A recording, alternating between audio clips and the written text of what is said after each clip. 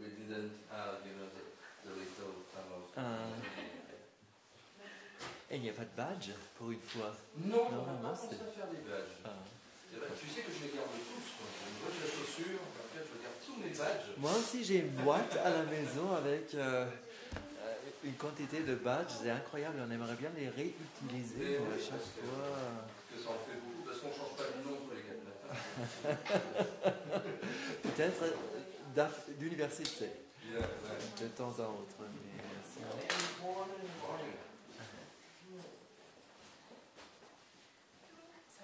You- you're, you're speaking at Yeah, yeah, uh-huh. yeah, yeah, yeah. So I was just wondering if I could use also my own laptop and how that Sure, works. sure.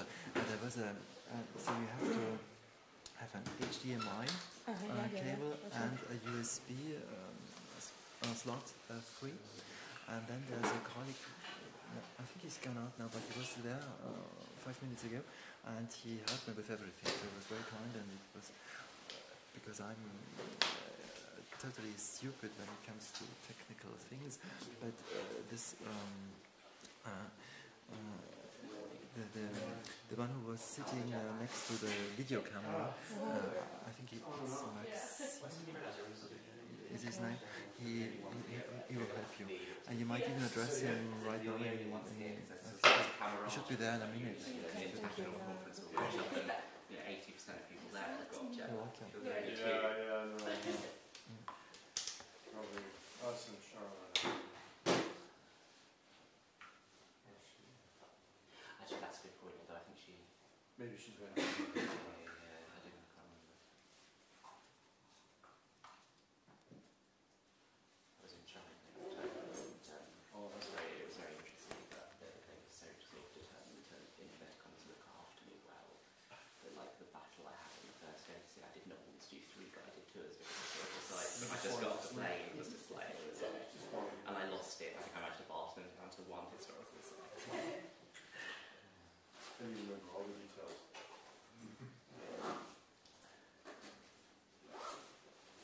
It's kind of fascinating though. I don't know if it's crossed your radar, but there's kind of microcosm of the in Beijing now, of kind of interesting cartography. Andreas, do you know Ursula Lenker? So Yeah, I know her. Yes. She's a good friend of She's not like a colleague, It's the let's say a good internet. friend. Because I would say hello to her for me, please. I haven't seen her in a Yeah, long time. She hasn't been to the conference. You want to get in before the election, Yes. like, okay. Yes. But to be honest with you, that was a discussion. I mean, it was probably like, I a missed discussion her I at had when you were walking conferences through a and like to see her there. Okay, yeah, yeah. Do you know what she's working on? I know she worked Yeah. with Oh, It's yeah. basically all my Chinese colleagues out there saying, oh, it's really Sorry about that. most depending on the US and impossible in three years' time for Westerners to be The here. usual things that already So from appreciate. Yes. And, uh, reviewing- Very good. East, and it's uh, 11 hours 55. It takes a bit longer than which it used to seminar if is you can't that? phone your friends now. I think you use the route used to go. You can Sorry? Good or relatively?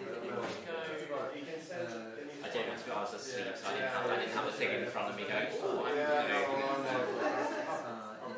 yeah. And it's, it's never particularly logical, is it? It's like, you know, oh, we're going over Canada. In my head, that doesn't make sense.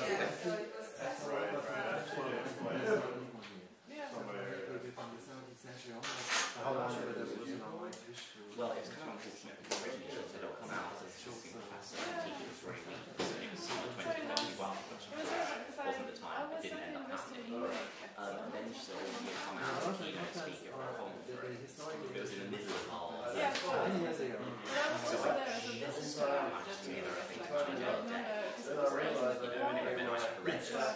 Which is this? But it's not really enough. I've never been to China. January, Yeah, they didn't really work. Because I was, I'm also a choir person, so I was at the Baltic choir. I'm going out here. Yeah. So, Um, Uh, After your. and it's a bit so expensive. Yes. Yeah. I was working out. It was Ursula's husband, the partner. Yeah, yeah. Yeah. Actually, they get They're Are they they married? knew each other. They're didn't very they? hot. Yeah. They got to So meet now each it's other. actually tuned up, yeah. It really, it really struck me. That's how I had Ursula it was, yeah, I miss her, I'm actually meet her again. Wait, that's soon. still I have the so we children. usually was I don't know, the ICEHL, which is the one that was organizing it. What's it do three? And so I kind of do that. I think I started on my sleeve. and I kind of like, it's just the end of the Every two years, but I the think you have to be every niche three years now because of Ah, the historical Ah, issues ah, after the pandemic and stuff, things like this stuff. So they may have to wait three years to be able to see it. Exactly. So you give a talk on like Venetian to someone doing a French It was very teacher, and they've got a reference point, Yeah, they go, oh, that's cool, okay, that's how subject programs are. And I was like, oh, well, kudos to that. Did you go for it? Natasha, Natasha didn't take it further? Yes, What did you it's do? horrible. Whenever, whenever somebody retires and Joking. uh, the post, the, the direction of didactics applied, Yes. like, Yeah. or, or even things like digital humanities. Yes, that looks that. very I mean, it's, I'm not, Is that an post? is a there should be something left for the society. We don't have a specific post in English historical Uh-huh. So my post, I, I, teach but my post is just English linguistics. Uh-huh, in general. Yeah. Uh-huh, uh-huh. And then you're free to choose whatever you would like Yeah. to focus on. Yeah. So, but uh, yeah, one thing, I, uh, I was an au pair in Germany by Starnberg so I know Ah, okay. in the Buchheim family. I don't know if you know Lothar Günther Buchheim and the beautiful museum. So he was, Lothar Günther was the uncle of the husband in the family. So I've spoken to Lothar Günther. He wasn't a very nice person. And that would have been my question because the, uh, in the media you always have this kind of Yeah, but he was a genius in many ways. I mean, the museum is so but wonderful. not so approachable. No, not at all. I talked to him on the phone once and he asked for the husband. He wasn't there. And I, I said, he had just introduced himself as Buchheim. I said, so which Buchheim is it? I said, this is Are there more? is there more than one?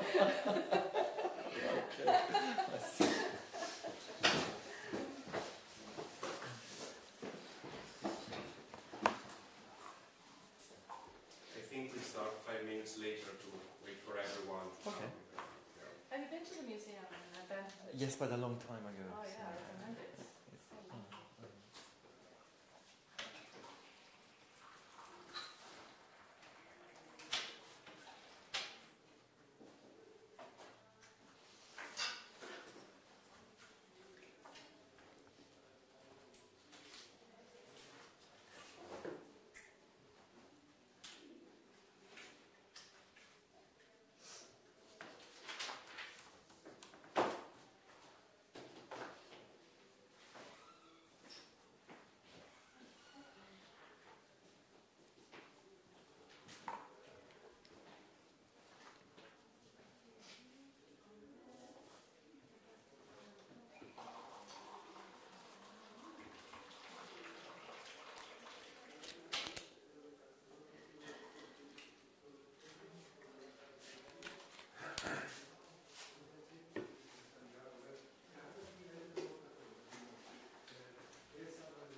It's the perennial plight of the native Germanic speaker being a Romance linguist is timing at conferences and which way. So my timing is pretty much romance. that is to say, Better that way, I think. that's to say it's totally uh, random.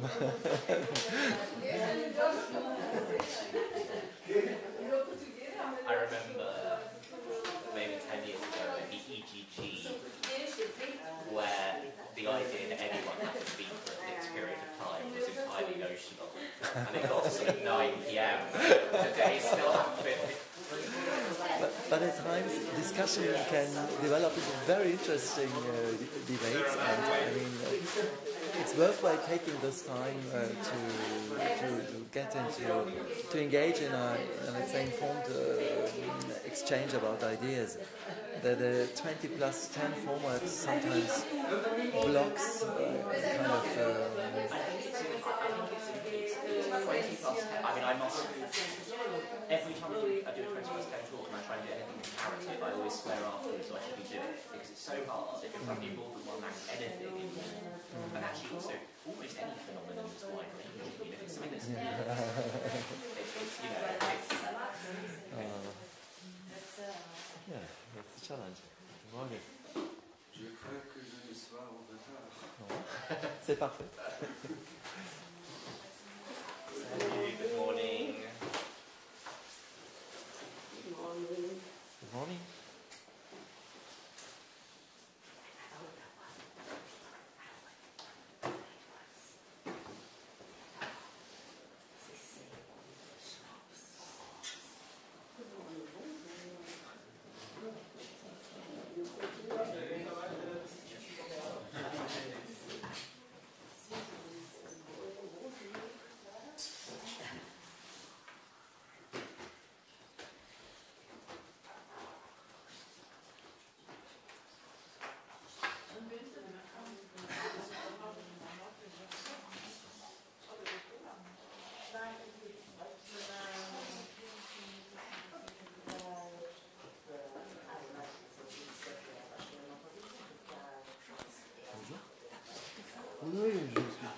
installé. euh, je, peux,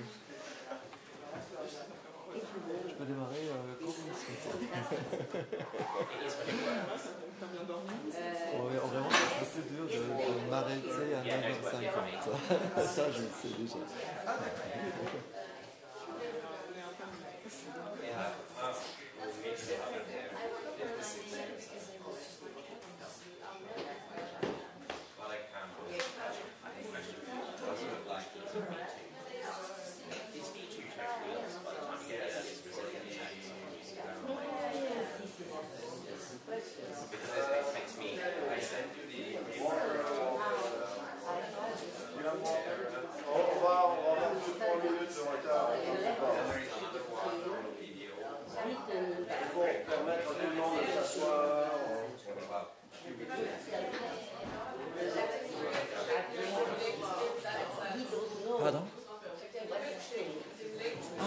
Vielen Dank, vielen Dank.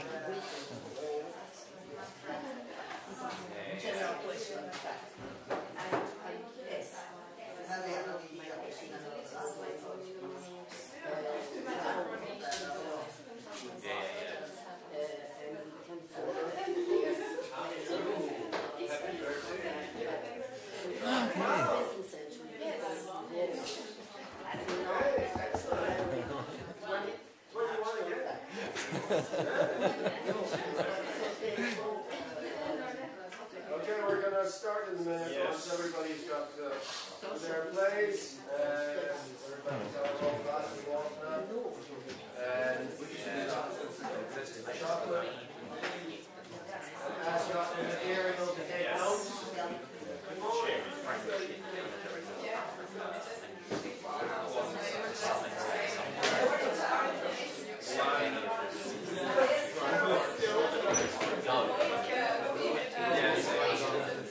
So actually, it's not a language, it's more, because there you come there, it's very interesting to see whether. Before we start the second day, before we start second day, we all want to wish a very happy birthday to Afra. Happy birthday to you and all that. Um, so we start the second day, and I now give the floor to Francesco Pinzin. Well, I will basically give directly the floor uh, to Andreas Dufter, who will present us uh, something about expletive negation in the history of French, and with a little comparison with German and Italian too. Floor is yours. Thank you very much and good morning everybody. So the phenomenon in question is this. Uh, Ivan Colonna reproche à M. Sarkozy de l'avoir présenté publiquement comme l'assassin avant qu'il ne soit jugé. In the, in the very same journal, Le Monde, uh, some years earlier, détenir un inculpé avant qu'il soit jugé, c'est donc attenter à la liberté d'un homme que la loi même présume innoc- innocent. Donc, It appears that no here is optional without any obvious semantic contribution, and that's a phenomenon commonly known as expletive negation, the presence of a negative element in a sentence that, that, that does not express a negated proposition. And if you look at the French uh, book market, there are several titles on, on stock, on display, uh, with the somewhat uh, catchy title, Before It Is Too Late, avant qu'il soit trop tard, avant qu'il soit trop tard, avant qu'il soit trop tard, avant qu'il soit trop tard, avant qu'il soit trop tard. And choose whichever you would like uh, to have. I, I've done all sorts of hypotheses. Is the right-wing political scene rather in favor of expletive? No, you might guess this, but it's not, uh, it's not terribly statistically valid. so the open issue, is it, do, do we have an instance of free variation here? And free variation has commonly been rejected as being simply unexplained variation, so uh, the linguist hasn't simply done his job uh, correctly. And there's a whole body of literature reviewed recently by Weber and Kopf, and there are even those who would like to exclude free variation from grammar on principal grounds, uh, according to some principle of no synonymy in construction grammar, for instance. However, no, there is no empirical justification for this principle in Goldberg's work. Uh, um, she admits herself, with one possible exception, all of the functional principles listed above are widely assumed and are sufficiently intuitive so that, so that the more extended defense of them is not attempted here. this has um, leveled criticism even from within construction the construction grammar camp. There's a nice article by a German colleague why the principle of no synonym is overrated, and there are those who claim that the burden of proof, of proof is with those who postulate systematic variation rather than free variation. So I'm rather sympathetic uh, with this view. In any way, um, the French linguistic uh, scene has tried to find ways out of this uh, undesirable uh, potential instance of free variation. Uh, the first strategy being that expletive need ne would be nothing more than a historical relic, an archaic fact, or a, a kind of grammatical fossil. The other camp says that it's not free variation because expletive no does have interpretive effects. It might carry a virtualizing load, whatever that may be. Uh, it may have an intensifying effect. Uh, it may activate an evaluative layer of semantic meaning. But in my view, evidence for all these uh, sometimes conflicting semantic, con- semantic or pragmatic contribution is equivocal at best, as can be seen in this case, avant que le monde fût. Um, so the word was made, happily, luckily for us, and it's not uh, virtualizing, it's maybe not evaluative. So you, you, I'm not too sure about this. Uh, then there's a typological recent study of expletive negation in the languages of the world, and we can find them in about 10% of the sample um, made up by Jin and Koenig. Uh, they themselves say that it's likely to be underreported because in some languages it seems to be only a dialect or a substandard variant, and I'm, uh, I'm trying to get to grips with this. The principal licenses in the languages of the world are surprisingly uniform semantically, with uh, before clauses um, in the first place, followed by fear predicates. And then with some, let's say, um, um, uh, from the third place onwards, it's, it's not so common any longer. Uh, but then for French, you can find three principal types. There's a, uh, a fair number of object clauses. Um, um, governed by inherently negative matrix verbs such as uh, craindre like, or their, their nouns, like crainte que, empêcher, défendre. There are correlative clauses uh, of inequality but also of equality, and there are adverbial clauses, in particular those introduced by sans que, à moins que, and avant que. So all in all, French then has a remarkab remarkably wide area of licenses uh, from pan-Romance and from uh, global typological perspectives. And arguably, there has been a diachronic extension of, of licenses uh, in the history of French, and according to some authors, an ongoing gen generalization. On the other hand, there are those claiming that expletive negation is reported to be in decline. And uh, there's an eminent scholar, uh, Pierre Larrivée, uh, who even uh, suggested an, got an extinction of expletive uses of ne in modern French uh, some years ago. So the open, open issue number two for me, it, what's the curve of evolution of expletive ne after all? Um, and when it comes to synchronic variation, there are also opposing viewpoints.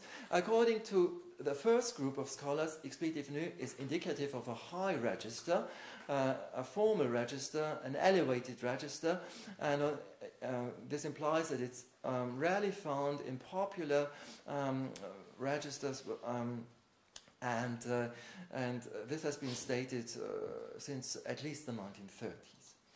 Um, a second uh, line of research holds that the presence of expletive would be completely neutral, and this is the po position adopted at some place in the uh, new reference grammar, um, uh, Grande Grammaire du Français, uh, and uh, the other traditional reference grammar, uh, Grevisse, has it that it would be something rather spontaneous, and that there, and um, other authors state that there are numerous examples found in spoken language, and you can even find attestations in primary dialects of the Langue d'Oïl, uh, in, West, in, in Walloon dialects, with the exception to the westernmost uh, part, according to the Atlas linguistique de la Wallonie.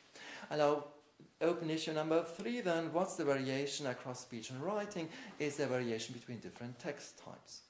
In any event, uh, expletive ne has been around since early old French. Here's an example from the Vie de Saint-Alexis, uh, and here's another one from the Chanson de Roland.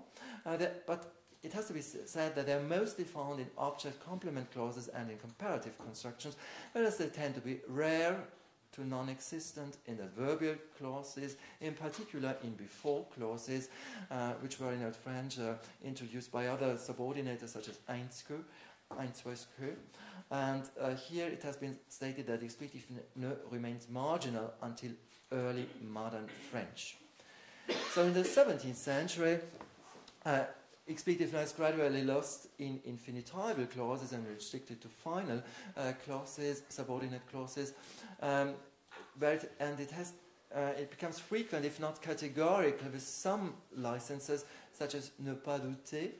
Um, and it's rare to non-existent with other items that license ne in contemporary French. So there's a common assumption in the grammaticalization camp around, according to which the early rise of postverbal negators um, in, in the history of French would favor the refunctionalization of ne as an expletive element. It becomes free to fulfill other functions, whatever that may, uh, they may be on the semantic and pragmatic side. But then um, um, there's bipartite expletive negations in 17th century French, such as in this uh, example in 6. Pourtant, les vignes se trouvèrent plus belles que l'on ne croyait pas. Um, and expletive par has survived until uh, present day varieties in uh, Quebec, plus, at least in the superlative construction, c'est plus belle qu'il y a pas sur le marché. So, are there any cross-linguistically valid uh, uh, grammaticalization paths? Now, the recent uh, article by um, Paolo Ramat, according to him, expletive negation would be originally tied to the core concept of inequality comparison. Um, X is more, has more, Y than that, Z, where Y refers to a state, a quality or property, as well as to temporal comparison, X before Y, where the second member is implicitly negated. It may then expand to other constructions, such as negative concord and the construction of fear verbs. But in French, um, this doesn't seem to hold, uh, since uh, expletive negation with fear verbs is solidly attested since uh, the earliest extant text, uh, whereas with before clauses, um, as, as I just mentioned, it's rare until way into the 18th century. And there's another uh, recent uh, um, doctoral dissertation done on expletive no in French, uh, which also has a chapter on diachrony uh, by Tahar. And Tahar speaks of an erosion du sens modal, going from prohibition semantics to apprehension to frustration semantics. That is from défendre to empêcher to craindre. And in the 17th century, from the apprehension class, uh, ne, expletive ne would have spread to object, uh, from object to adverbial clauses, including before clauses um, of the type uh, uh, don't do this before it's too late, the, the avant que ne soit trop tard uh, type. However, expletive negation, again with fear verbs, is solidly agnostic, uh, attested from the outset. And then uh, Tahar fails to provide an answer to the question how expletive ne in comparative constructions uh, fits into, into the picture. So the approach is uh, somewhat incomplete, uh, to say the least. Then um, I'd like to refer once more to Pierre Larrivée's uh, work, uh, who found expletive uses of ne to occur very rarely in texts of less experienced writers, the peu lettrés um, uh, um, corpora of the 17th and 18th century, according to the then available corpus made up by um, Ernst and Wolf, 2005. And within three journaux, that is um, private diaries, he found only 19 instances of expletive usage among a total of 661 um, tokens of ne. And in he also looked into a corpus of contemporary spoken French, such as the Corpus du français parlé parisien des années 2000, where there was not a single expletive among the first 300 tokens of ne. So what do we have to conclude from this? Luckily, there's a, a, a, second version available of the Ernst uh, corpus, the new um, Ernst corpus 2019 of the texte français privé du 17e et 18e siècle. And here we have a total of 10 extensive and carefully transcribed texts written by average, ordinary people. And uh, I looked into the, uh, I looked at all of the instances of ne in, in, the corpus, some 2,500, and um, I found this. So there's um, with the fear, um, the, the, the, overall numbers are not exceedingly high, I'm afraid. But then you can see that among 32 instances of uh, craindre or crainte or peur plus uh, complement clauses, 19 have expletive ne. Uh, the situation is different for avant que, just one single instance among 17 cases of avant que. And with comparative clauses, the use of ne is almost categorical, you might say, with 22 out of 24 instances. And the only counterexamples in comparative clauses stem from counterfactual context. Et ne faisait non plus chaud que c'eût été entre la Toussaint et le Noël. And the only example of avant que plus ne is phonologically ambiguous, euh, parmi lesquels il ne lui restait que 800 militaires de plus de 6000 qu'il en avait euh, avant qu'on eût formé le blocus. Donc this may not, this might be a spelling error. So it, it, it, it, it's not very, it doesn't prove anything, uh, uh, to put it uh, this way. Um, so, but I'd, I'd, like to suggest that at least with craindre and comparative clauses, at that time, at that moment um, of the history of French, an ex extinction of expletive uses might not yet or may not be observable. And then uh, a quick word about Italian coming to the issue of free back to the issue of free variation. For Italian, it has been stated that anti-factivity would be at work, so that in 10, parlare domani alla stazione prima che non faccia qualche sciocchezza would be a perfect way of staying. Well, the Italian, Elisa, you, you, say, you, you stop me if, if I'm wrong. Whereas in 11, well, no anti-factivity uh, uh, in the avant in, in the prima uh, clauses at play. Uh, expletive negation is not licensed. So to the extent that this is true, and I got confirmation last week when I was in Italy, um, uh, this would make Italian quite different from French. There's no anti-factivity requirement in French, as can be seen. I repeat the example I just gave before, avant que le monde ne fût fait. And then the issue of non-veridicality, which always arises with before clauses. So it's different if you say um, um, Mozart had breakfast before he finished his opera, uh, so he did finish uh, La Flûte, Enchantée, for instance, but uh, Mozart um, died before he finished his Requiem, so here we have non-veridicality, but this follows from the lexical semantics of die. So it's not a fact, a hardwired fact of grammar, in my opinion, and this has been stated by other authors at, as well. And there are other typical semantic correlates of expletive negation in before clauses uh, in the languages of the word, such as a negative preference stance or undesirability. But again, this seems to be unclear for me, uh, for in the case of French at the very least such as, uh, consider examples such as 13, je n'ose rentrer avant que vous ne m'ayez pardonné. Donc here, undesirability doesn't seem to be at, uh, at play. Now, uh, coming to the issue of uh, evolution for different text types, I started out with the formal text types because I thought uh, expletive no might be, yes, uh, might be more frequent in formal text types, uh, so pertaining to Distanzsprache in terms of Koch Oesterreicher. And I looked into Frantext, and, and Wendy uh, has told us about all the issues that arise when you get to use Frantext, but for want of a better corpus, it had to be Frantext. And I, I, I selected the philosophical text because they are available from the 17th to the 21st century. And the evolution is this there's a, a quite uh, nice uh, increase in uh, the use of frequency from the 17th to the 20th centuries. There are no philosophical texts from the 21st century, unfortunately. So just uh, I could just uh, look at these four centuries, but then the, the curve of evolution goes up. And, and then I, I tried to identify uh, texts intermediate between Distanz and Nähesprache, and I looked at what had, has been called in other circles ego document, such as private letters, diaries, or travel reports. And uh, so that's the, the écrit personnel genre uh, in, in, in Frantext. And here the increase was even steeper. So uh, we are uh, in the 20th century, we, uh, we arrive at some 37.6%, and in, the, uh, in our century, it's almost in half of the instances of avant que clauses. Now, you have to admit uh, that um, these uh, writings are by very experienced writers, so it's, it's, it's, it's absolutely uh, different from the corpus Ernst and Wolf. And um, I, I, I, I, tried to, to do a comparison with Craindre and La Crainte que. I, I couldn't do I couldn't investigate all instances because you have always have to check them manually. But for, the, for a selection and, and, manual elimination of false positives in the écrit personnel genre, you see that there's no such uh, increase observable for the fear predicate clause. So figures are high throughout. They vary so, a bit, but th that might be due to chance.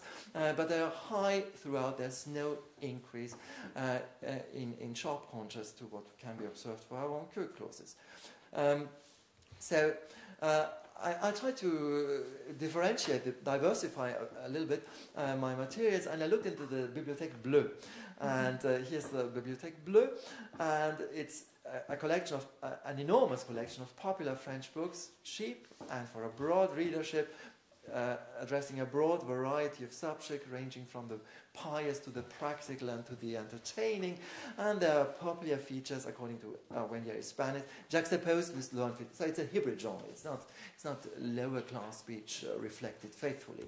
Uh, and here, uh, figures were low until the 18th century, and then there's a total of only 20 tokens for the 19th century because they fade out in the 19th century.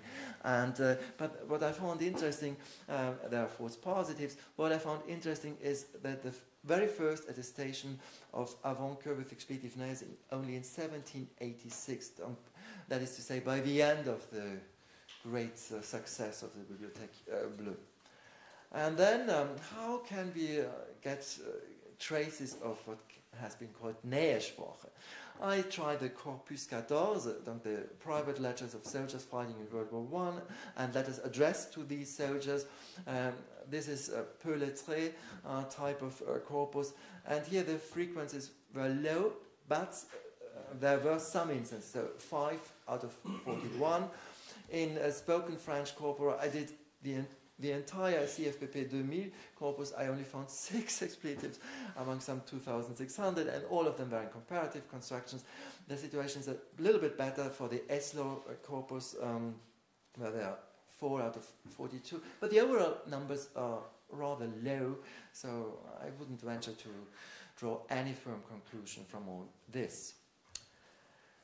Uh, another question I was asking myself was this. Can linguistic prescriptivism explain the rise of avant que plus ne? Uh, to start out, for a long time, uh, uh, expletive ne uh, was frowned upon by uh, normative grammarians and remarqueurs, in particular uh, uh, after avant que. And it was only in the, in the, course of the 19th century that avant que plus ne gradually came to be tolerated by mm-hmm. official grammars, and there had always been attempts at, attempts at eliminating free variation by providing rules of usage, such as the one proposed by Girault-Duvivier. On doit faire usage de ne toutes les fois qu'il y a du doute sur la réalité de l'action exprimée par le verbe qui vient après avant que. Now, normative grammars have been quite, uh, let's say, uh, unclear about this uh, if you take them together. And uh, it was in 90, you, you, can really date the official acceptance of expletive ne, uh, which happened in the Journal Officiel on 26 February of 1901. And the argument uh, then was that the usage is just chaotic, it's, it's random, there is no systematicity anyway. L'emploi de cette négation dans un très grand nombre de propositions subordonnées donne lieu à des règles compliquées, difficiles, abusives, souvent en contradiction avec l'usage des écrivains les plus classiques. So, in the in the 20th century, then uh, uh, uh, uh, finished by gaining prestige. It was recommended in the ninth, but only in the ninth, in the latest edition of the Dictionnaire de l'Académie Française. Uh, however, if, if you go into the corpora, normative pressure doesn't seem to have had any recognizable impact, and the presence uh, of no remains erratic, as it has been aptly uh, formulated. So a quick word about German and then I come to my conclusions. In German we have the very same phenomenon.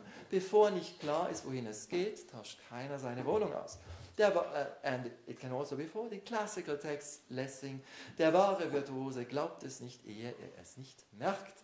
Um, and it can even be found, albeit infrequently, with positive predicates. Here's an example from uh, Krifka. And there have been proposals claiming minimal semantic differences. Uh, but uh, even those authors claiming these differences fail to provide minimal pairs. So I'm, I remain uh, skeptical about these proposals, and Krifka himself admits normally it, it, doesn't play any role. So for me, it, it, it, still seems to be a case of free variation. And then I looked into normative uh, grammars of uh, German, and here's uh, an interesting um, gentleman, Gustav Wustmann, uh, who wrote a book, Allerhand Sprachdummheiten, kleine deutsche Grammatik des Zweifelhaften, des Falschen und des Hässlichen. And there it has been a, an enormous success, and there have been uh, various editions, and there have been um, um, uh, refurbishments. And in the first edition, in the late 19th century, he's overtly against uh, this expletive negation. And in the 1940s, this was done by a successor, so it's a posthumous edition. Uh, uh, he's a bit more nuanced. He says it, it's, uh, it's redundant, but you can't say it's, it's outright uh, incorrect, um, since it has, now that it has found its way into the language of all circles. So, you know, when he gives up is confronted with the facts of reality, so uh, you can't do anything about it anyway. So, in my opinion, uh, in the history of German, expletive nuation has started out um, as a, let's say, as a condemned uh, variant, but then um, even the most uh, conservative ones have resigned in view of actional usage, and it has finished by becoming accepted as a totally, in my opinion at least, stylistically neutral variable. Whereas in French, has also been subject to normative criticism, at least in some contexts. The overall picture is more complicated. There have been attempts at systematization, but unsuccessful ones. There has been, as in German, uh, in, uh, a kind of re resignation in view of actual usage. It has gained acceptance and even prestige. And this last step, I think, is what makes French different from other languages, such as uh, German and Italian. So, in conclusion, uh, I have been unable to detect any overall diachronic tendency for expletive no in French. It doesn't seem to be a unitary phenomenon. And in avant que clauses, what one might rather find is a diachronic widening of the gap between high and lower registers, with expletive no on the rise in high register texts such as philosophical ones, but also in less formal documents of experienced writers. And this rise predates the acceptance by normative grammarians. In fact, official acceptance could be a consequence rather than a cause of the rise of expletive no. By contrast, in texts of unexperienced writers, expletive no with avant remains a minor, infrequent variant, and the same holds for spoken French in the 20th century.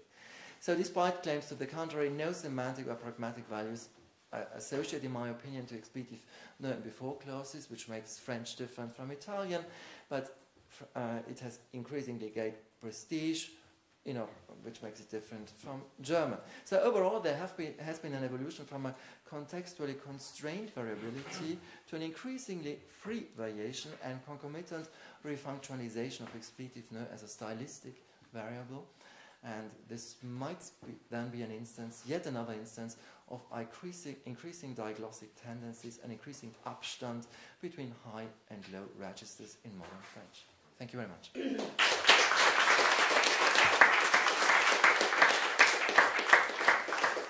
We have five minutes for questions.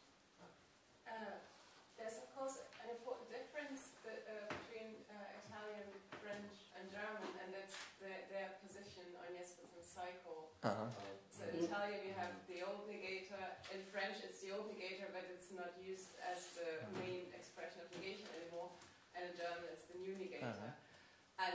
And and I'm not talking about Canadian, which is obviously uh, more on the German side, I guess.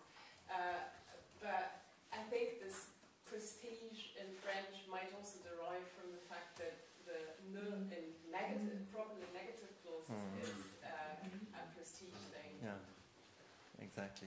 Um, I, I- I fully agree with you. Um, I would have to look uh, um, more closely at uh, the history of uh, German.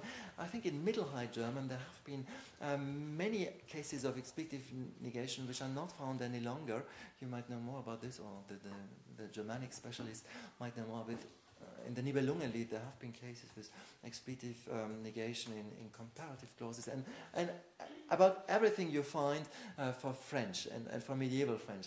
And then if you look in, in, in traditional works such as Behaghel's uh, Deutsche Grammatik, he always says um, um, there have been uh, um, claims uh, according to which this would be an instance of uh, interference or, or calque from French, from, from medieval French.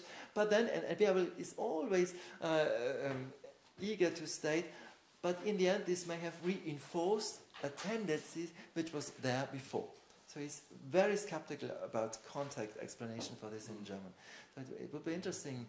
I, I, I don't know whether there's a, a full range, exhaustive study of uh, the history of expletive negation in German. Not aware of it. Uh, But maybe one little remark, if I may, uh, the, the fact that you get this kind of refunctionalization. I sent you a paper that I wrote about uh, Dutch, but uh, it's, uh, it's something that can happen exactly when the frequency is low, Lowering, but not uh-huh. quite Uh-huh. low enough Uh-huh. to disappear. So if Uh-huh. a prolonged existence at low frequency, people will start to wonder what it is, and then you get this uptake uh, in expletive negation. It's like we have it, let's do something with it. I, don't know, I, I, I don't know if you can find it Uh. useful. Um, I, for Dutch, uh. I think uh, you can show that it becomes, uh, it takes on some kind of mirative function. So it's, Ah, okay. surprising. You may not Unexpectedness. Ah, have thought about it. okay, interesting. Thank you. That would be a case of exaptation. Yeah, Yes. exactly, exactly. I was going to, to put this on the slides, but there are already too many things on the slides. Uh, thanks a lot, very nice story. Uh, uh, just one, um, uh, another language that would be interesting to look at is Catalan, Uh-huh. where you have no and you have also no pas Mhm. at, uh, as expletive uh, forms with diatopic, stylistic, Uh, don't know what kind of difference, um, but Yeah, there, there's uh, recent work um, on this. Um, i i- it's the what's the licensing conjunctions? It's not before. It's uh, kind of until um, word. Uh, um, and, and, there, it doesn't seem, at least according to the authors I've been able to consult, um, it doesn't seem to be um, genuinely free variation in, in, in, in, in semantic and pragmatic uh, respects. Um, on, on, on the, the form of the negation, I think Anne's point is really good, uh, but we have also to take into account that ba on its own can be used as an expletive, although Mhm. not in the I registers. I mean, in, you find it. It's not super frequent, but it And there's also, of course, the, the, uh, for instance, in the history of English, you see that uh, in certain clauses you use uh, the mu negator uh, in expletive context, Uh-huh. and in some use the old one. Uh-huh. So I think that that's maybe also something to look at if you if you wanted to Yeah. send you the references to the English Thank you. But uh, uh, Uh-huh. I think not all expletive contexts are the same. Yeah, it's a, it's, No, it's a that's subset. Yeah, yeah. That's, that's Keiko's point.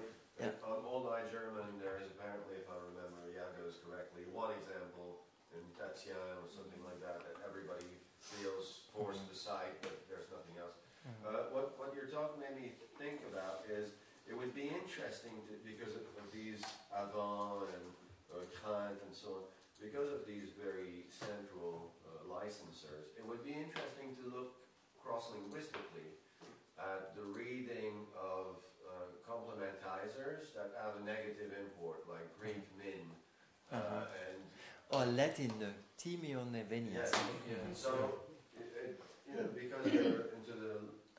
It, it made me think of that, and you might find an overlap between the readings of the negative, uh, inherently negative complementizers and the expletive context. But Yes, yes. nice. But thought. but the, the, the hard task is to spell out the details of the evolution from Timeo ne venias uh, via the, the, the old French type ne peut muer n'en pleurt, for instance. Uh, he couldn't prevent from from weeping. Um, to the que ne type. Yeah. So, and there's recent work done on this, uh, but again, um, so in my view, the, the, the mu- much work on expletive negation is driven by an inherent desire to reject the hypothesis Yeah. of free variation. And my way would be rather to, to state that uh, free variation is there, uh, and it can, and to the extent that uh, the, the variant is in free variation, it can be refunctionalized for stylistic or register differentiation purposes. Pra- mhm. Yeah, time for one Yeah, last ju- just an observation because uh, I look into the Grand Corpus des Grammaires Françaises and the prescribed, Mhm. pres- prescribed, prescribed Uh-huh. kind of thing. Uh-huh. And in um, in Rec- uh, in uh, César Dumas uh, Dumarsais work from the middle of the 18th century, he talk about, uh, if I, I can read the quote, euh, c'est la pensée habituelle de celui qui parle qui attire cette négation. Euh, mon esprit tourné vers la négation la met dans ce discours. So there is definitely something there uh, in the classical French uh, Mm. grammar studies that they, they, yeah, they, they see that there is something oriented toward negation but that cannot be accomplished fully. And I do think that also Demret efficient at some pages Yeah, yeah. on the matter. Yeah. That's- Would last say something about it? I haven't found anything. Uh, we should uh, ask uh, when you explain it on this. Um, sorry, second. One of the remarks, uh, isn't Baudelaire uh, saying something I, about I don't think so. I was, No. I was just, I was just looking Yeah, at me too, so I, the- I couldn't find and anything. you, you, That's because it's a typical phenomenon. Yeah, but Vaugelas is quiet. But before clauses, perhaps not at that I time. think, Yeah, yeah, probably I not. think it's not, it's not so salient. Yeah, I think so. It will be a, a bit later on. That's why Marcel When you get the lots of comments is towards the end of the 18th century, people like Varney and then Desgrouais, Mhm. who Mhm. you know has one of the, has these false Gasconisms, so Mhm. left and right, this is good, this is bad. Um, so it seems to have been stigmatised later, later Yeah. on in the Mm. 17th century. Yeah, I agree. I, I think we have to close here. Thank you again, speaker, for.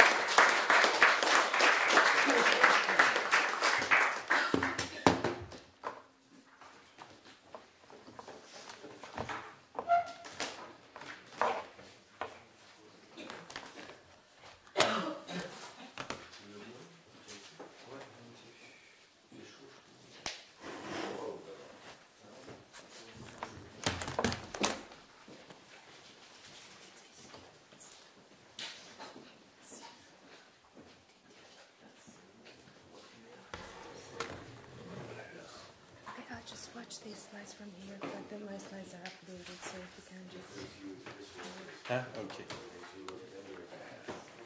show me how to move forward with the slides.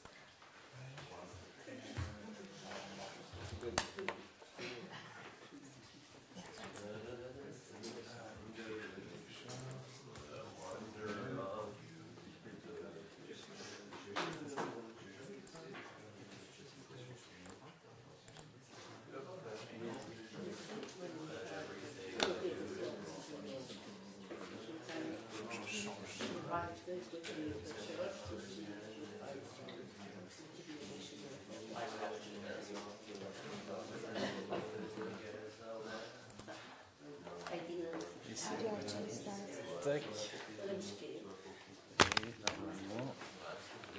okay.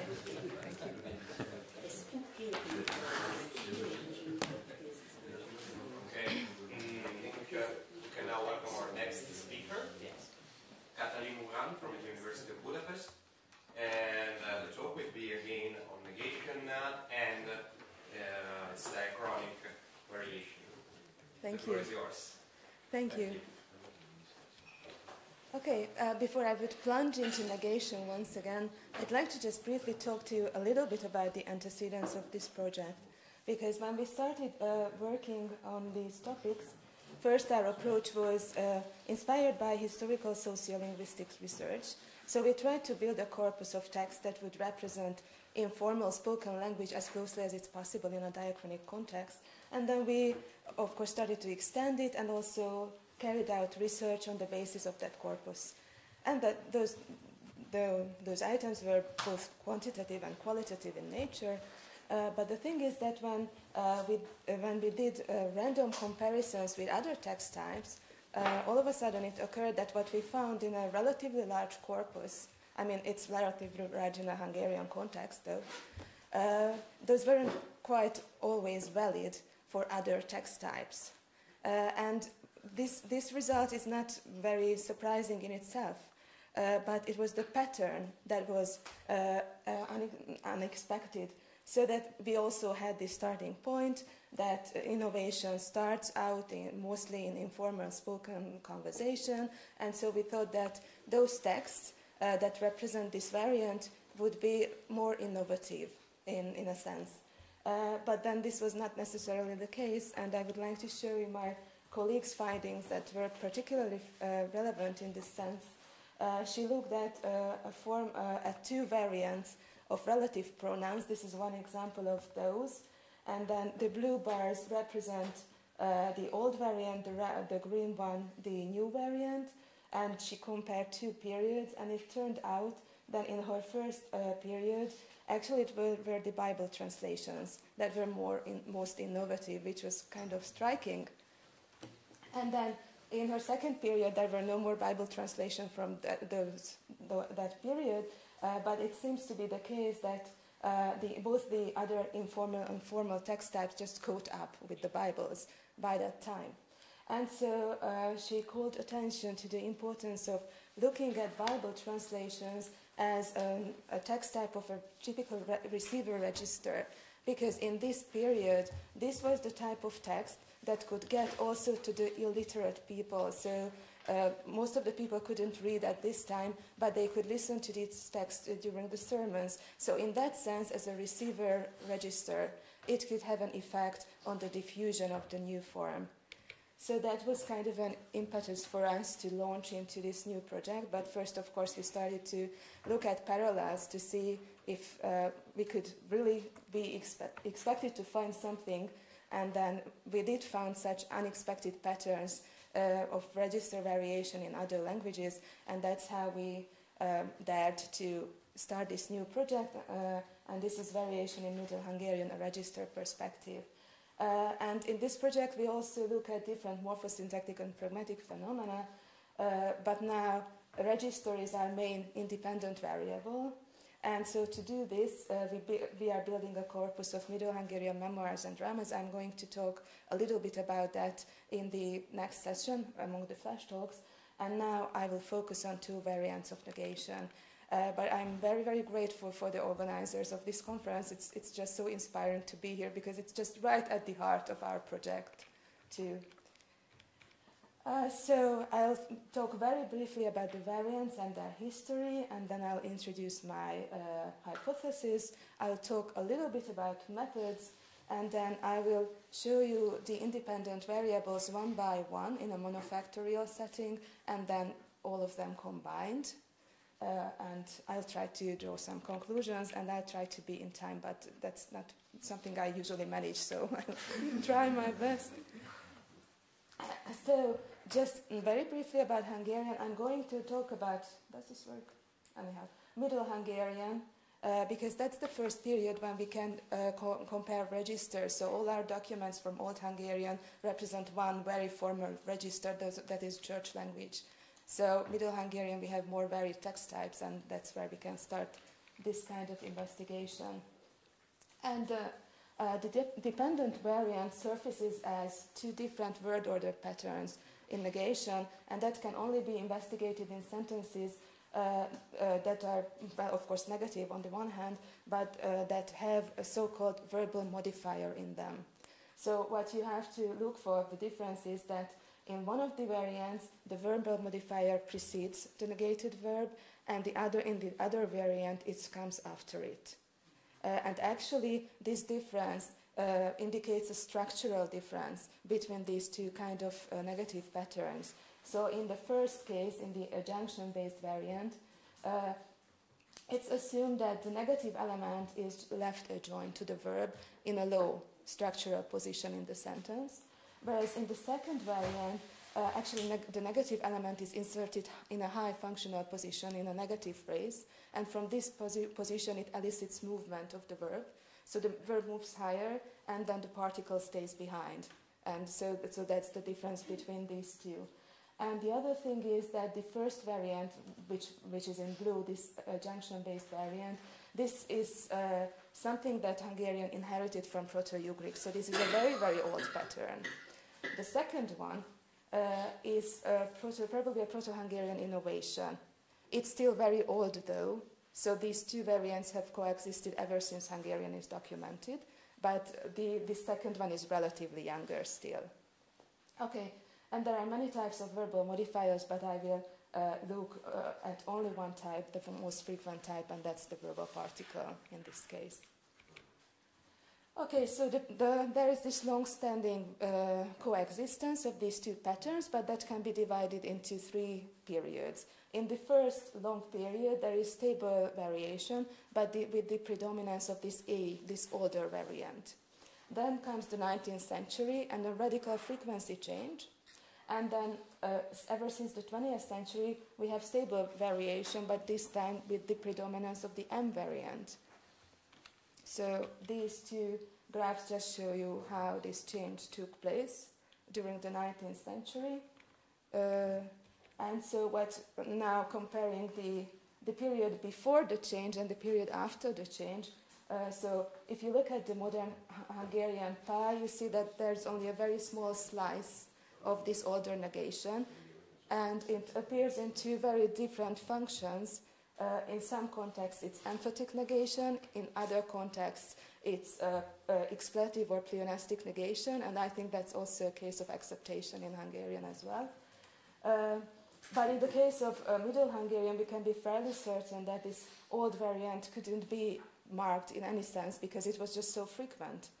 Uh, and we can't be certain about the function, the pragmatic function of the other variant uh, but I have this hunch that that could be at that time emphatic negation. And I know that this is a very, very difficult thing to prove. I have several ideas how to do that, but it would take us far from, the, from this today's talk, but we can return to it. Uh, and so uh, my earlier results is that uh, when I investigated this uh, older corpus of informal language use, it seemed to be the case that external factors, like standard sociolinguistic factors, didn't play a role at all in the distribution. So we got the same data, irrespective of social status, gender, or sub-period, or dialect. So basically, it was a quite a homogeneous data set. And then when I looked at this very influential Bible translation, then it turned out that uh, this new variant was much more frequent in that source for some unknown reason.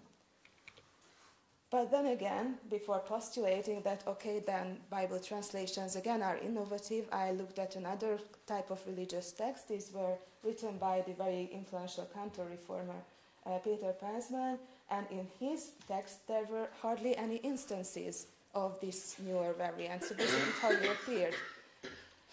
Uh, so there is this, then, then this uh, hypothesis is in fact quite vague, but what I thought that in the, in the case of these variants, uh, they have some pragmatic difference between them.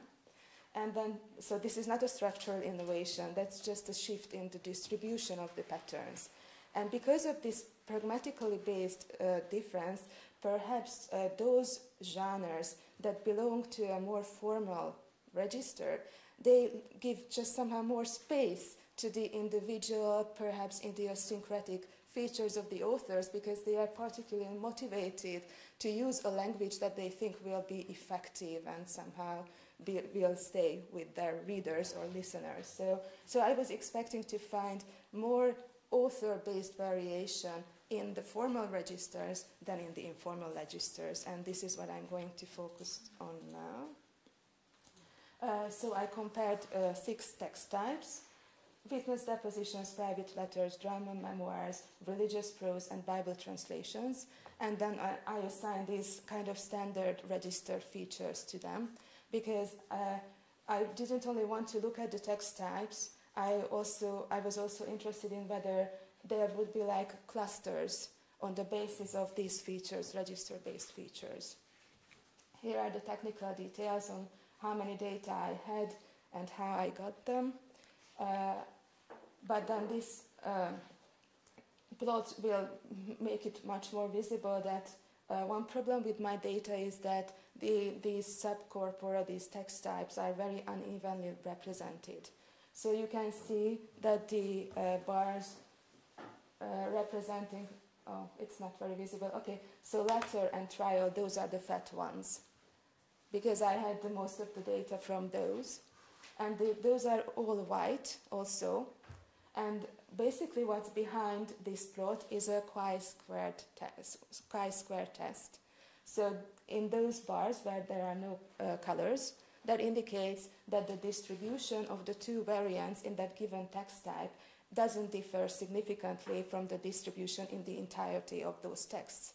So in those cases, the given uh, level of the variable seems to play no role. But then in the case of Bible translations, memoirs, and religious prose, where you see some colors, that means that there's some kind of difference uh, as opposed to the general uh, average on, of the whole of these texts. And blue indicates that there is something more than expected, so there is more of this new variant in Bible translations and memoirs, and uh, red means that there is less. So actually, there is less of this variant in religious prose. Uh, and I also tried to make those clusters, and actually, I couldn't find any patterns on the basis of those features.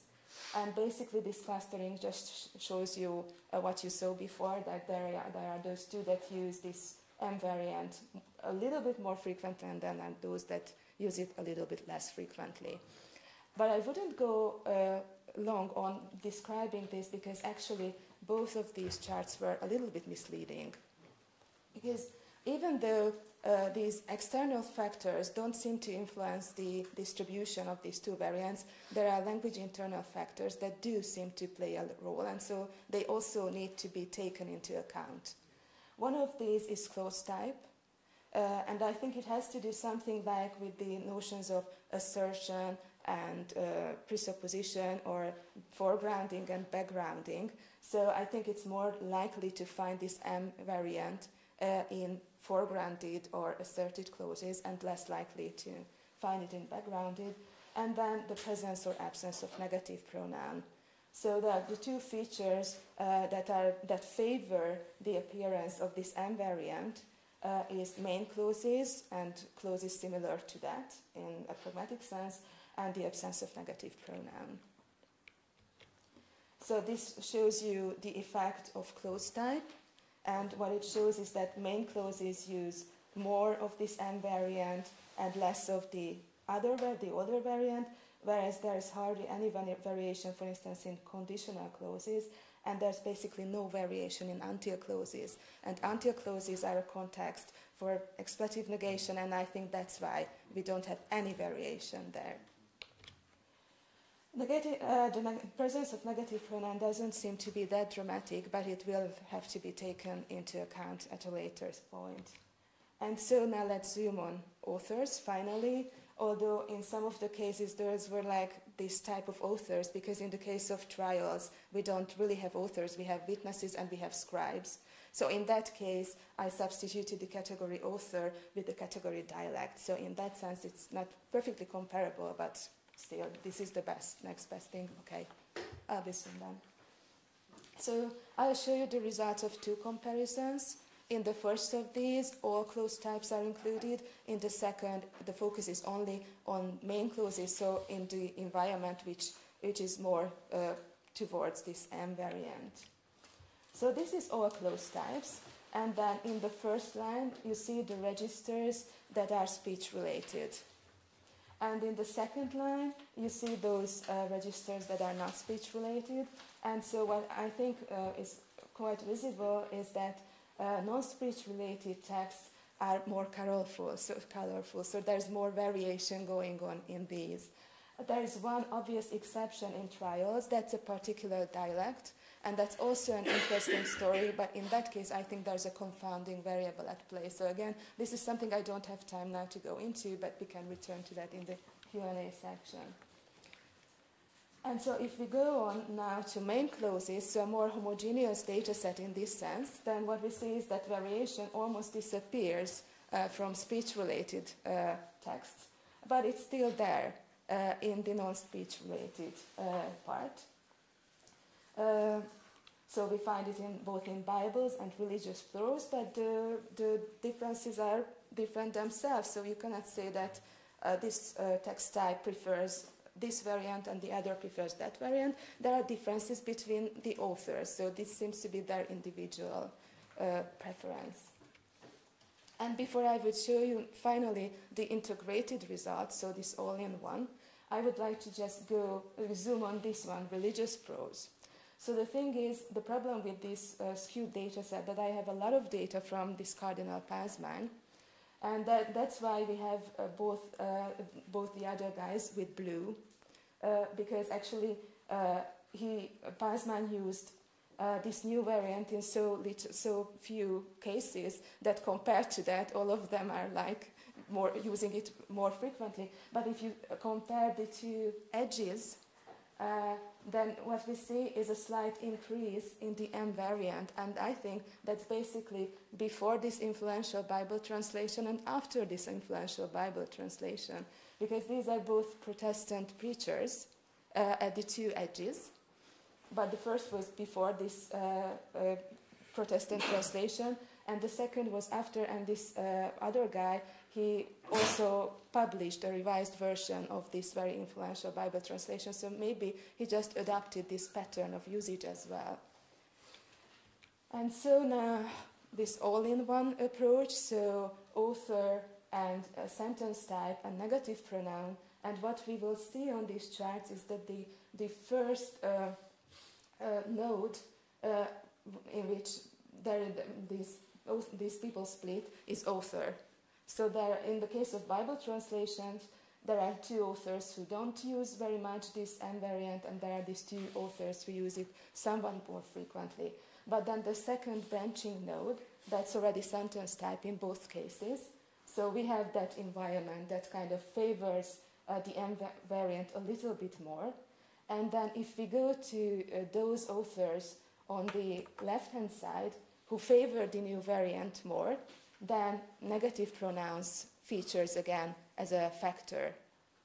So basically, Károli, so the author of this very, very influential Bible translation, used uh, this N variant already over 60% of the cases in those environments where there was a main clause or a clause similar to that in this respect, and there was no negative pronoun. And now, if we look at uh, this other, the religious prose, and Oh, yeah, yeah, yeah, sure. So it's really something like right wing and left wing. It's like Catholic and Protestant or whatever. but then Pázmány Péter, who, who was an influential Catholic person, hardly uses uh, this new variant, so it's a, a, branching node on its own. But then if we go on, then the next branching node is again sentence type. And then if we go down, uh, then it's only, in this case, it's only main clauses that form a separate cluster. But in that case, uh, it's again uh, in the absence of negative pronouns uh, and the M variance frequency rises. And actually, Szenci Molnár, whose work uh, follows the addition of this Bible translation, it's again above 60%. So the majority of the cases, and it's almost the same percentage. So ultimately, I think there is some slight uh, reinforcement to this uh, proposal that speech-related registers in this uh, particular instance seem to be more homogeneous. Homogeneous. So uh, authors or authors within a register do not differ significantly from each other. As opposed to this, there is uh, this author-based variation in Bible translations and religious prose. And then I think that if my hunch is correct in the M variant being more emphatic then the motivation for this can be even similar to what they found with the self-reflexive pronouns in early modern English. Then in that case, religious uh, so sermons and actually statues uh, were the first to adapt and distribute these new forms. And in the case of uh, sermons, the author uh, had this explanation that it's, it's related to the original intensifying uh, function of the self pronouns. And actually, what the authors emphasize is that the things they write about is important. So that anything, so I quote this: anything done by Christ is a remarkable act. And so they started to use self pronouns even more frequently, and that could lead change. My practical task for the future is to balance the size of the subcorpora, and in some cases it's possible, but in the case of religious prose, it will be very, very difficult because of the form of the text that now I have them in. So, so that will require a lot of work. And the question that, that buggers me the most and I'm most interested in is it's something that still remains open. Can it be the case that uh, this idiosyncratic pattern in a highly influential source uh, basically led to a large scale change uh, two centuries later by like going down so as an instance of uh, change from above well uh, I need to acknowledge the support of this organization, and here are the references and sources, and thank you so much for your attention.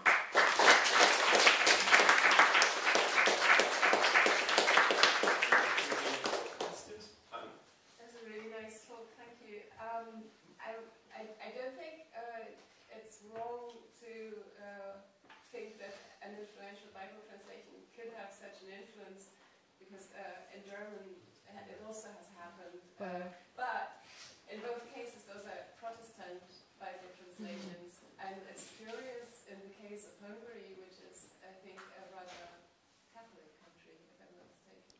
Uh, there was a lot of change in this respect. Uh-huh.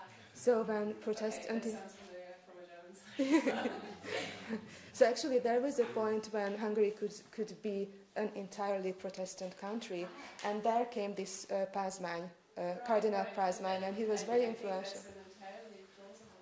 Mm. But Catholic Bible, the, the only Catholic Bible translation uh, appeared later, and it wasn't. It just wasn't that influential.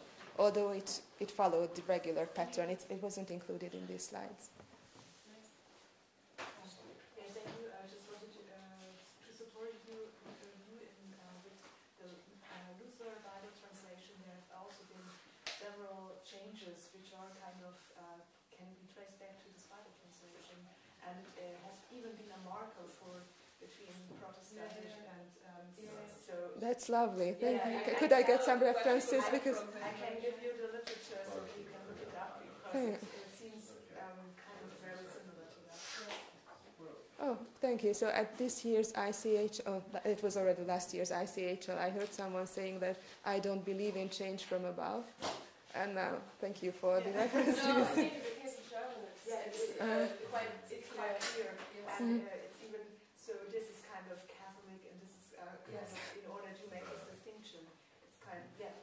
So that's kind of a marker then, yeah. social marker. Yeah. Oh, thank you. I'm curious if you looked for or noticed any internal variation in the Bible register stylistic variation. It's a long enough text, and if it's true that speech attributed to Christ or acts, you know, described surrounding Christ might be treated mm-hmm. differently somehow, or if there's any kind of uh, Unfortunately, I didn't distinguish those parts. It's a it's a great idea, though. Thank you. So. Yeah. Uh, just in order to support what was said uh, previously on uh, concerning the, the influence uh, you said from above, but it's more. Uh, I would rather talk about uh, identity marker, mm-hmm. and it has been explored in on phonetic evolution in. yeah, in that's Dutch, true. where, for between house and house, mouse and mice, uh, um, mouse and moose. I'm not fluently speaking uh, Dutch, but uh, um, the, the, the line, the division, the political division between uh, parties uh, was reflected in uh, in the pronunciation, which was adopted in order to to have a, a clear identity marker and not be killed, for instance, in the civil wars. Yeah, the only thing that bothers me in this case is that this Bible translation was first published at the end of the 16th century, but this entire change that's that's quite dramatic that went uh, that went, went through in the 19th century. That so there's a relatively large time gap between that. But so that. But, but you know, I mean, dislocations in French literature, you don't get it yeah. represented until the 19th century at the latest, at the the earliest in might just have gone on the ground. Yeah, but and, the and I, I like the Protestant Catholic story because for French, Calvin sermons Mm-hmm. are really the most less conservatives. And I don't know, you'd have to compare with the uh, Catholic sermons, but I would guess that they're much more conservative. But Mm. you know, just another. Just very briefly on uh, change from above and from below. I mean, uh, you have to think in, in those days, this was, if anyone had a book, that was probably the one. And uh, it was used, like, uh, how often did people go to church in, in the day? I mean, it was not just once a week, I think. Yeah. So I think uh, uh, such things can become entrenched also uh, because of that. And then, yeah, it would appear in writing only later. Yeah, the only thing that I would like to reflect on this quickly is that, yeah, it would be a sound assumption that it was somewhere there lurking among people, they used it, and then it appeared later in formal speech. But actually, the trials and letters, those are from Middle Hungarian, so right before this change, and there is no variation. So, and you know, that is from witness deposits and witch trials, so this is as close to informal spoken language as we can get, and we have this 15% versus 85% distribution. So it might be there, but I just can't uh, lay my hands on it because the data don't confirm, confirm it. Yeah. Let's thank the speakers unless there are other questions. Thank you again for the coffee break now, and we convene at 10 to 11. Ten to There is a little some coffee left, but I think if you want espresso, you need to go upstairs. And there are lots of sweets and juices.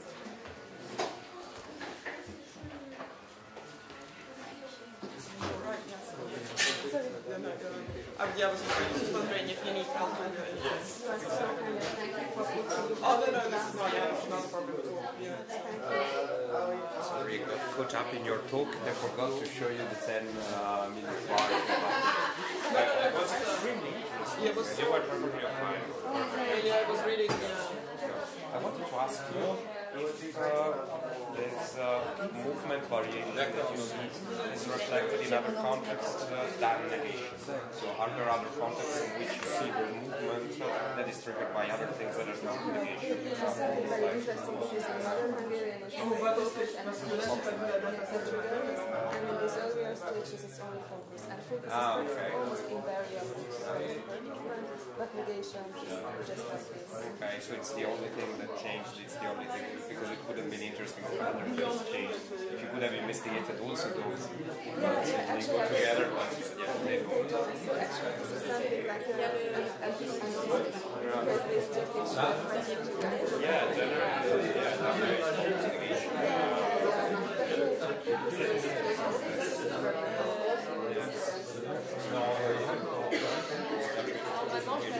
Yeah, uh, relatives.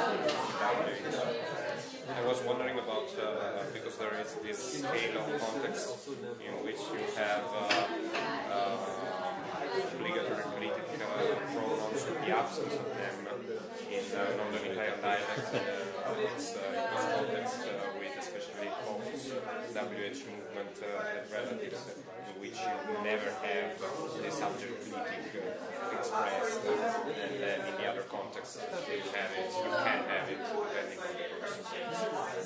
Super interesting. Thank you. No, no, it was extremely, extremely interesting.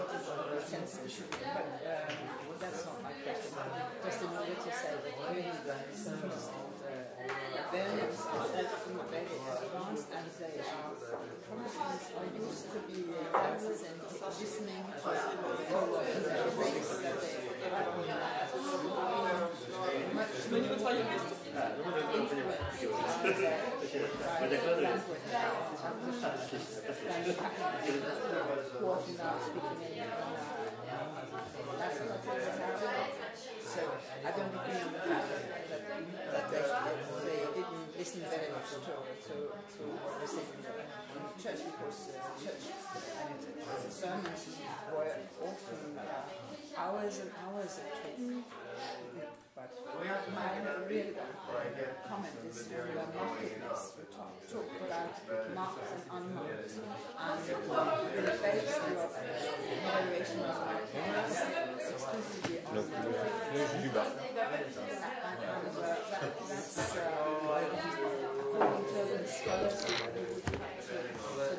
is uh,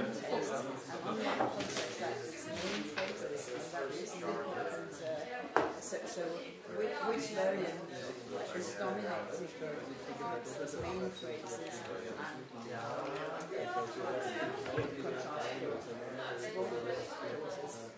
another uh, of uh, criteria for which person is it the first, second person, the person is a singular, plural, is it present tense, or is it? So for, able to evaluate markedness, it would be really something to be more precise and just bring it to the we could just say differences. So your absolute definition of the is observation and I would use it as the main purpose of this that that reinforces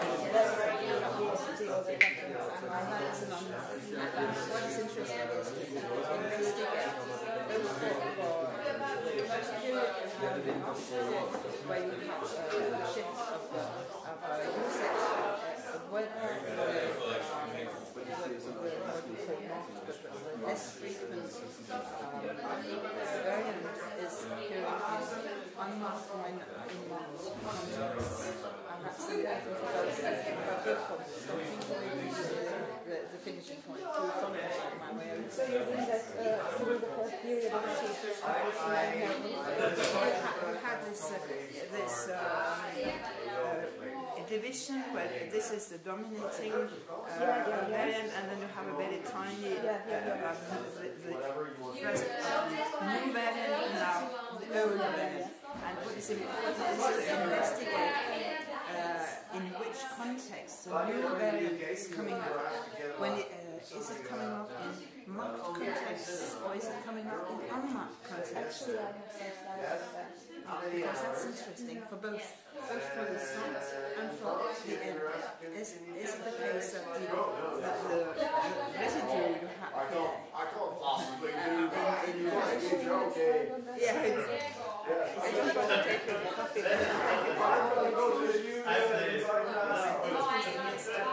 establish. Whether because I, I also think the more have Anyway, no innovation from mistake. above and from, from below, and we have the, the, the, the, the, Because he got out, they, So, Uh, but yeah. this is just, you know, uh, in a, the change in a higher resolution. So these yeah. are uh, main clauses, and for some reason, those clauses are just those patterned together.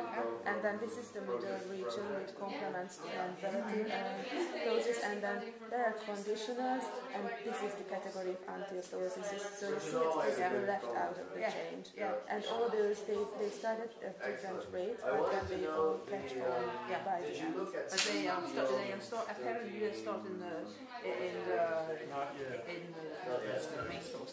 And now for, for, some and for some data reason, through- yeah, and, and but the, it, uh, different subordinate clauses can have different status, so they can be closer to integrating. Uh, Okay. uh, into Yeah. the main clause or being a, a variant We have to no- that depends. For instance, in French, you have uh, It, it has in a temporal clauses which behave very much Well, I, I don't know. individuals. Yeah, yeah, I. Whereas relative understand. clauses would, Yeah. would be integrated so that you, that Yeah, And yeah, what yeah, happens yeah, when so, C is so they would be middle more grade? independent and, and uh, in a scale, the innovations would, if they start from Would that be a below, then or would they start the go- main Well, clauses we and haven't then looked at it spread to, quite for instance, temporal subject. We look, And, for me, that's a that left would be in, association. uh, in, Albeit a kind of funny one. my way of Subject Yeah. C, Yeah, yeah, actually, this is this is the Or- or- approach The only thing Yeah, is haven't that looked at it. you know it's easy not to I categorize don't on know if they basis were of like on that. I don't conjunctions remember how because those are many. formal features. And how rare it is. you are right, that sounds relative, even some relative causes can be foregrounded. Yeah, it, it, it depends But I mean, the, the, processes. it's, Yeah, it's yeah, fact yeah. case, yeah. Yeah, but then that that involves a lot of develop the subjectivity construction and moving data, and I would like to sometimes say, so I would rather SP, say A, that verb.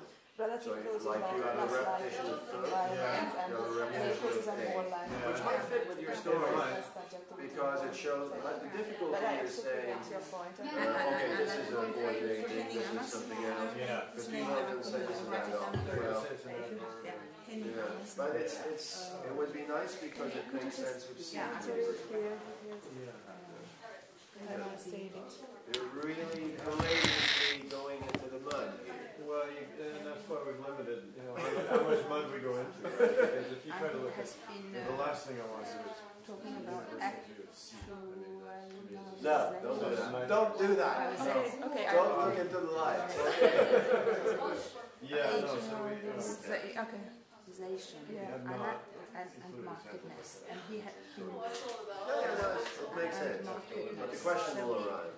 Markedness. He's the one having done much, most theoretical But the work on the concept of, uh, of markedness. verb construction, And, uh, and actualization, that means that, for instance, when you have an innovation, well, I mean, if it it's comes from above, then you could start have to in marked context. Yeah, yeah, uh, For remind instance, in if that you one. Yeah, yeah, no, I, I And if have you have innovation from below, they would start in unmarked context. That would be, for instance, in present tense, So it's published. in main clauses. I, I'm not sure. I'm So, not sure so you whether have Richard is different still, parts. uh, I don't think. Whether you have innovation from above or from below, or structural, this, this is a structural uh, innovation, so I believe that it would come from below. been, but uh, for instance, lexical innovation He's can sometimes Very come good from linguist. I above. did a work And together. then it here. was Last time I accordingly was from lobbying marked with context to city unmarked context, and council, then become uh, something uh, like expect that. to Uh, unmarked e- context. ecological streetlights. Oh, yeah, okay, all The right. innovation Yeah. form.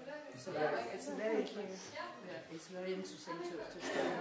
His, um, he, he was for many years a professor at in, um, in uh, UCLA Los Angeles, and he's mainly writing. And he is he's on slide examining.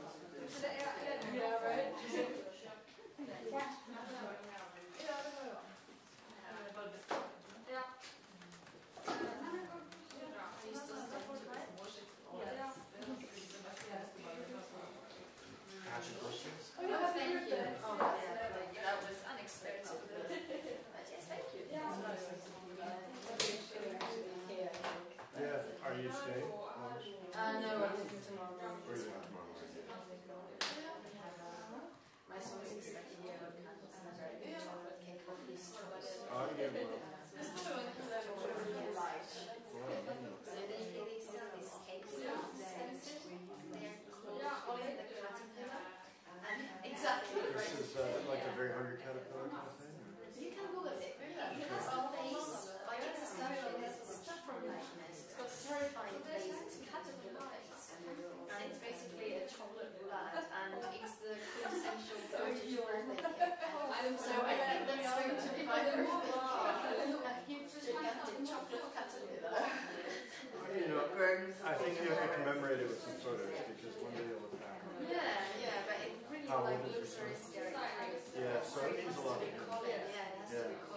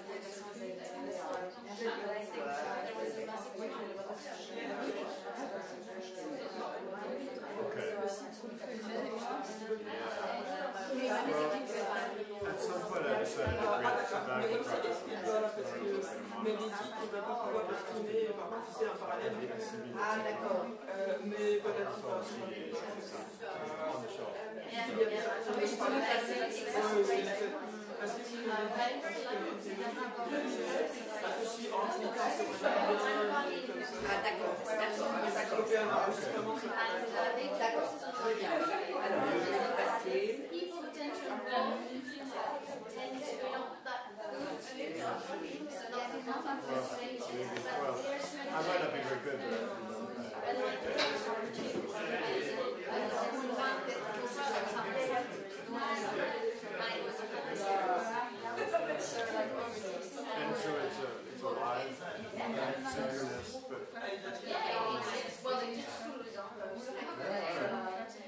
Me having, uh, I guess, so they didn't know too much about it as long as I was clear in the forms I was using across the board, and then that was, uh, and then they feel me a you know, meanwhile, it's like,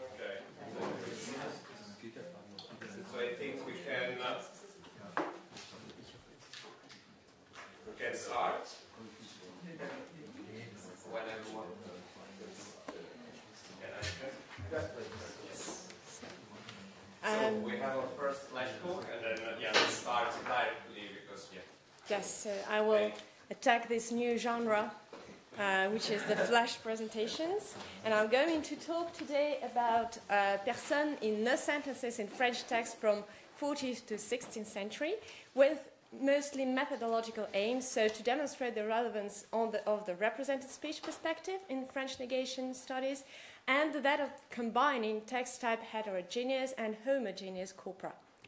So the corpora I'm going to use is BFM 19. So small disclaimer, in the abstract it was BFM 22, but I had some technical issues, so it will be the previous version.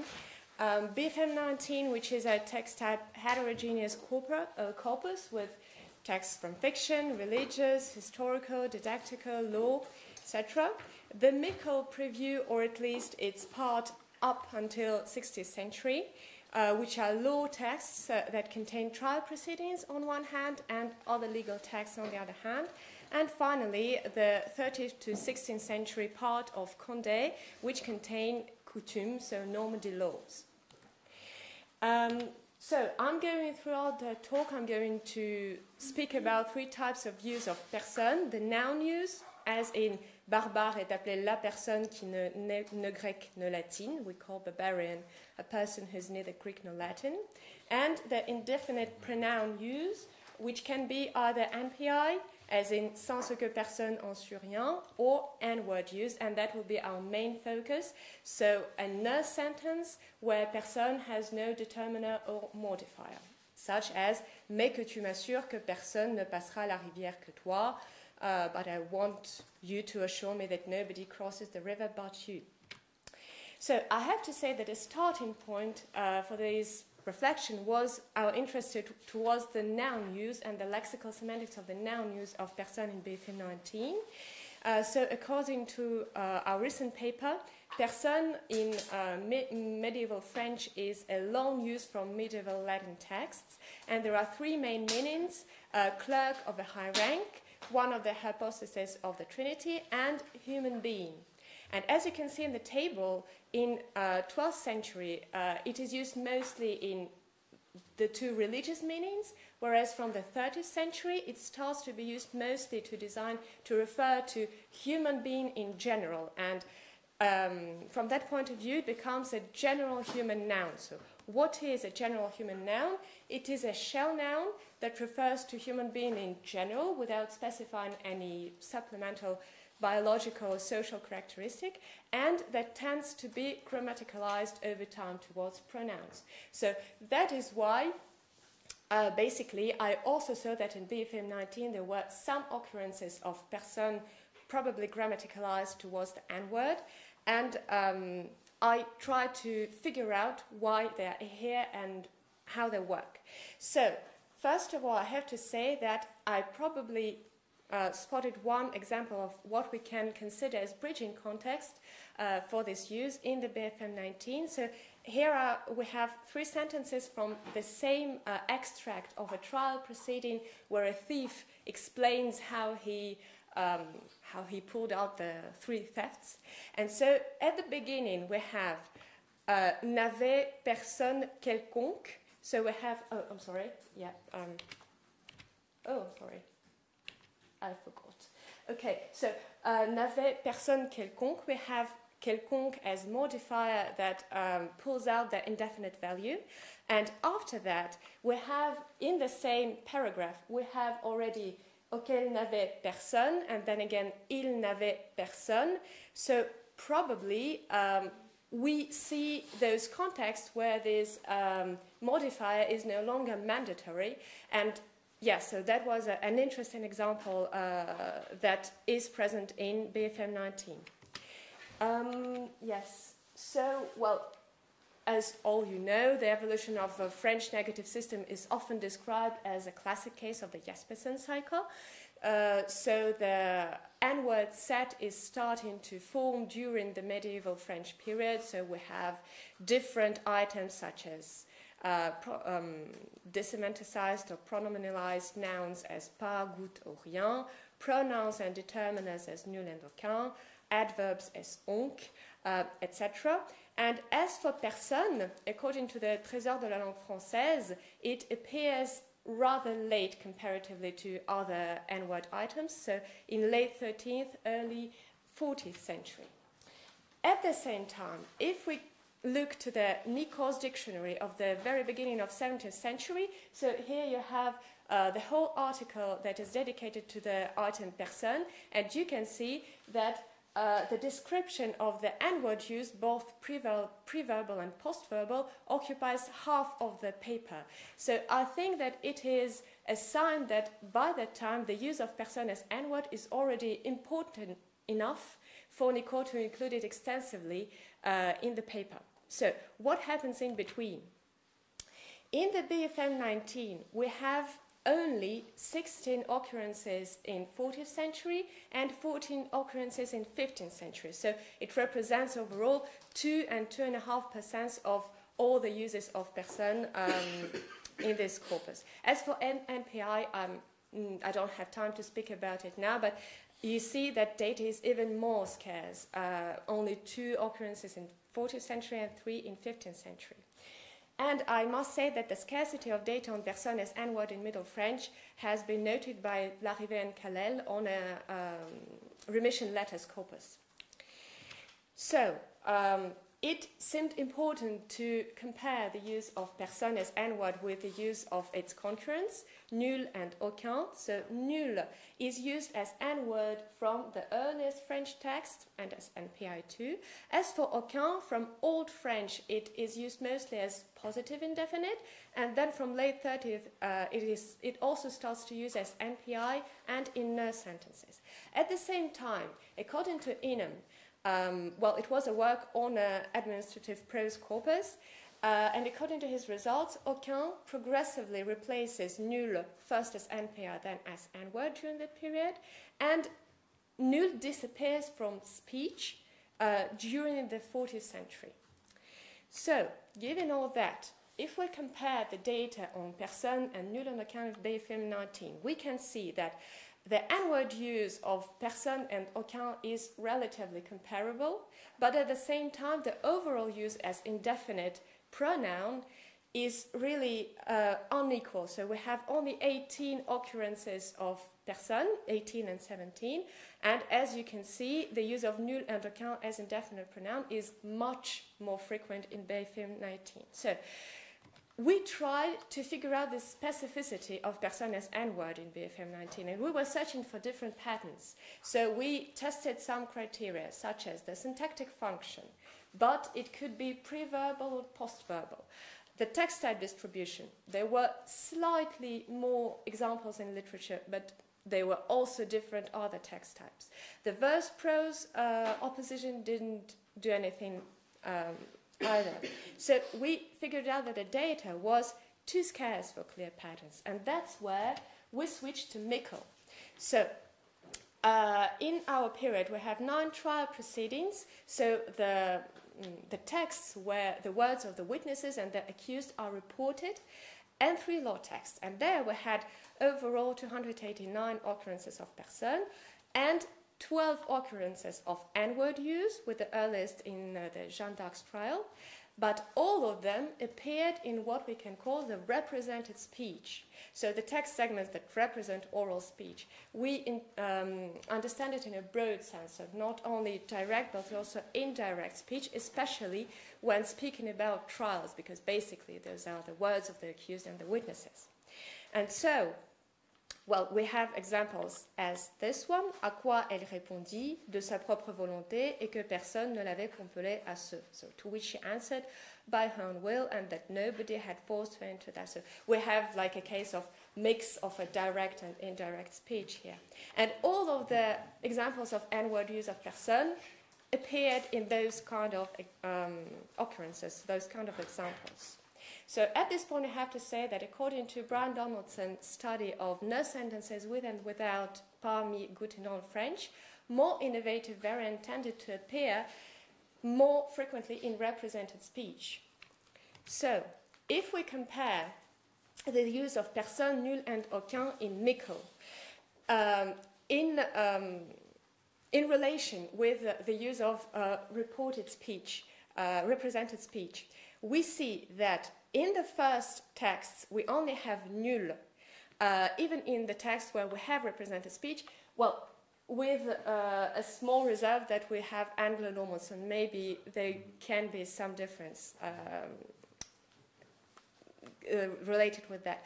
But from 15th century, um, but for one example of text, every time we have represented speech, we will also have personne and we will not have nul.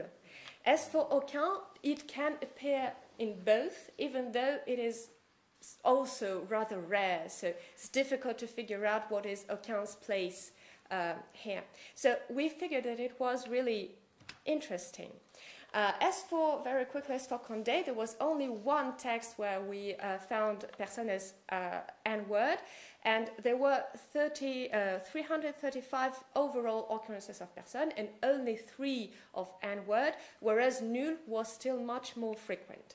So if we go back to BFM 19, we can um, see that the bridging context we were talking earlier about was also in represented speech. That in 14th century we had none of 16 occurrences in represented speech, and in 15th century we had only five occurrences in represented speech, but seven occurrences came from Memoire by Philippe de Comines, which is known to be a text mark, marked by orality. So, according to Blanchard, it has a modern physiognomy of the sentence.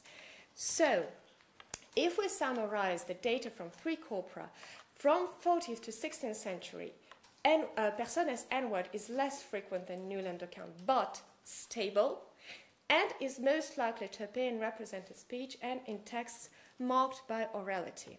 So, we may suppose that personas as N-word did emerge in late 30th, early 40th century in speech, but until mid 16th century, it was well spread in speech, but still very rare in written texts.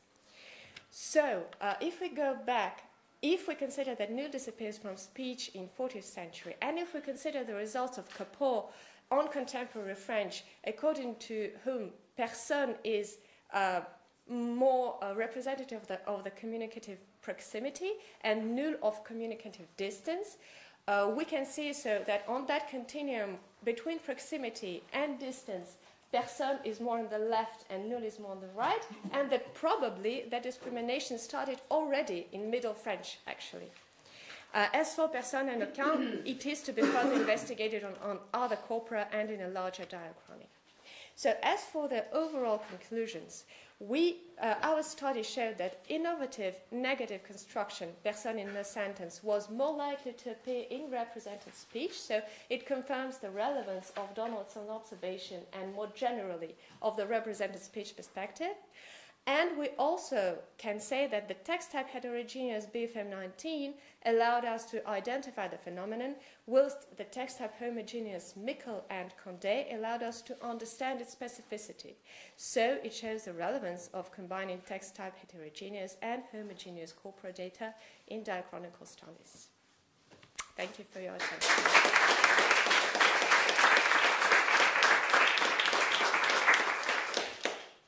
We now have a few minutes for questions.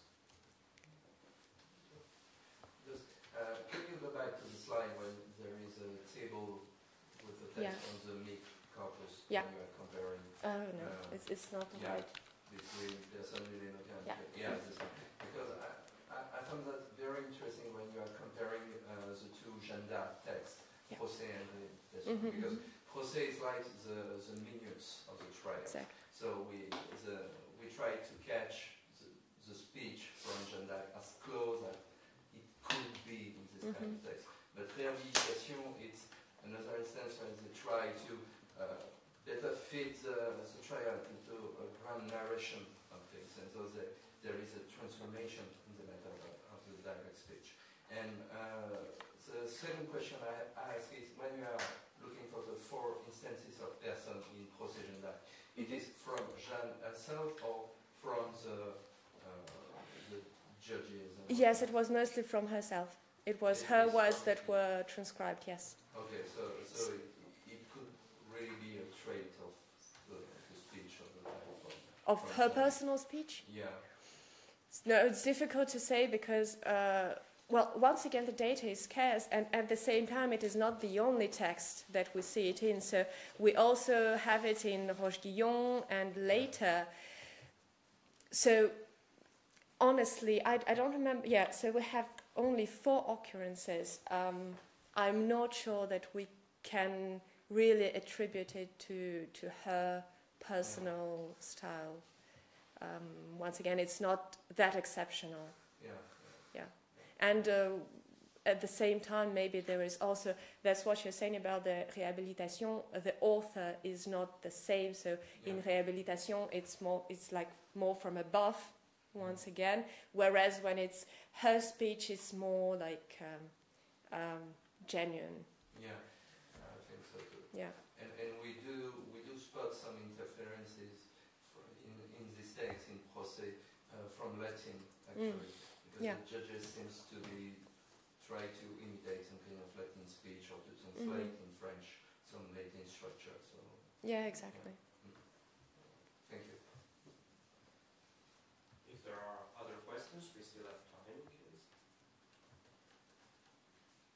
If not, let's thank the speaker.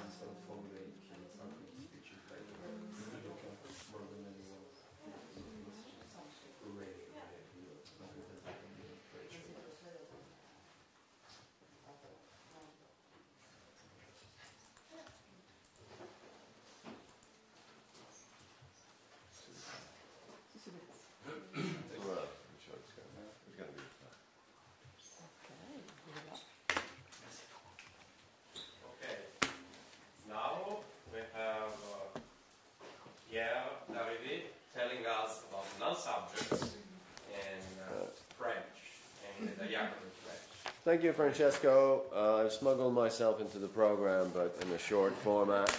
So, uh, I want to tell you about uh, current work uh, on uh, null subjects.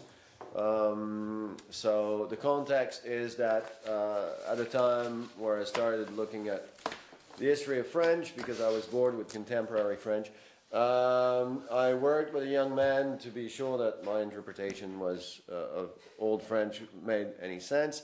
And we made the claim, you know, such was the curve of, of loss of null subjects by 1200. We made the claim that you know, this is, in the vernacular, something that disappears. And Barbara Vance says quite reasonably that, uh, well, you still do find null subjects in, in Old French texts, so, you know, you're full of shit.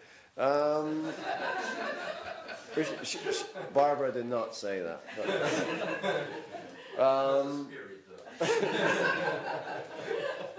so the question is, does Middle French still have null subjects, and uh, are they the same type as Old French? Because there's a debate about this, whether uh, Middle French becomes a partial null subject language. Uh, we should be able to answer these questions by looking at the narrative legal text that we've assembled through uh, the last uh, eight, seven or eight years, but of course uh, they present a particular challenge that they include mostly third person uh, on the whole. Um, so the context is uh, about null subject in French is that we have an old French system where uh, you have licensing by V2 configurations, uh, mostly in main clauses, and more frequent with third persons, where first and second actually anchorage subject expression. And I don't think that paradox has been uh, underlined uh, as much as it should have. you get to a period where actually the person, second, first and second, encourage null, it seems, so it is claimed by illustrious authors, some of them here, uh, and it's found in subordinates as well and embedded, and it's got wider licensing conditions than just V2. Um, of course, these illustrious studies have been elaborated mostly uh, from one textual type, that is mostly uh, Roman de Chevalerie. So the research questions I would like to evoke here are, uh, well, is Middle French uh, a null subject language? Is it a partial null subject language? And I'm looking at the overall rate of use of null subjects, the rate of use in subordinates, and the rate of use of rich agreement, persons, first, second plural, but where you can hear the distinct person on the verb and the expletive third person uh, pro pronoun, rate of use. Um, this slide um, goes back to a discussion uh, about that we had yesterday about text heterogeneity, where the procedure texts are concerned. That come from Mickle. The, the 1578 in bold does seem to evidence partial null subject elements, but it's only in the parts of the text that are cited from the King of France making grand declarations. The other parts do not have this feature of partial null subject. In letters, there's, we have two corpora, uh, the Anglo-Norman, the Dis which uh, was uh, put online years ago by Mathieu, uh, and only the 1500s uh, collection as signs of partial null subject. Among the sermons, Sully and Calvin are just straight, just follow the old French uh, system of V2 licensing, essentially, with Calvin having only a few occurrences of fairly formulaic stuff. But Gerson in 1400 has got the partial null subject system, uh, to a, or traces of it. And in Romance, uh, you only get the 1500 text, which has this system, but not the other two. So uh, I've gone back to the text in bold that evidence uh, some elements of uh, higher rates of use of null subject with uh, the rich agreement grammatical persons and use in subordinates. And I've um, painstakingly uh, manually um, assessed the uh, rates of null and the context of null.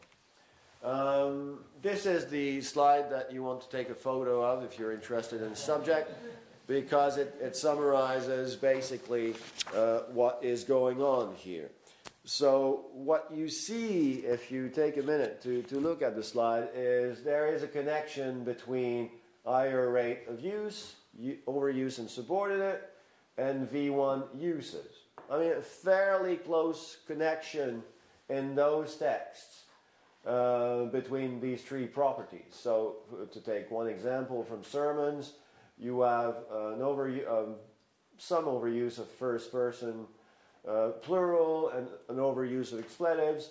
Uh, you have an overuse of in subordinate definitely for expletives, not so conclusive for the others. And uh, you have V1 uh, use for expletives, um, so for null expletives. So you have a connection between these three pro properties, but this connection is not always strong. So, for instance, expletives in uh, Romance, uh, 16th century Roman Chevalerie, um, you don't have strong, you don't have the strongest connection because you have overuse and subordinate, higher rate of use, but not V1 necessarily. Um, so there seems to be some kind of connection, but it is nonetheless a loose one. Um, I'm not gonna walk you through the results, but I want to underline that um, if you're interested, it's a nice collection of Norman letters with some letters from working class folks, so uh, uh, um, you know, people who repaired a castle and so on. Sadly, there's not that much sociolinguistic differentiation in letters. Um, so I'm going to jump on that. Um, yeah. Okay, uh, sociolinguistic conclusions or, or points for consideration.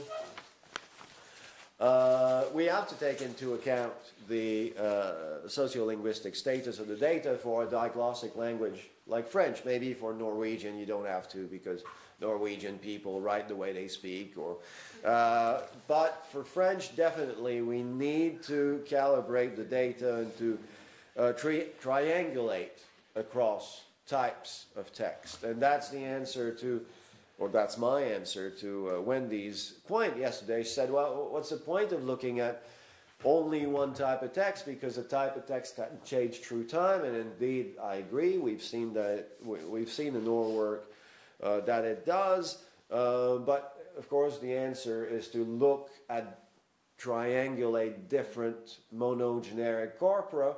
And uh, we've done that in the paper on, on bare nouns uh, with Mathieu published recently, and where we, by comparing different uh, different te text types, we can see that some texts are outliers. So you know it, they they can't be representative really um, of, of, the phenomenon. They're compared to other text types and to their own text type, they're uh, out of bounds, as it were. So we have to care about the sociolinguistic uh, status of the data. Um, while uh, null subject does not seem to be sensitive to register in the data I've looked at, but I know that Lena has uh, found nice uh, proofs that uh, there might be such a sensitivity. And what I haven't found, which I was expecting, was to be a difference in working class versus upper class writers in the Estouteville letters. As for null subjects, I haven't found it. Um, partial null subject was probably a, a written convention in Middle French, so overuse with first, second plural, uh, overuse in V1 subordinates. And why do I say this? Well, for the following reasons. Uh, the overuse of second plural and subordinate under V1 is not the only null subject option in French, right? If you were to say French is a partial null subject language, then you would expect, like Finnish or Hebrew, to have categorical expression of third person and maybe sixth person, but not of some of these persons. That's not, that's not the pattern you see. You have null subjects everywhere, but the rates are, can be quite low or a bit higher depending on the case. Um, the, uh, if you've looked carefully at the table that was previ previously presented, you will have noticed that it's a second plural that is mostly overused, but not in all texts. So in sermons, it's a first plural. Now, if you add a partial null subject, a categorical language of that sort, you wouldn't expect that variation. Um, you have uh, only some of the text types that are concerned. Um, not the, the, the, the, differences in sermons is not as strong, and uh, and, and they're not as strong in custom text as well. Uh, it's only found in some of the texts of the type and not always at the same temporal points, which is curious, right? And it does uh, involve some number uh, of uh, formulaic sequences. Il vous doit ce que désirez, typical of correspondence, uh, which is repeated. Uh, regularly. Uh, can I say that's I like this. I have a minute, so I'll, I'll present it to you.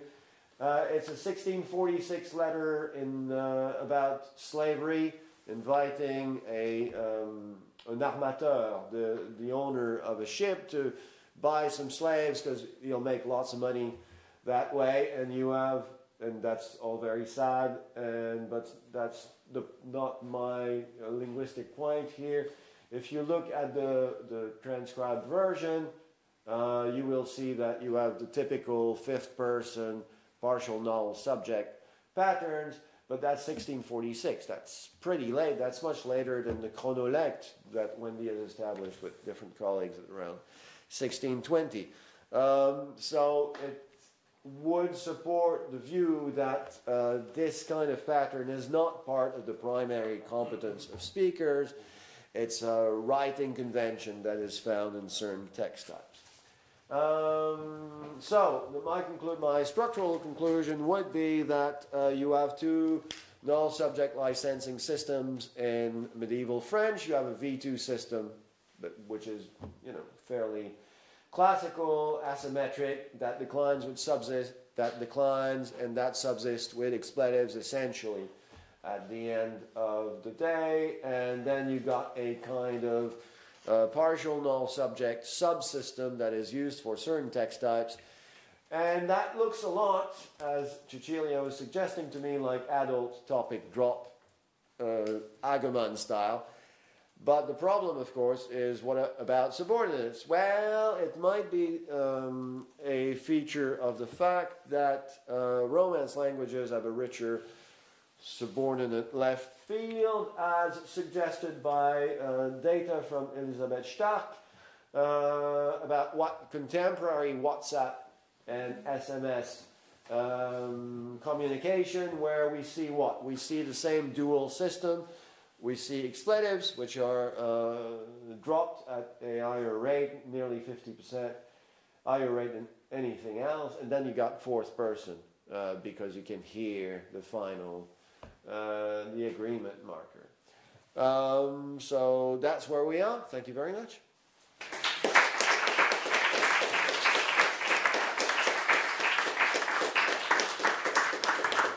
And thank you to the wonderful team with whom I have the chance of working. yourself so perfectly. have a lot of time for questions. Yeah, it's very interesting. Pierre, uh, do you have, um, did you look at the pronouns, the use of pronouns? So the variation you, you looked at was the variation between no subjects and pronouns? Um, no, it was the null subjects and everything else. So if you got 197 over 1,000, I, I suppose I could have looked at just the subset of pronouns, but I did not. I just, took, well, I took the third persons uh, for third persons, yeah. Okay, and my second question... But maybe I could break it down. My second question, second question was about uh, subordinates. Uh, so I didn't understand you, you find third person in subordinates. Um, hang on. What did I find? Uh, what, what, uh, what, what is striking and has been emphasized by different people is that you, you find the first and second plural overused, especially in correspondence, in subordinates. So, je veux que soyez uh, chez moi ce soir, whatever. Uh, and that, that's a striking fact. Do you find third person in that, uh, in that configuration? Uh, off the top of my head, no. So yeah, but thank you for the suggestion of looking at because pronouns. Because I think of Brazilian Portuguese, uh, which we, is we considered now as a partial subject language, no subject language. And you have the you have some person in subordinate uh, clauses okay. when you have an antecedent in the mm. uh, mm-hmm. main clause. I don't think you. I don't think I find a lot of that, if anything, in my data. All right. Yeah. Oh. Sam had a question. No, the, the, about you.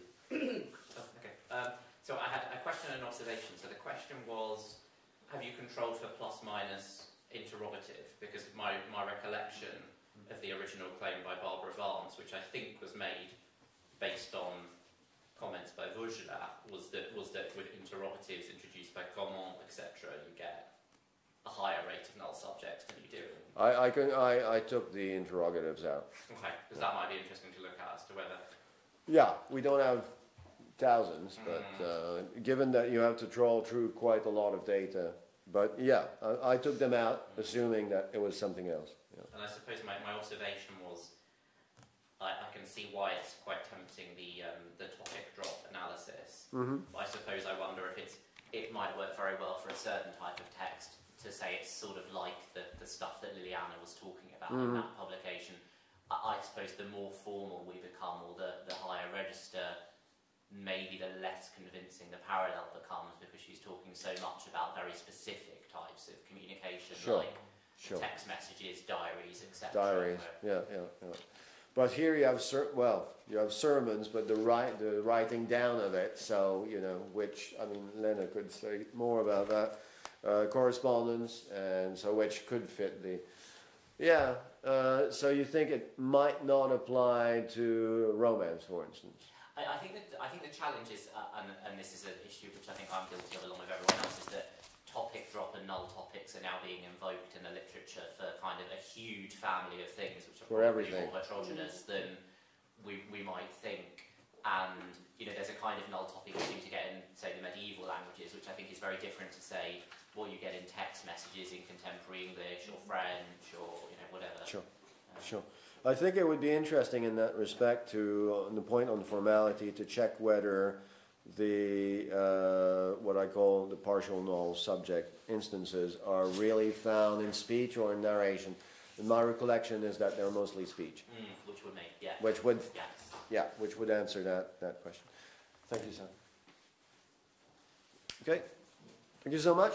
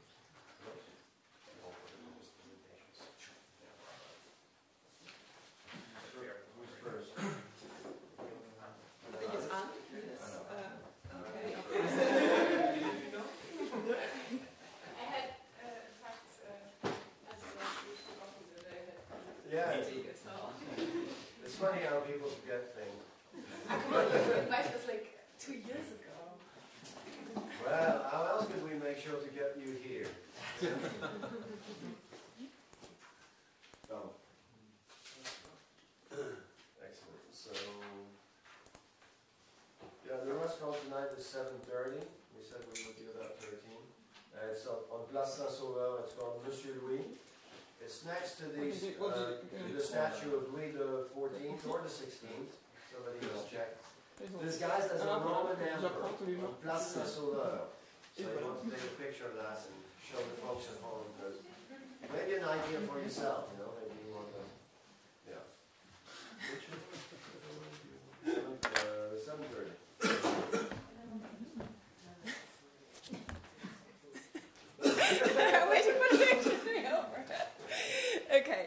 Um, right. Uh, I apologize for the stupid uh, template of my university, which doesn't allow line breaks in the uh, title of the slides. it's, yeah, I, uh, anyway. so, um, yeah, the, the one, uh, I'm, I'm building different parsed corpora, uh, but I thought the most relevant today would be the uh, historical Low German one. And uh, as a little bit of uh, background, um, there uh, has been a, a large scale uh, initiative uh, within the German Science Foundation to build historical reference corpora of all um, historical stages of High and Low German. And part of that was uh, the reference corpus uh, Middle Low German and uh, Low Rhenish um, at the universities of Hamburg and Hanover, Han- Hamburg and Münster. And they were funded simultaneously with an application that I submitted uh, to the uh, Belgian Hercules Foundation, um, which was later taken over, over by the Flemish Science Foundation, um, to build a parsed corpus of Middle Low German.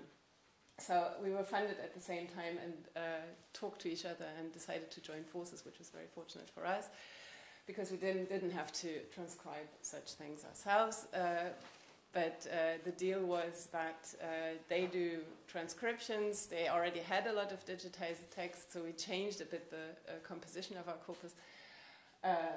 Uh, but uh, we would help them parts of speech tag their corpus because they didn't want to have a parsed corpus. It's only parts of uh, speech tagged and lemmatized and morphologically tagged. Um, and in exchange, we could parse at, on top of the parts of speech tagging. because this is the uh, workshop on uh, genre and text types, just a little uh, overview of the distribution of text types in the REN, which uh, then, I mean, our, our corpus is much smaller than uh, the REN because parsing is much more uh, work. But we have the same problem. So uh, it looks very colorful, but what you can see is that the older the texts are, the more uh, there are charters or legal texts or um, administrative texts, and the younger they are, the more literary texts they are. So, in a lot of uh, cases, um, unfortunately, what looks like diachronic variation is really uh, you have administrative texts in the 13th and 14th century, and after 1400, you have more uh, non legal administrative whatever texts. Okay, um, that's something that we kind of unfortunately not do much about. It's not because uh, the Ren could have done better and we would have inherited it, but that's uh, how the attestation. Um, so what we did is we uh, parsed uh, a selection of 20 texts from the Ren uh, in order uh, to have a more or less balanced representation of the scribal languages, so uh, four different scribal languages, which is uh, more or less the, the geographic distribution, and also different text types to the extent that it was possible, as I just said. Um, so uh, we use the Penn-parsed corpora parsing scheme, but the parts of speech tags are different because we inherited them from the REN. So those are the HiNTS tag set, tax head, which stands for historical Low German tax, tax head. Uh, but the nice thing is, of course, that uh, being a Penn corpus, uh, you can include it in uh, a search across corpora with a corpus search query. Um, this is just a, a, tree I stuck in to show you how we deal with uh, things like crossing branches. Uh, so this is like an, a case of extraposition and uh, we have uh, at the point where the extraction happened uh, something which uh, is insert category here, so it's like an empty category, which is like there's a gap here, and then uh, an indexed uh, phrase at the position where it occurs. but you can look at the full documentation on our website. so being a pass, a Penn parsed corpus it follows the same conventions that um, those of you who have worked with these corpora should be familiar with. Uh, so the clauses are usually tagged as IPs. Um, there's no VP. Um, all constituents are immediate constituents of the clausal node. If there is, um, or there are CPs, but they're only there if there's a reason to assume one. And this is not meant to be an analysis of Middle Low German syntax. It's to, to, allow you to find stuff, and then you can do your analysis if you will. Uh, this also means, for instance, I, I, just showed you a case of an empty category, uh, also traces. Uh, we just put first uh, and not where we hypothesize it might be. So this is up to whoever uses the corpus. Um, yeah, phrases have to be endocentric. Um, but we have a couple of Middle Low German specific conventions that we needed and that we can motivate. Uh, we have an article about it, but uh, you can also look at uh, the documentation on our website. You see here. And we have a search interface. So uh, normally you would have the PS PSD files and uh, search them with corpus search because we worked together with the REN and they were rather proprietary about their um, match between the texts and the parts of speech tags and the morphological tags, they didn't want us to give away uh, this text tag pairing like that. I don't know why, but okay, so the DFG paid a lot of money for it, and so if you want to search their corpus, it's, uh, there's an interface for it, uh, ANNIS, it's very nice and useful, uh, but you cannot get the text with the tags uh, next to it. And if you were using our PSD files, of course you would get that, and that's what they don't want, so you have to use our search interface. Uh, but it can do most of what you want to do. Thanks.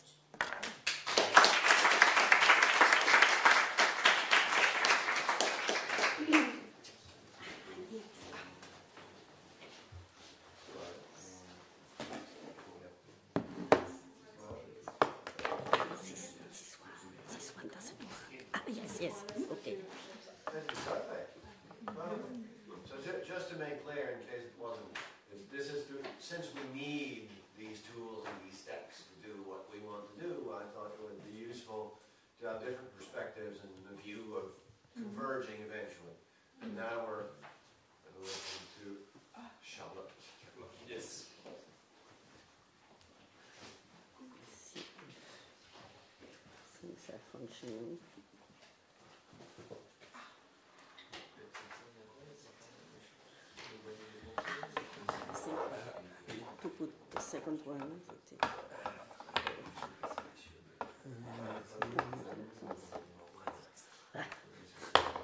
Pas quelque chose, je crois qu'ils étaient tous les deux de mon côté.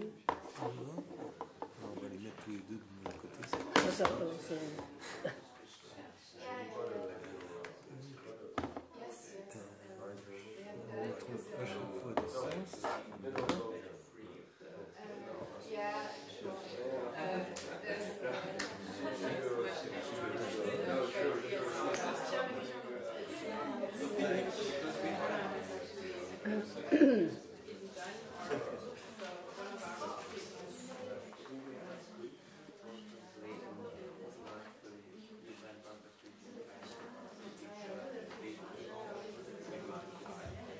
So,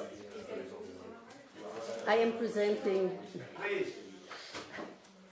I am presenting uh, the Tycho Brahe corpus uh, that I spoke of yesterday. It is based on the same scheme as uh, the corpus of Low German, uh, so the Penn uh, uh, schema.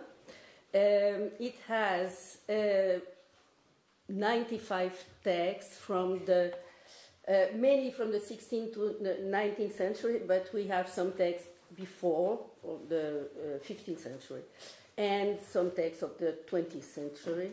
At the beginning, it was meant to um, uh, to study the history of uh, European Portuguese, uh, mainly in this period, 16th, 17th centuries, and 18 also. Uh, but with the uh, time being, we have added a lot of uh, Brazilian text, and now uh, we are building also a corpus of um, Brazilian text documents inside the Tycho Brahe corpus.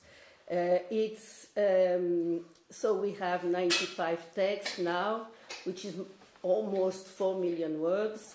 Uh, uh, two thirds are uh, part of speech tagged, and uh, one third, more or less, has a syntactic annotation, which means more or less 1 million uh, 300,000 words.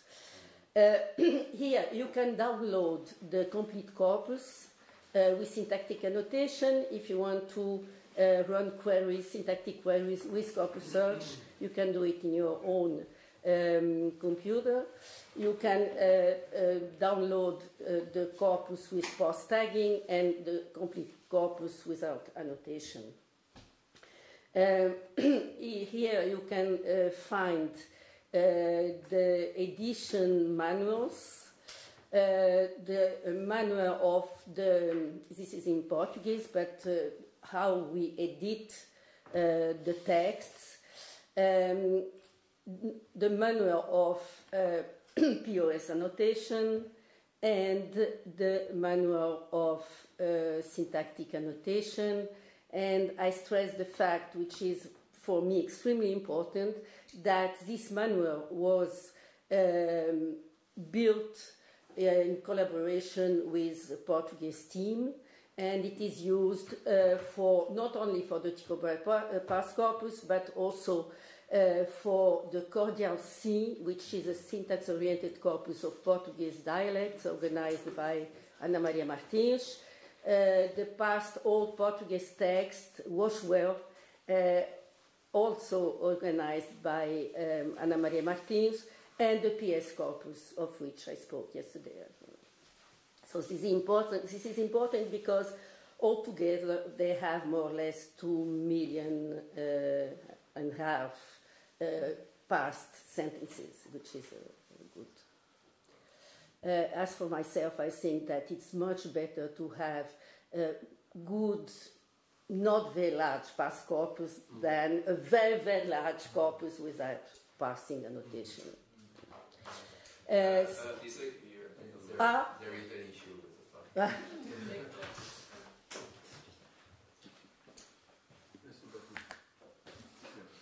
Uh, I want to come back to the beginning, which is here. Ah, I've lost my first ah, page. It's here. Uh, so there is, so you can see the text. Um, oh, Mm, I'm sorry. I thought it was more interesting to see the page directly than to make it. Ah, yes. So you have a lot of details on the text here, the number of words, the birth of the author. There are, in general, texts by authors with a big A. Um, and you have here um, the mention about the annotation, POS or syntactic, the source text, if it was edited or not, but we try to use uh, reliable editions. And in general, from uh, some time to now, we use non edited uh, texts. You also, I, I, I have to do that, isn't it? Okay. Uh, so uh, here we have a classification by genre, but I am a little bit ashamed of it. Uh, so, uh, what I want to uh, show you also is uh, this. if you are interested in Portuguese, you can use this interface to query, to make queries on um, tagged texts and uh, we have two thirds of our text uh, tags. So uh, you can, for instance, you can have all the text here. You can use a graphical query, and you can choose tags or write a tag, enter tag, for instance, and you put CL for clitic, okay, and you put it here, and you can uh, search for clitics preceding, immediately preceding uh, verbs. Um, so I have to do that and this and submit query. And normally it functions, but when you present it, generally it doesn't. Um, the devil of the computers. Yes. So you have here the, uh, it's run on a, a, large quantity of text, you can see. Uh, and this is a translation in, oops. I'm not sure what's the. Again. You have the translation, you have 69 files here, and you have the translation in COP search language CLI precedes VB or VB with something, the verbs. Um, so the last thing I, would like to show is something in, uh, in construction, which is a platform, an online platform, uh, which is here. This is a Tycho Brahe platform because we like Tycho Brahe very much. Uh, and uh, this platform has a very ambitious goal, which is to help people to make your corpus yourself. Uh, so we, we have tools. And you can see that there is the, the historical corpus is here also, but we have a corpus, a Kadiwéu corpus, Kadiwéu is uh, an indigenous Brazilian language. I'm very sorry. I only wanted to show you, I, I think, a very.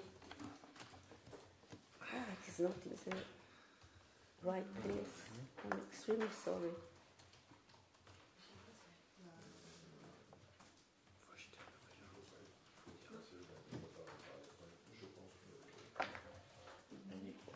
Yes, I, I only want to uh, show you um, the use of the. You have a rule based parser that we use now for Portuguese after having used probabilistic, probabilistic parser during uh, a long, very long time, then bigger probabilistic parser. And now we use a, a rule based parser. Uh, uh, the rule based parser was built for Portuguese and um, uh, after a rule based parser built by um, um, Beatrice Santorini for French. Uh, and it was uh, after there was a Spanish rule based parser uh, built for the PS corpus, and Catarina Magro uh, adapted uh, this rule based parser for Portuguese. Uh, it is based, in fact, on the rules of corpus search. So, I and we it was implemented here. So each point is a rule, and uh, I. This is a sentence of uh, one of the sentences I showed you yesterday. E trouxe a fortuna esta cidade do juiz de fora. Uh, we have a verb, uh, V1, uh, trouxe, a subject after it, and the object. It is an uh, VSO. Uh, so you do that, and you have the tree. And it is a very good tree. Uh, because you have so the text was uh, tagged uh, for part of speech. It is based on the part of speech. And here you can see that the subject the pp and the np are perfect. There is a problem with the second pp uh, because of an error uh, uh, of tagging. Fora in portuguese can be the verb ser uh, or can be an adverb. And here it was uh, wrongly annotated. And this is why the parser. Uh, so this is what we are working on now to simplify the work of people who want to have uh, an annotated corpus because I assure you it is worth um, uh, taking time to do that because after you have so much to do. Thank you.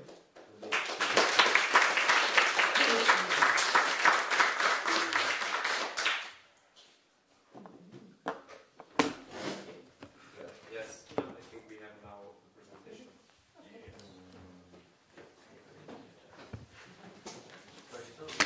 The graphical interface as well is very good.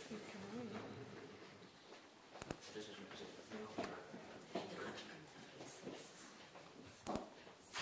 It's very nice, very easy to do this. And you don't have to learn. So. And, and, uh, Easy, I was thinking that, I think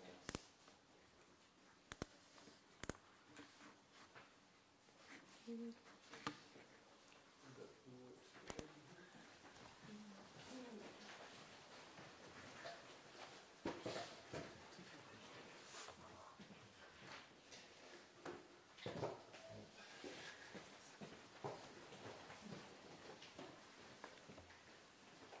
Thank you. So compared to the previous corpora, this one I'm going to present is rather small and but at least I will be brief. So, so as I mentioned in my talk, uh, this corpus and also the research grew out of these two previous projects, and we had this Old and Middle Hungarian corpus of informal language use as our heritage. So the methods we used there uh, were applied to this new corpus, but we had to be somewhat more economical because there's no more research funding for building corpora, so we just had to smuggle it into a, a normal research project. Um, so this Oden Middle Hungarian corpus for, for informal language use that comprises uh, private letters and documents of witch trials. And now what we did is uh, we put uh, memoirs and drama texts into this new corpus. So memoirs are speech related because of their ego documents, uh, and then drama uh, is built on constructed dialogues that imitate everyday language use in fiction. So the, the idea was that each of these uh, texts should uh, differ in one register ori- oriented feature, and then we could make these comparisons. Uh, well, sometimes no result comes out of that, but perhaps later on this will happen. And so uh, this is a, a, small corpus, really. So in the case of memoirs, uh, we went for uh, getting approximately similar sized excerpts uh, from different memoirs, and of course we tried to privilege women authors, but there were only two in the entire Middle Hungarian period, and one of those texts was really, really small, and it was something like a diary. So, but that, that was that's in there too because that's a text from a woman, and that that is so scarce. And uh, in the case of dramas, we followed a little bit different approach because some of the very important early sources are relatively short, so we put them there, and then we put other dramas in there in their entirety. So in the case of dramas, the length of the texts are not similar to each other. And again, uh, the predecessor was a gold standard corpus. So once we normalized the text, there was morphological annotation, and then there was manual disambiguation. Uh, and, but that's a one million token corpus, and that took a horribly long time. So we just had to let that go, and that means that this is at best a silver standard corpus. So whatever form is ambiguous and it gets a bad parsing, it, it's that way, I'm afraid. But it's still better, you more usable than as if there was no parsing. So altogether, we try to make it balanced. So there is roughly the same number of tokens and characters from memoirs and dramas, and altogether it's a little bit more than 200,000 tokens, which is, I know, it's really small compared to the previous corpora, but this is the amount we could get. And so, just very quickly about the workflow selection of sources and text digitization if necessary, those are standard things. But what we really struggle with is the process of normalization.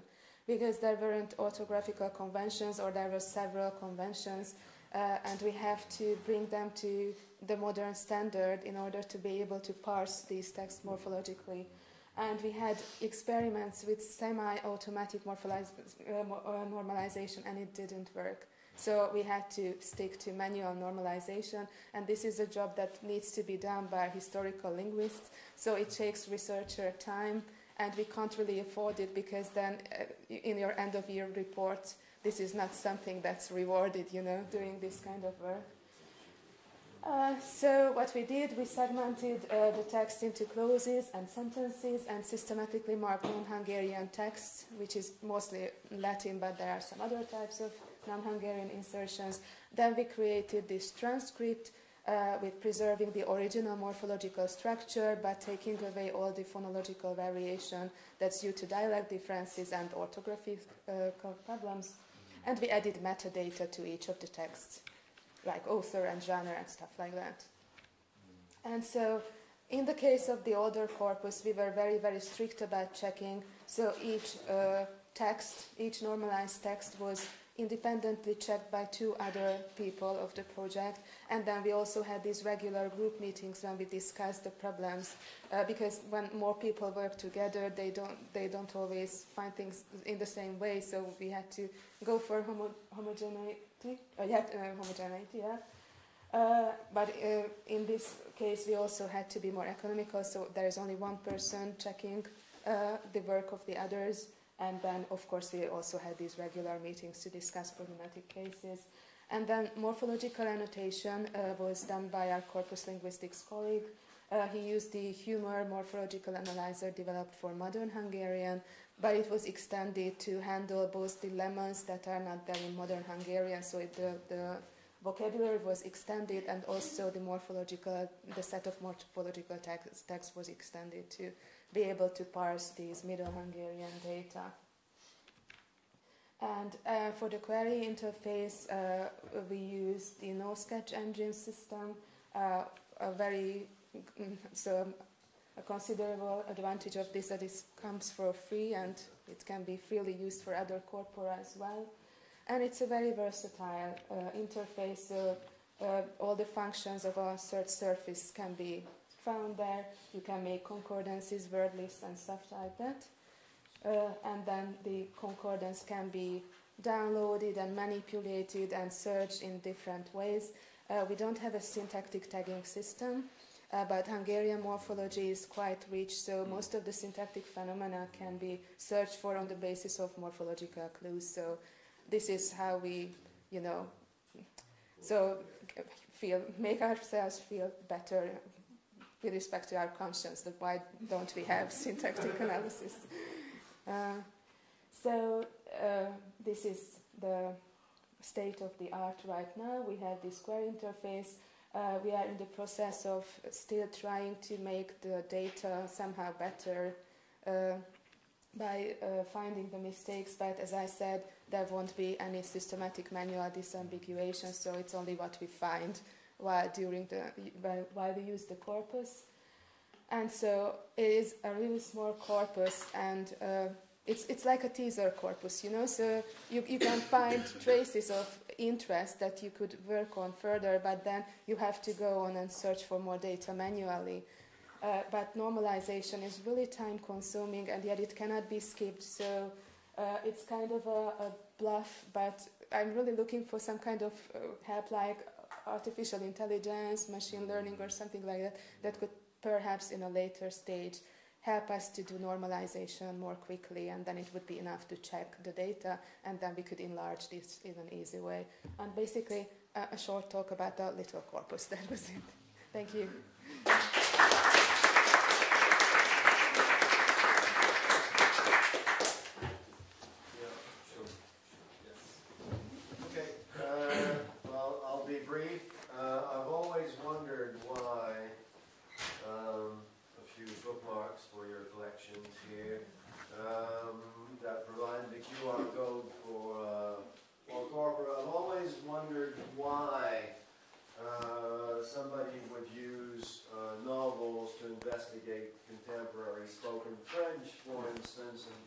Unfortunately, we got some, uh, we got, we got some uh, spoken French data, uh, spoken French form today, uh, some more sophisticated than others. But um, the so the idea was if we wouldn't use Michel Tournier to understand spoken contemporary French, why would we use uh, la, la quête du Saint Graal to understand 12, 20 French? And the answer is, well, there's nothing else. What else can we do? And so, what I've been trying to do in the last seven or eight years, thanks to the wonderfully intelligent and art-working members of the team, like Mathieu Goux and Natasha Romanova, uh, among uh, others, is to create monogeneric corpora um, so the first, well, one of the first big ones was called Condé, which is a series of customal uh, texts from Normandy and about that legal tradition in order to exclude factors of variation due to location, due to uh, text type, due to um, to subject matter, and of course, um, um, the, the question that arose is how do we do syntactic research with something that is only tagged for parts of speech and hence development of these uh, more recent endeavors, uh, the nuclear corpus, uh, 347,000 tokens to date, uh, ranging from the 13th to the 17th legal text from Normandy of two subtypes, uh, procedure styles and trials, and the chronicle corpus, uh, even wider range, uh, 13th to the 19th, and their Norman chronicles written in Normandy. And I know that Sam likes chronicles, so I thought I'd mention this uh, and, emphasize this here.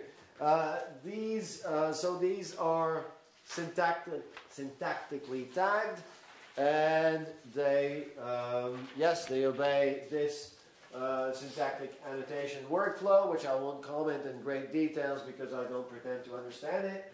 Um, but we go from the text to a segmentation, tokenization, to the tagging par parsing, to the lemmatization. I, I still don't quite understand how you can do syntactic tagging without doing the lemmatization, but I'm told that this is the way it is. And you got the conversion tag sets is worth mentioning because we have three morphosyntactic tag sets for parts of speech, which allows people using different corpora to, uh, to be uh, familiar with what we're doing. It's, it's a nice way to kind of extend the range of users, and all of these steps involve some amount of manual verification, retraining, and so on. Natasha can tell you everything about that. Um, so uh, we're using the HOPS uh, syntactic parser, which was uh, generated in tandem with the what is pronounced the Smurf corpus by uh, Prévost and Stein, and it's an honest parser of sentences is where the acronym comes from, and it does a decent job. Uh, on this slide, what you should be seeing is, uh, oh, mm, oh dear. What you should be seeing is this little tree here, which you got on your handout. So what HOPS generates, have you got, have they, have you appropriated all the handouts on this side? Are there no handouts at all? Uh, so what you should see is this little UD tree. It's not a uh, Penn style thing. It's uh, this. So this. It's a lexicalist syntactic approach. Um, it's uh, and it's a bit strange from a generative point of view, but the point is that it allows you to find whatever whatever it is you want to find. Uh, so that's what HOPS produces. Uh, and I will, well, that's the address of uh, one.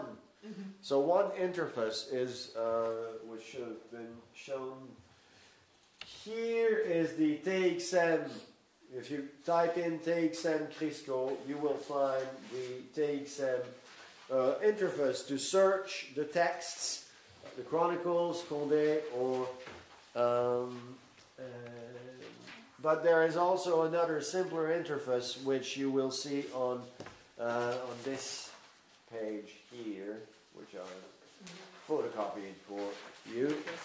Um, and uh, the way the TXM uh, works, it's got its own syntax, not necessarily something terribly easy or intuitive, but if you want to be looking for something in particular, uh, drop us a line and we'll be happy to suggest. So here, this is to find uh, auxiliary followed by a past participle, um, for instance.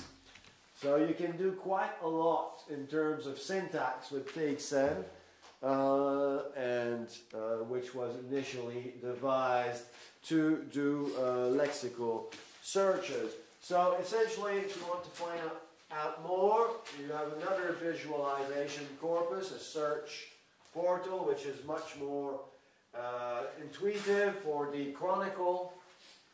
Sam, that's the Chronicle one. Uh, it's much easier than TXM to handle. At the moment, it handles the Chronicle corpus, which covers uh, seven, eight centuries. Eight eight centuries. And you have the TXM to explore, where you can read the text as well as search them. But, and if you have any uh, more detailed questions, please get in touch. Thank you.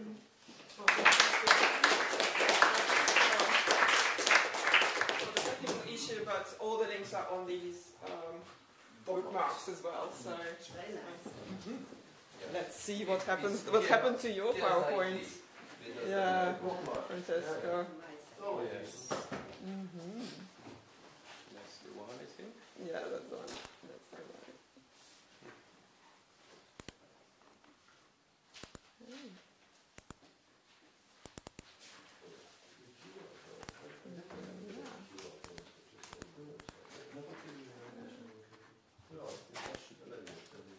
You, uh, let your hand out. Okay, let's see if I can make it. Uh, Yeah, yeah, présentez. present it.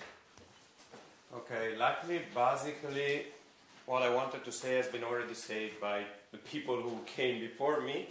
Uh, I will uh, simply present the Venetian part of the Mikle project uh, because it's a binational project, and in Frankfurt uh, we are handling actually all Venetian. And it's kind of a different uh, corpus because the initial uh, steps were different basically. The texts we had or we didn't have were uh, a bit uh, more complex, let's say, to retrieve. The Venetian corpus spans from the 13th century to the 16th century and it composed of legal but also correspondence texts because uh, as you know, you get what you get, and you don't get a whole span of legal text in every language you want. So we decided also to integrate uh, some correspondences. There is a big difference with respect to the uh, French corpus uh, in that uh, the parsing is done uh, following the UPenn guidelines. Basically, the guidelines I followed uh, are the ones for Old French that are online and will be linked in the, the description of the corpus, done by Beatrice Santorini. There is just a couple of adjust, uh, adjustments that I made, like objects are called ob1 and not ac, but yeah, those things are easy to point out. And there is a tag for clitics, obviously, which is a bit more precise and adapted to the Venetian. And then at the end, what's interesting is that uh, this is transformed in an XML by Mathieu and a set of uh, scripts done by him, which will allow to search uh, this corpus not only with corpus search but with the tools also that Pierre presented before. So it will also be available obviously in the PSD file, so you will be able to download the files if you want to use corpus search and search directly the files, but also to use the tools that Pierre presented before. Okay. Now a brief presentation of the text that you will find in the corpus. The blue ones, or turquoise ones, are uh, the ones that we had to transcribe directly from manuscripts. So it's quite uh, a lot, uh, and it was a lot of work, obviously. Luckily, we had uh, Natasha helping us and uh, a lot of other people, EV students who lent their work. uh, Also teaching opportunity. Yes, exactly. Some of the students. For me too, because I learned a lot in the process. I still remember your face when you fir- saw a manuscript for the first time. Yes, I was, I was very happy. this basically comes from uh, us going to the archives of Venice looking for manuscripts, and they were uh, all very humid being in Venice. but it's nice. It's, uh, it was a very, a very wonderful experience. So uh, this basically all the texts come from legal are legal material except for the Zucchello letters, the Arbel letters, and the Morosini letters. There are differences, obviously, among the legal materials you can find. Some are uh, custom laws, like Statuti di Murano or Statuta Veneta. Some, instead, are, uh, let's say, administrative texts, in which there is uh, an administrator that writes down something in a formalish way, like the Senato Incanti, where they were basically renting the ships for merchants, or the Senato Terra, and also, I think, uh, no, that's it. Then uh, there is a set instead of a stream of legal material which contains more, uh, let's say, uh, low level speech, uh, which includes direct speech, like the Lio Mazor, the continuation of the Lio Mazor, which will come out soon, and the Avogaria. And this is basically what we have been able to find. The other colors there basically means what you will find uh, uh, right now, what you could find. The TXT means that it's just the TXT that is, uh, uh, yes. Then uh, you have the tokenized version of it, then the part of speech tagged, and then the parsed. Obviously, the parsed version, since parsing takes a lot of time, uh, is not uh, the whole set of the corpus, but the ones that are not within parentheses are the ones that we would like uh, within the end of the project to bring to the final form, to the final parsed form. So basically, this one and other three will not be parsed because it's not feasible within these projects, but the others, hopefully, if I manage to find the time to parse them all, they will the be. efficiency parser, parser works. Yes, maybe, yes, yes, yes. Because we're also building some kind of uh, automatic parser that, yeah, but let's uh, wait before announcing yes, it. so this is uh, an example of uh, what we did. This is a part of the Avogaria, that's directly the manuscript, and you can uh, see here the writing and uh, and Louis, Diseke, and so on. And that's the final result. After a lot of work, uh, that manuscript gets uh, in this form, uh, which is the standard UPenn uh, uh, annotation. I think it's time, uh, basically, to go eating. And what I wanted to say is that if you want to get in touch with me for the workflow, for a bit of uh, scripts that I developed for helping for part of speech tagging and reusing the results, just send me an email and uh, we can talk about it and I will happily share my scripts. Uh, this is what you can do with Corpus Search, but I think people who already use Corpus Search know, so you can do a lot of stuff and it's extremely interesting.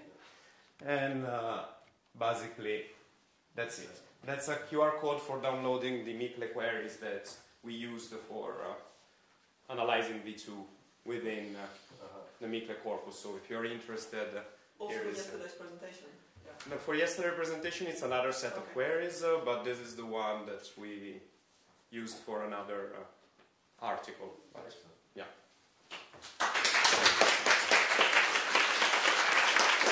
And the data for Venetian will be publicly available from June 2015. 2025. We don't get go back in time yet. It, it will be a Read next project. text. yes, yes. Build a time machine. Yeah. Excellent. Excellent. So we're, we're having lunch now. Let's make sure to be back so that we don't keep Ans, who will be from Zoom, talking to us from Zoom, waiting. So uh, that gives you an hour and 42 minutes. Christine, did you Yes, have enough? indeed, indeed. But let's, uh, let's wait and see because uh, we still have to read, read the manuscript.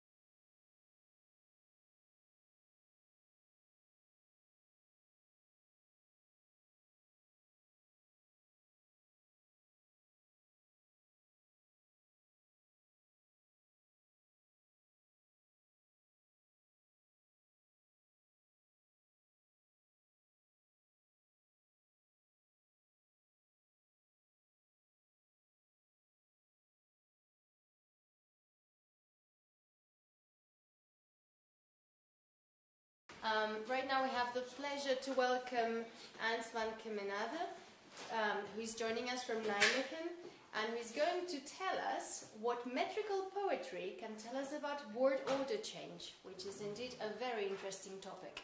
So, uh, the floor is yours. Yes, thank you very much.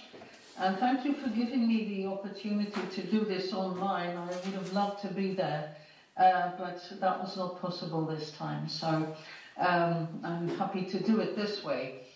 Uh, right, what metrical poetry can tell us about word order change. Uh, this is not an overall, um, you know, generalized what could happen in principle. It's a very concrete case study um, in which uh, I consider uh, uh, I look at one very specific verse text in order to attempt to resolve an issue about the loss of verb second and the grammaticalization of auxiliaries in the history of English. Yeah, so so that's the, the, the key of the talk.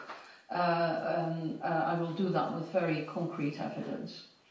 Um, poetry and verse as data materials often left aside by syntacticians, of course, because you know, they fear the complications that the meter and the poetic language uh, might give rise to. Um, so it's considered a tricky source of material as rhyme and meter may distort uh, the, you know, what we would want to dis- reconstruct uh, from uh, the textual material. Um, I do the opposite here. I look at a verse text precisely because it may, uh, there is some echo. But, okay, I look at a verse text precisely because it may be an opportunity to look at strict meter. Um, uh, and that is specifically the case uh, in the text we're looking at. So I will show that that permits insights about syntactic variation conditioned by metrical structure. Uh, and those are insights that could not straightforwardly be derived from any prose text. Uh, the specific first text is the Ormulum, um, written around 1200 uh, in probably in Lincolnshire in, in England, and it consists of some 30,000. Um, it's, thought to have been originally around 60,000, but uh, the other half was lost apparently. Um, it's a religious text, homilies and uh, uh, sermons and, and, and uh, that sort of thing, written in a spelling system that is designed to indicate vowel length by doubling the consonant following a short syllable. And it is furthermore written in a very strict septenarius meter, very strict indeed, which is by, why lots of people get very bored uh, of reading the Ormulum. Uh, um, but, you know, here's the opening line, which is kind of fun, because uh, Ormulum is called Ormulum because Orm wrote it, yeah? Uh, the first line goes, This book is nemnet ormulum for wie dat ormit rochte. Okay, it shows the septenarius meter, uh, four metrical foot, uh, feet in the, in the first half line, uh, three plus a weak syllable at the ending of the second half line. Yeah? And it means this book is named Ormulum because Orm wrote it, or Orm wrote it. So the monk was called Orm, uh, he was an Augustinian monk. That's about all we know about him. They're sorting, trying to sort out at the moment which monastery he was in. Um, okay, so uh, very strict meter indeed, which is why it's so useful. It's not, you know, haphazardly mixing things um, because that would always confuse you as a linguist.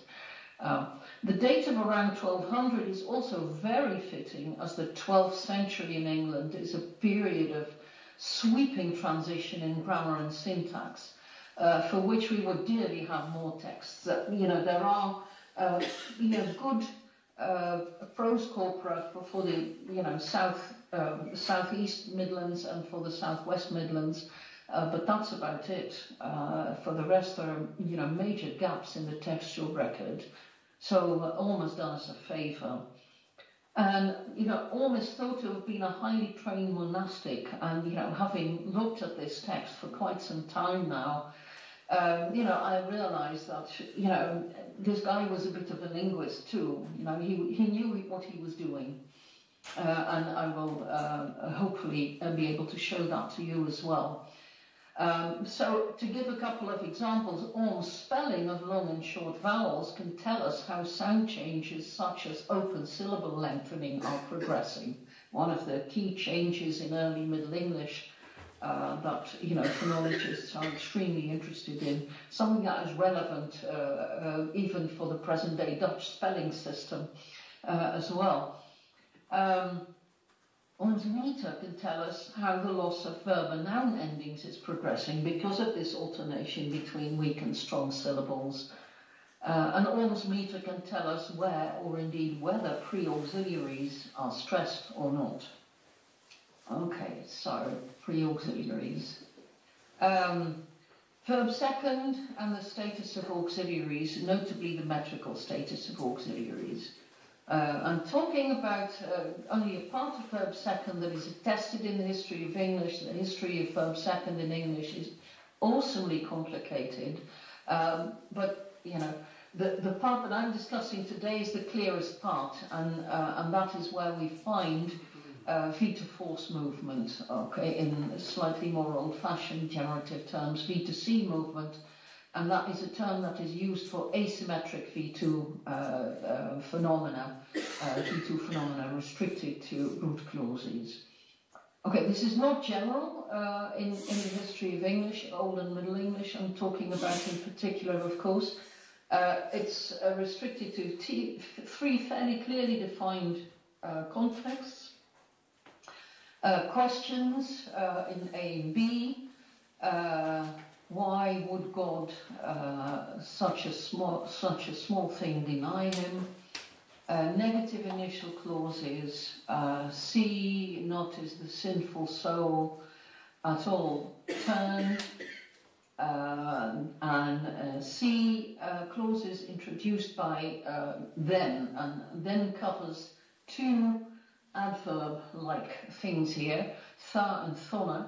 They both literally mean then, uh, but you know they have, uh, you know, beside their adverbial meaning, they have a lot of grammaticalized meanings in Old English as discourse particles, clause linkers, clause contrasters correlative markers, uh, what have you. So, you know, then, you know, looks like an odd choice, um, but, you know, then was, was deeply entrenched in the system of clause linking and, and um, discourse referentiality and, and uh, illocutionary force and what have you.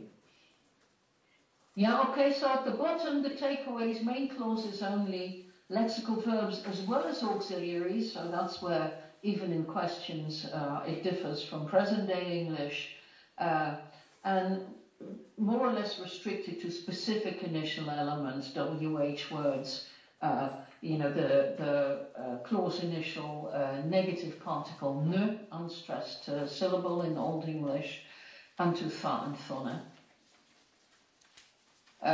yeah, okay, well, this is I added this uh, because I thought, oh, that must be text linguists as well, and you know, maybe they don't they don't know all that machinery, so I won't do a tree diagram. Um, but uh, you know, the first three columns are, of course, this this part of the left periphery of uh, main clauses. Um, main issues of the talk. Uh, I will first uh, discuss some further properties of to force, verb second in Old English and then consider how to force develops over the Middle English period and is lost over the early modern period. Um, the claim I will make about the loss of to force following adverbs is that this is caused by the reanalysis of auxiliaries as functional heads, resulting in the loss of primary stress on auxiliaries. Okay, that claim of course implies that before this loss pre-auxiliaries could still carry primary stress, and that is uh, contra, uh, runs counter to uh, the only serious work that has been done about auxiliaries in poetry uh, in Old English. Uh, Michael Getty, in these two studies, claims that auxiliaries were already stressless before the turn of the millennium. Um, okay, so so doomsday was there for auxiliaries as well.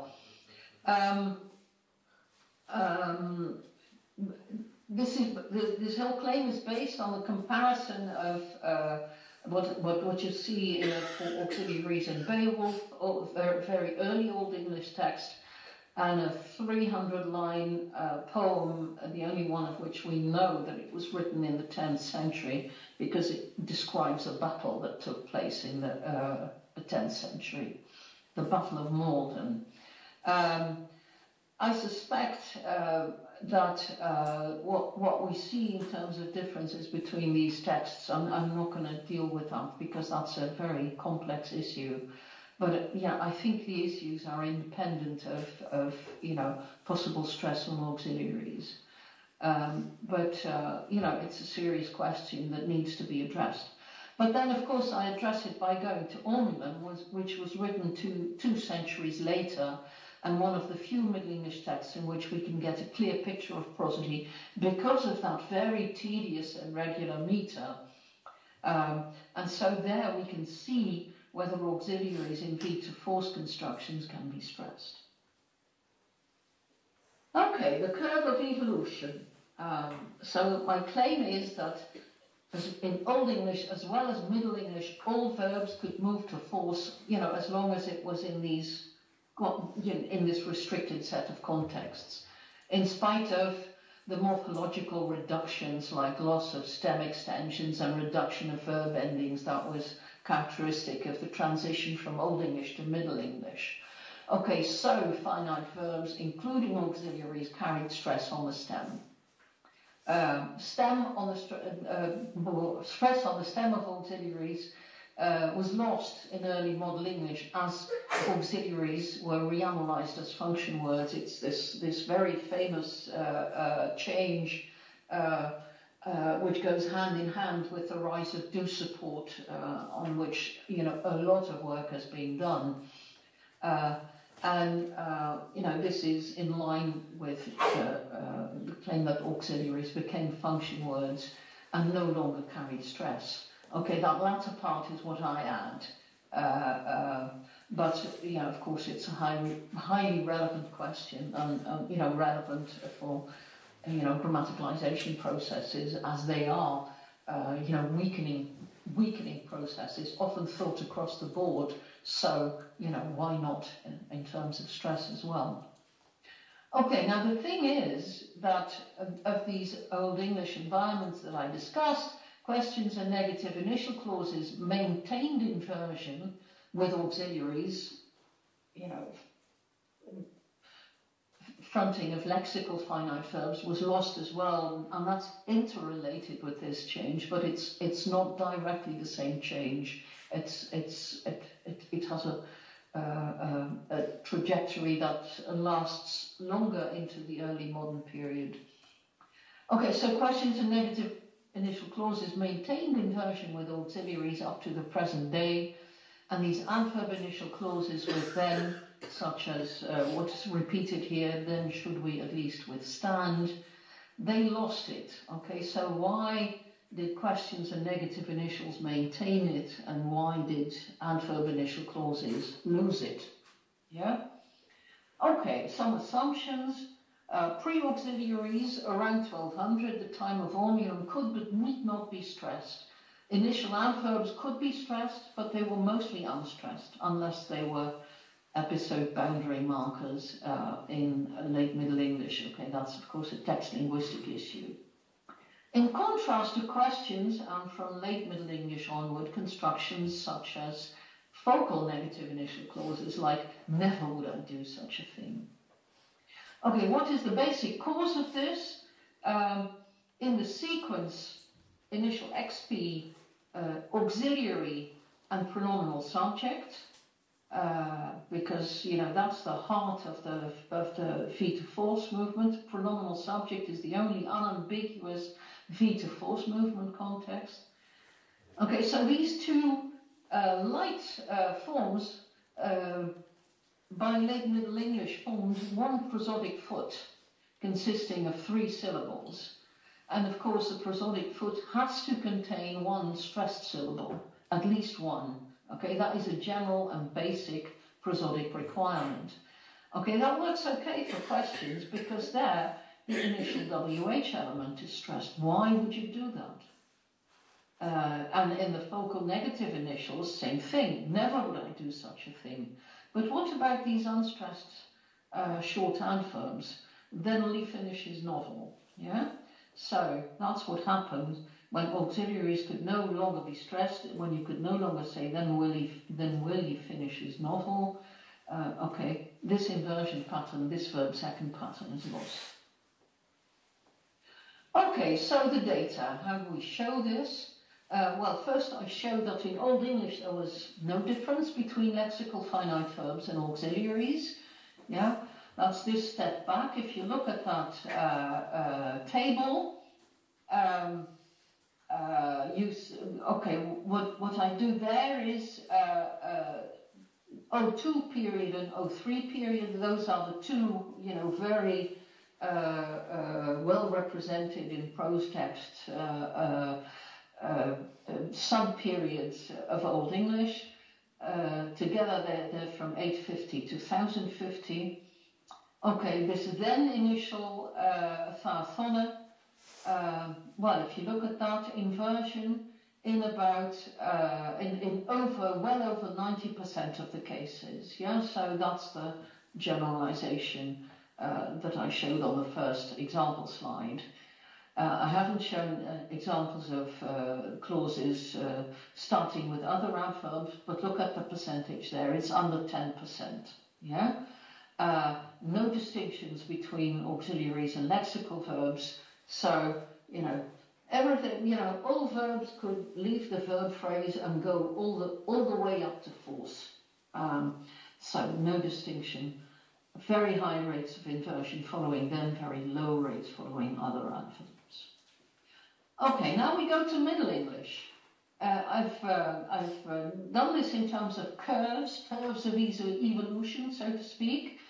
Um, Okay, what you see in the Middle English period, if you look at the blue lines, the blue lines is the development of inversion following then and following other adverbs when the finite verb is a auxiliary or pre-auxiliary, as we should uh, say uh, properly. Yeah. So following then, um, you know, well, it's not above 90% anymore as it was in Old English, but it was, you know, 70% in the early Middle English period. And, you know, it was still very robust, uh, nearly 60%. Uh, at the end of the E1 period, the end of the E1 period is 1570. Yeah? So, um, uh, what we see is stability for inversion uh, following then with auxiliaries, uh, but uh, you know a substantial reduction for lexical finite verbs, both types. Not much distinction between them, but that doesn't matter for the moment.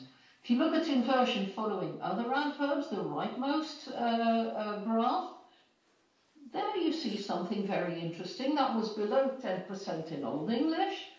Um, uh, but we see a rise, as you know, a consistent rise uh, over the Middle English period of inversion with auxiliaries uh, and not with lexical verbs. Now, isn't that interesting? Um, so, V to force following then is robust until 1570, and that followed, then followed by a sharp decline, sharp loss. Rise of V to force following other adverbs, you know, uh, okay, that's a distinct rise as we see. We see that peak in the second diagram, um, and uh, uh, followed by a loss uh, from 1500 onwards. Oh, I have to rush.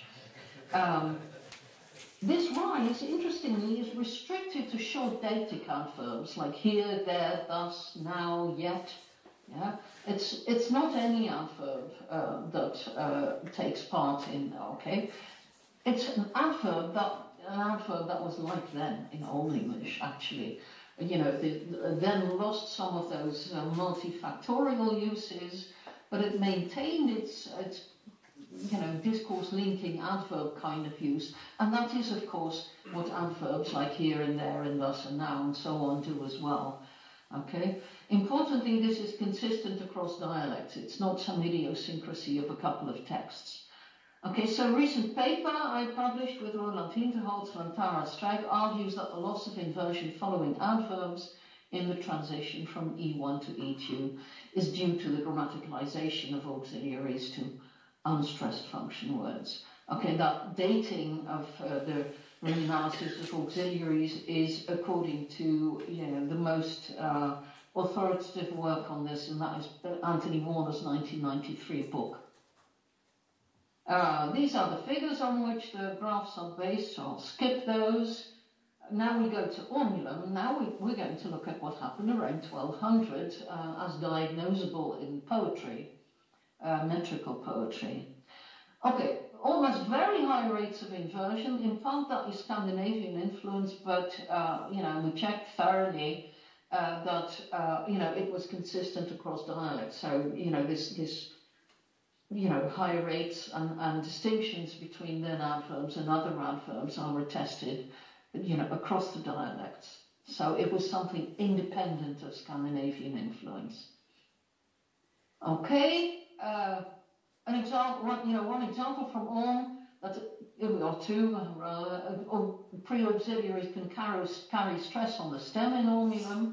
Okay, so the A example, yet will it shower you for hui. Uh, so yet is unstressed, will is uh, yet will I want I. Uh, uh, itch is the subject pronoun. Uh, so that's interesting. And another is and machtu laken God withal.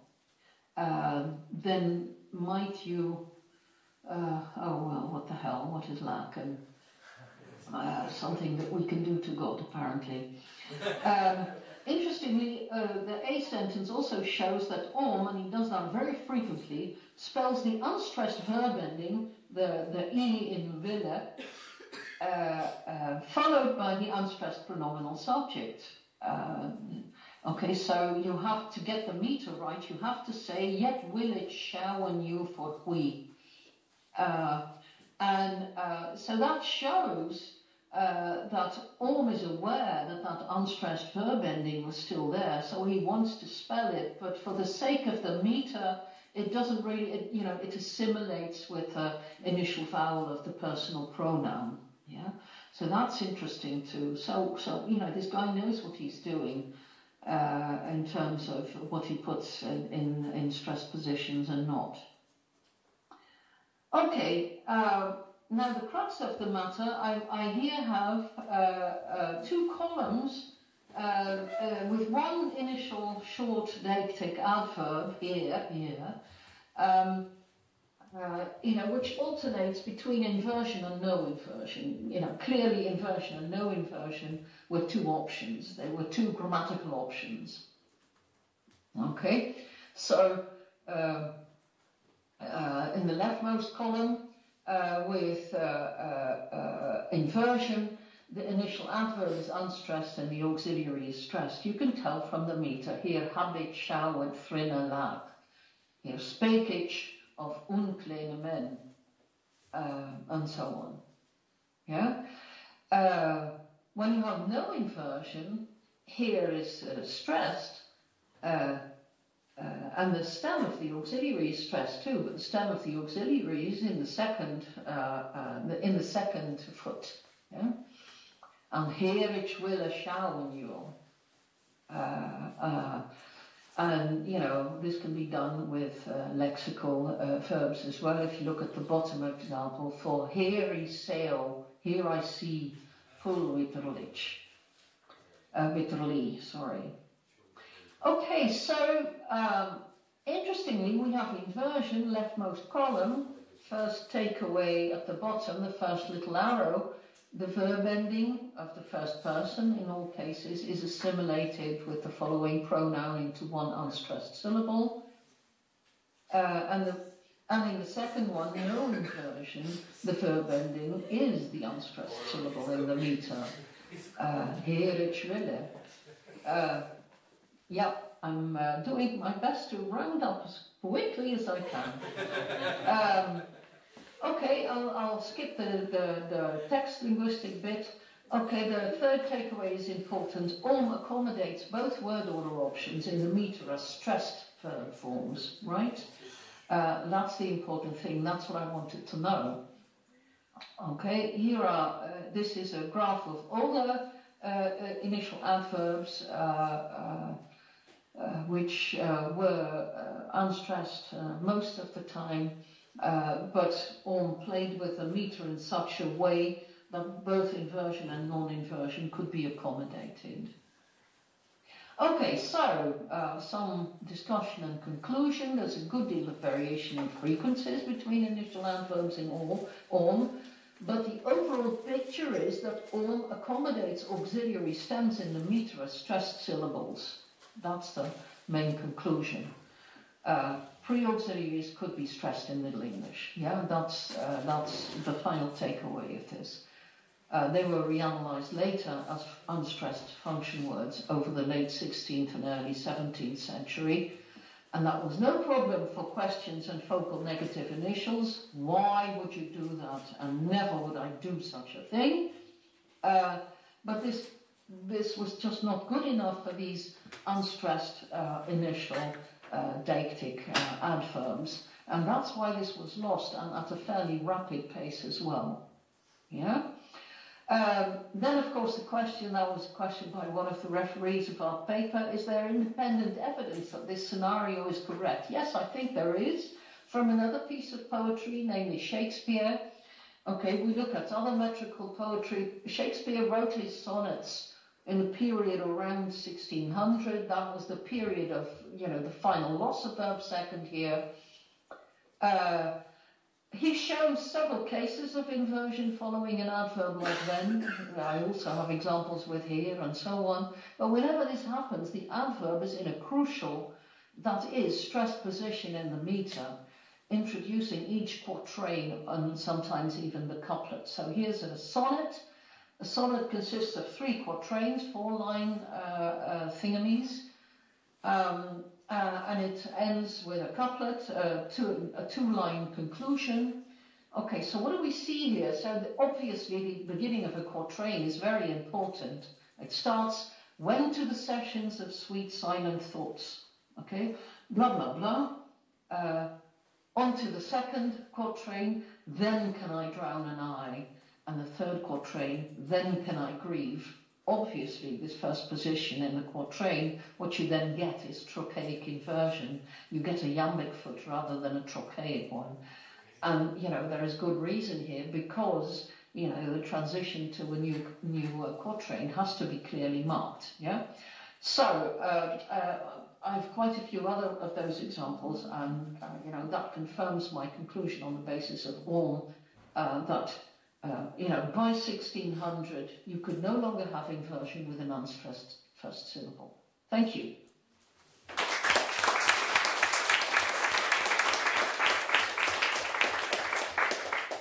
Thank you very much for this very insightful talk. And now we have time for one, maybe two very, very fast questions.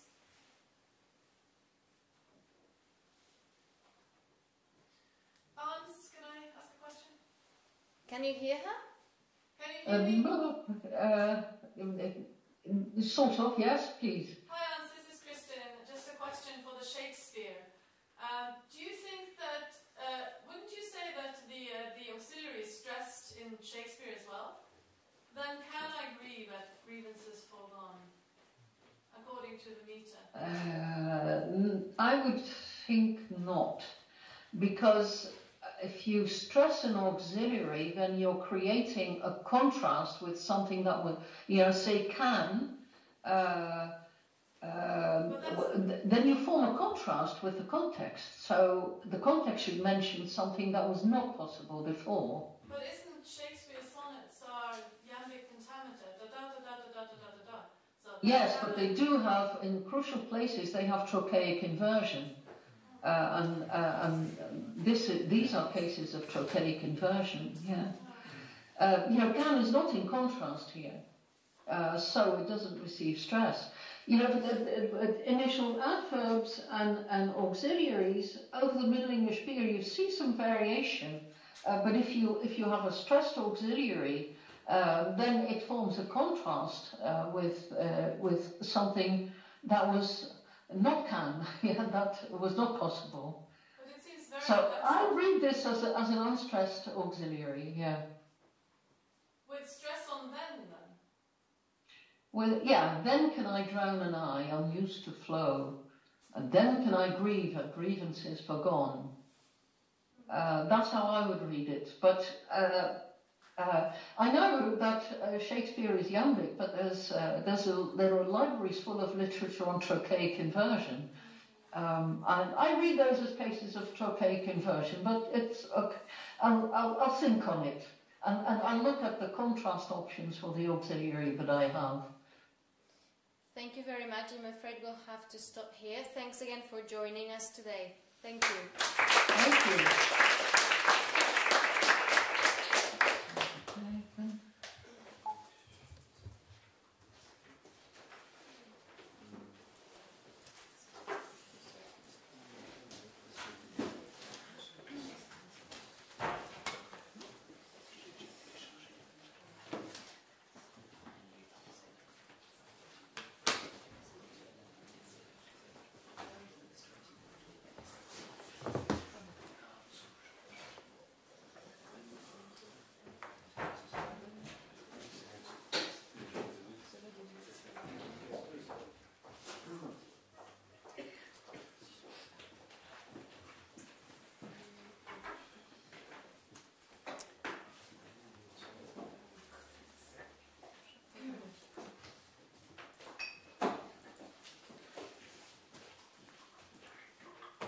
Hello. Yeah. Yes. I can use this one. Um, great. So uh, let's carry on. Um, now we have the pleasure to listen to Anne Breitbarth from Gent, who's going to tell us about agreement in Dutch. And we are lucky enough now to actually see the whole title of the talk. Yes, uh, I made clever use of the subtitle option, which is not so restricted for some reason. And uh, because uh, my talk is not going to concern so many different genres, I thought I'd throw in an extra one in the form of a song title. Um, right, so uh, as you might know, or probably not, uh, in Dutch, present day Dutch, there is um, in those verbs that have a non-syncretic uh, or have no syncretism between third and second person, uh, agreement variation with the polite pronoun u. Uh, so, for instance, uh, according to the uh, language advice uh, of the uh, region of uh, Flanders, you are free to choose between uh, u hebt and u heeft, so second person or third person, and you kunt and you kan, and only with the, uh, the verb to be, uh, zijn, uh, it mentions that uh, is is a bit archaic. I talked to some uh, native speakers and uh, they actually find it outright weird. Uh, but uh, it's possible according to the Talentons. Uh, another piece of background is that um, there is a cyclic development in the second person pronouns in the history of Dutch, where we start out in Middle Dutch with a system uh, as you uh, still have it in uh, German, more or less, and as you had in historical English, with uh, uh, du or du in uh, the singular and he in the plural, and as in English, the plural form took over also in the singular. And then, in, as that happens in the uh, 17th, so this happens in the 16th century, and then in the uh, 17th and 18th uh, century, uh, which will be relevant for my talk today, uh, you additionally have um, so called epistolary forms of address uh, in letters, which I will say something about in a second. And today, at least standardly, you have um, a, a tu form, like an informal form, um, which is uh, ye and ye and uh, in the nominative, and uh, ye and jou in the when it's an object, and jullie, which is derived from uh, uh, so you people uh, in the plural. And as the vous form, uh, you have uh, u all throughout. Okay. Now the question I want to uh, uh, talk about today is uh, how the agreement with this originally uh, oblique uh, form u, so u is uh, originally the oblique form of ye, uh, developed uh, once it began to be used as a subject around 1600. Okay, so and this is why my talk is titled "You Are What You Is," um, also because I like Zappa. Um, and uh, there are basically two hypotheses in the literature which make different uh, predictions. Uh, Vor der Hake, uh, says that the nominative use arose through a reanalysis from the um, oblique use, uh, which is something that uh, maybe Vor der Hake wasn't aware of yet, but uh, happened again in Dutch very substandardly in the north. people say hun lopen, like them walk, instead of zij lopen, they walk. Um, which is not such a new phenomenon. Apparently, Anne Frank did it in her diaries, uh, and her father edited it out. That's why we don't know about it. Uh, um, so that would, that would predict uh, that the second person is older because it's really uh, gij just um, with, the, with the agreement of gij. Okay? Um, the alternative hypothesis is that uh, U arose via an intermediate step, namely those epistolary forms that I mentioned. Um, and so far I'd only shown you the abbrevi- uh, abbreviations in the table, but they stand for um, a possessive pronoun and a noun, uh, some honor- honorific noun.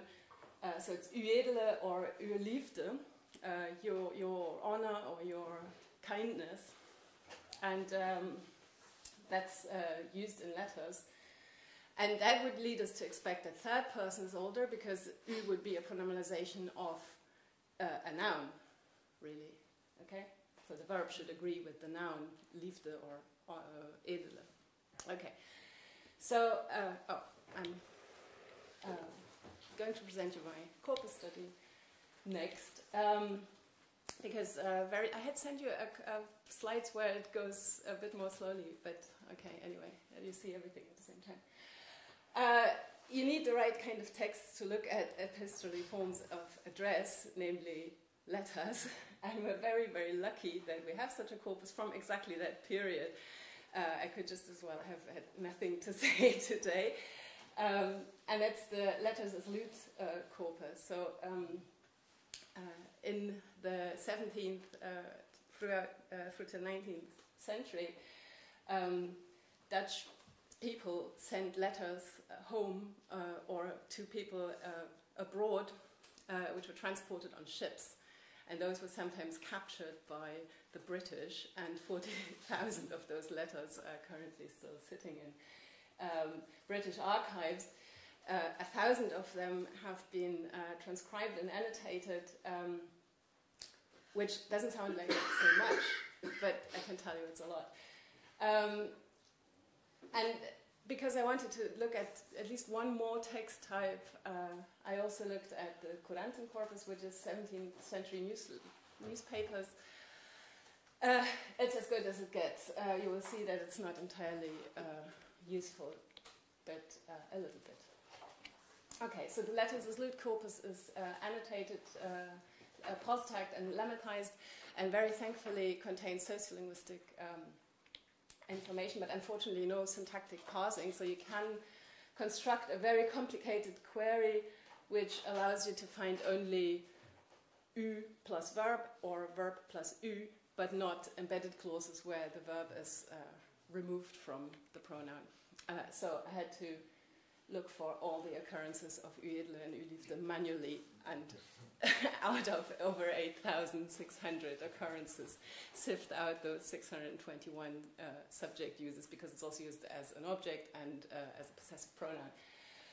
Um, right, so there's uh, a lot of useful sociolinguistic uh, information, also less useful information, such as the name of the ship. Uh, and then uh, when I coded my data, I added information on which verb it is, in case that is important. Uh, the position of the verb uh, is it, um, I will show you uh, inverted uh, verb second, straight verb second, or in the end of the clause. Which form the verb has third or second person. Uh, the approximate uh, birth year, where possible, which I reverse engineered from uh, the age information as far as it was given, and the province and social class. So, in, in that corpus, we have two periods the second half of the 17th and the second half of the 18th century. Uh, for the newspaper corpus, we don't have quite so much information. We have it's uh, short pieces of news. Uh, I showed you a, little picture there before. Um, it's short pieces of news which say where the report comes from and so on. Uh, and uh, I found some 350 occurrences of uh, these epistolary forms about uh, 75 of which were subject users. Okay? And uh, this is where you see the different uh, positions of uh, the verb. So you have here um, inversion context, so you have uh, something in the first position, then the finite verb, and then this form of address. and um, you can see that there's variation. Kunt and kann, soll, Zult also exists, uh, hebt, heeft also exists, and the same, and, and in the letters as loot as well as in the newspapers. Um, we also have straight verb second, so the subject first and then the finite verb. I only have a, a second person uh, example from the newspapers uh, here. And then in embedded clauses, the verb comes later. It doesn't have to be in the last position, but um, comes later. Okay, so um, this is just the, the bare numbers, um, and you can already see a couple of um, trends, perhaps. First of all, in uh, the 17th century, if you look at the uh, corpus uh, for now, you see that second person is actually much more frequent. It's not frequent. Uh, nothing is frequent in the Couranten corpus because most of the things are news and not letters. Uh, but uh, you see a certain uh, tendency to use second person. In the letters as loot, you see that in embedded clauses, especially. And you see that in the 18th century, third person seems to uh, gain ground, okay? So, um, uh, yeah, I recorded the data as I got them from the Institute of the Dutch Language a little bit. so I already said that I recoded the age to the approximate birth year. So if it says uh, that a person was born, uh, sorry, a person was between 30 and 50 years old in 1680, then I uh, say, okay, it's probably around 1640 that the person was born. Then uh, there are uh, a lot of places uh, where we have only like one letter or two letters. So there's very little information. I recoded them as other um, to reduce noise, but it's still quite noisy. So in the end, I decided to only look at uh, four contigu contiguous uh, provinces. Oh, it's actually three provinces. Uh, it's the city of Amsterdam in North Holland, North Holland, Zuid-Holland, and uh, Zeeland. Uh, and I, with, with those, uh, from those 621 tokens, I kept 445. I um, uh, did a random forest uh, analysis to see which uh, of the uh, independent variables had a, an important influence on uh, the use of third person or second person. And uh, the position of the verb had clearly the greatest influence. Also, when a letter writer was born had a great influence, and from which province they were. Gender still had a slight influence uh, which verb it was didn't have at all. So what I said about present day Dutch, uh, that you have a certain preference for uh, u bent uh, over u is, so it didn't seem to play such a big role. Okay, so I uh, ran a binary logistic regression. And uh, I could walk you through this, but as we are talking about the curve of evolution, I plot the model coefficients as, as curves for you. So this is um, the influence of um, the position of the verb. I don't know why it always says percent, it's the probability of uh, using third person. And you can see that uh, clearly third person is the incoming variant, it's the new variant, right? And in inversion contexts, it's already at the time when people start using U as a subject around 1600, or at least that's the birth year that I uh, guessed. Uh, it's already uh, a very high percentage of uh, third person, while uh, verb second, straight verb second, and um, embedded contexts really lag behind like um, 100 years or more. Okay. Um, the province uh, was also uh, an important factor. Um, we don't see such a huge difference between Amsterdam and North Holland. Uh, Amsterdam being in North Holland is maybe not so surprising, uh, but you see a clear difference uh, the further away you move from Amsterdam. Okay, so this is really like a geographic diffusion pattern. Um, and uh, gender has a certain influence. So uh, women uh, start earlier and progress faster, um, and are like one or two generations ahead of the men in using third person. Okay, so what do I make of this? Um, as I said clearly, uh, third person is the incoming uh, form, second person is older, it's gradually replaced. Uh, and this is actually uh, in line with um, findings from the earlier literature. So this was a paper by Padelbrook uh, on uh, the, the cyclic change in pronouns, not so much about the agreement. But the first cases of subject U that he finds uh, just before 1600 are with second person. And also, as we've seen in the Couranten corpus, uh, which I couldn't evaluate uh, statistically because we only have this small uh, window without um, sociolinguistic information, uh, second person dominates, third person is rare. And uh, in the letters of the Luke corpus, we have this strong conditioning by syntactic context. Third person uh, starts uh, in the inversion context and then uh, spreads via the straight verb second to the final context, where second person is first used um, almost exclusively. And then we've seen this uh, geographic uh, diffusion pattern, and uh, we've seen that women seem to lead this change. Uh, what is very striking is this, uh, this uh, great influence of the syntactic position. So there's really something linguistic behind this. It's not just people using some epistolary forms and they don't really know what they mean, right? And this really looks a lot like position dependent agreement in uh, present day Dutch, where um, you, in an inversion context, have a different form of the verb with second person singular than uh, in a straight verb second context. So it's ben jij, but jij bent. Okay, in some dialects uh, you also have this with first person plural. Um, which uh, Jan-Wouter Zwart in his dissertation has analyzed as um, asymmetric verb second, where the verb is, the finite verb is in different uh, positions. Uh, it's in a higher position in inversion context and in a lower position in uh, straight verb second context. Um, Gert-Jan Postma actually blames the rise of uh, position-dependent agreement with the new pronoun ye, which I said comes from the plural originally, um, on the loss of du.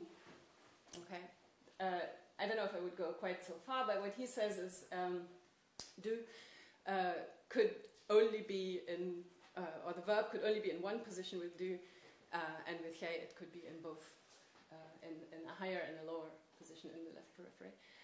Uh, and he bases this on a geographic correlation between dialects that have preserved du and dialects that have position dependent agreement, whether in the first or in the second person. Okay? Now, the problem for us is that my data look like as if position dependent agreement is lost because we go to a uniform, uh, everything is third person regardless of the position of the verb, right? Um, and that's perhaps not what we want to say. We don't want to claim that within 100 years or even less, uh, people innovated position dependent agreement with ye and then abolished it with u. Um, uh, by the way, uh, I, I don't think Postma is 100% right about the loss of du because uh, it's possible to have a du system with position dependent agreement because Middle German is such a language.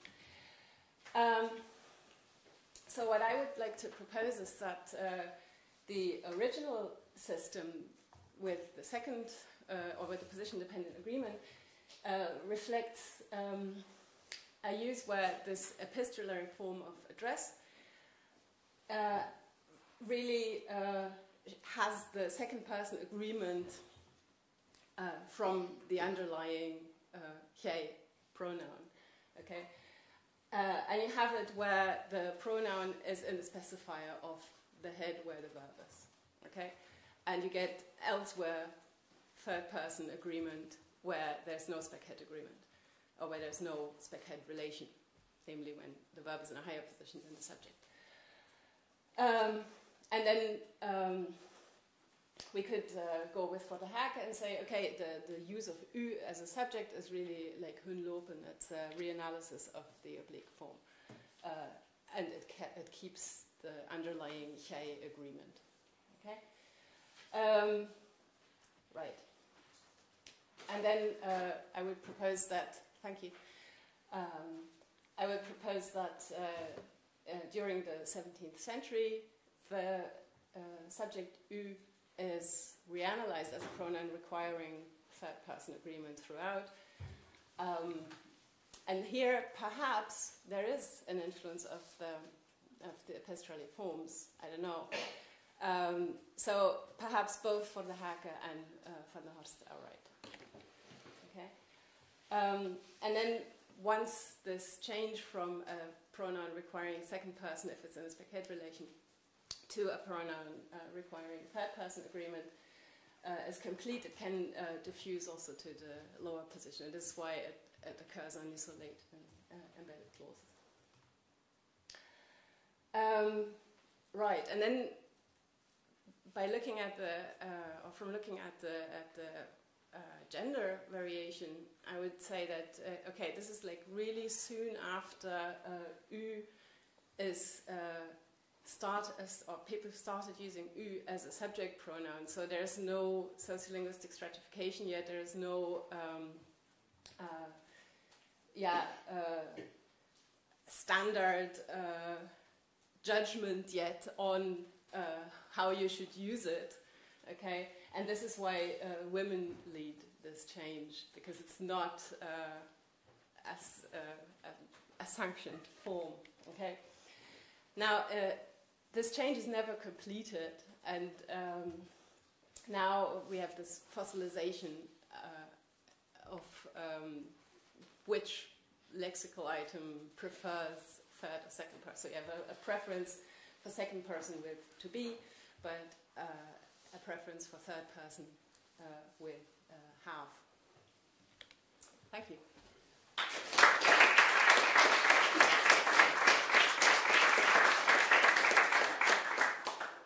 Thank you very much for this wonderfully timed talk. Um, do we have any questions?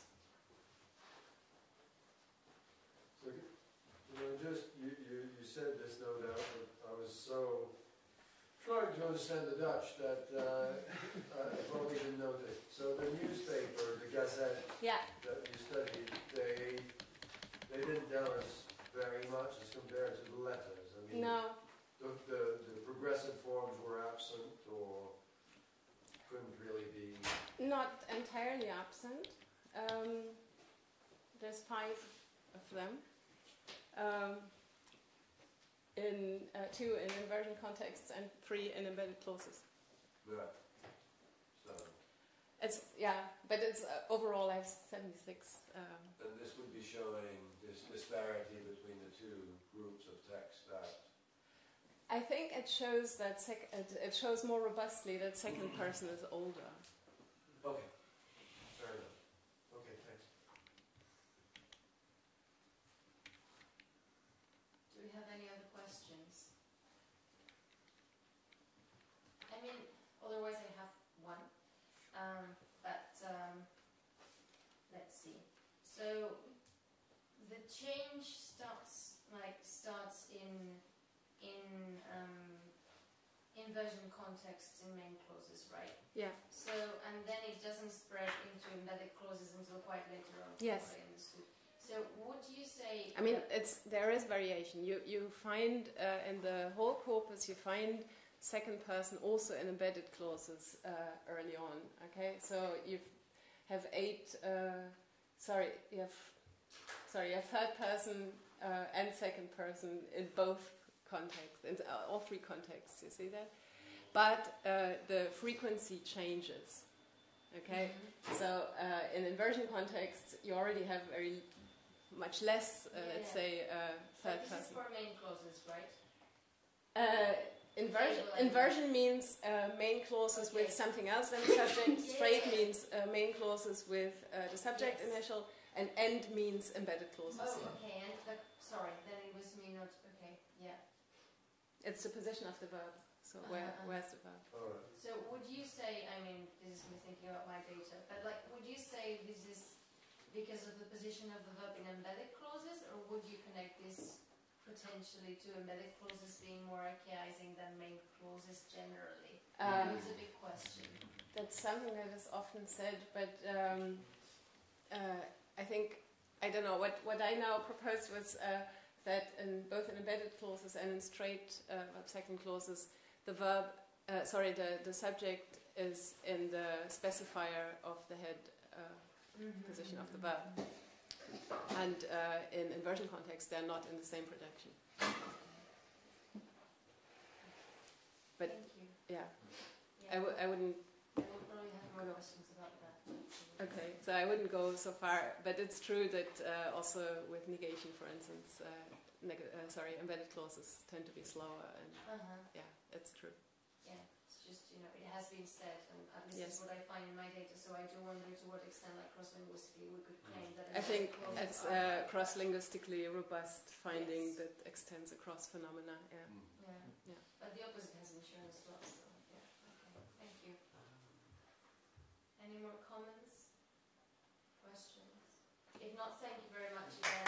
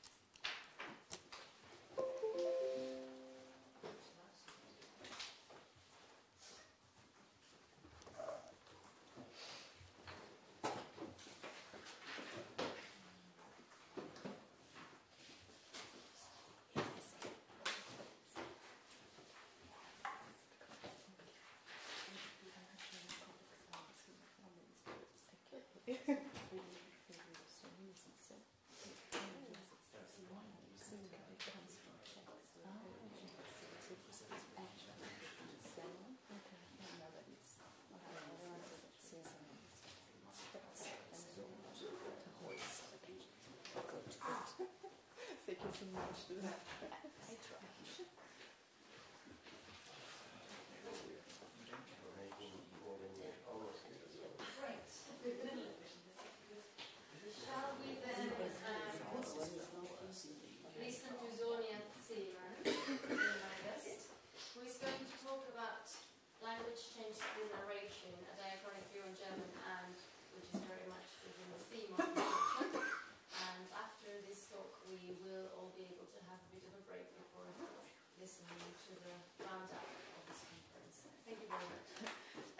Thank you so much. Uh, just talk, uh, uh, we were just talking about German influence, so here it is. Uh, uh, thank you so much for the for the invitation. I am so happy to be here. I've learned a lot in the last uh, last two days, and it is a pleasure to present my work to this audience. So I will talk about narration, and if you're talking about narration, fairy tales, narrative texts come to mind, but I don't want uh, to, uh, to talk about fairy tales, but I want to talk about an inter, intra-textual distinction. So my starting point is kind of this distinction between narration and dialogue in the, inside the text.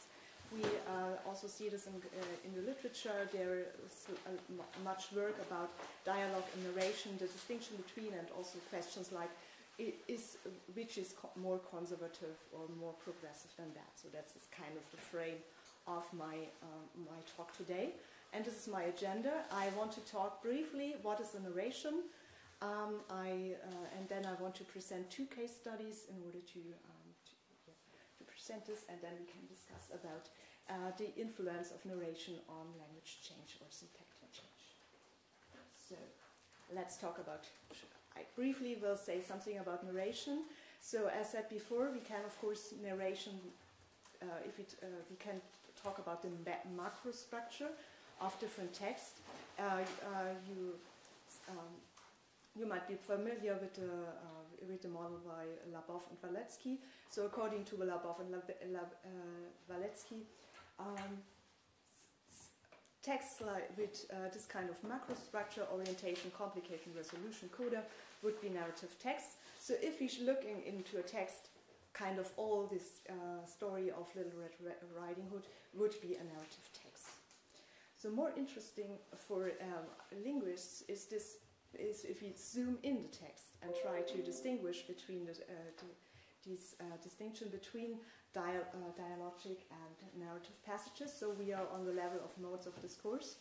And um, you see here um, the narrative passages, and but I want to say it's uh, what I'm looking at. It's not just the distinction between narrative and versus dialogue, so direct speech, because also in direct speech we have, have nested in kind of narrative, uh, narrative passages. So this is kind uh, more kind of the distinction Carlota Smith has made, uh, talking about discourse modes, narration versus argumentation, description, report. So I will use this for this talk today. We of course can also zoom in in these passages and uh, looking at discourse relations. So relations between different utterances, the co- co- uh, coordination, uh, so uh, coordinating re- uh, relations between different events. And um, then we would just mark those two instances.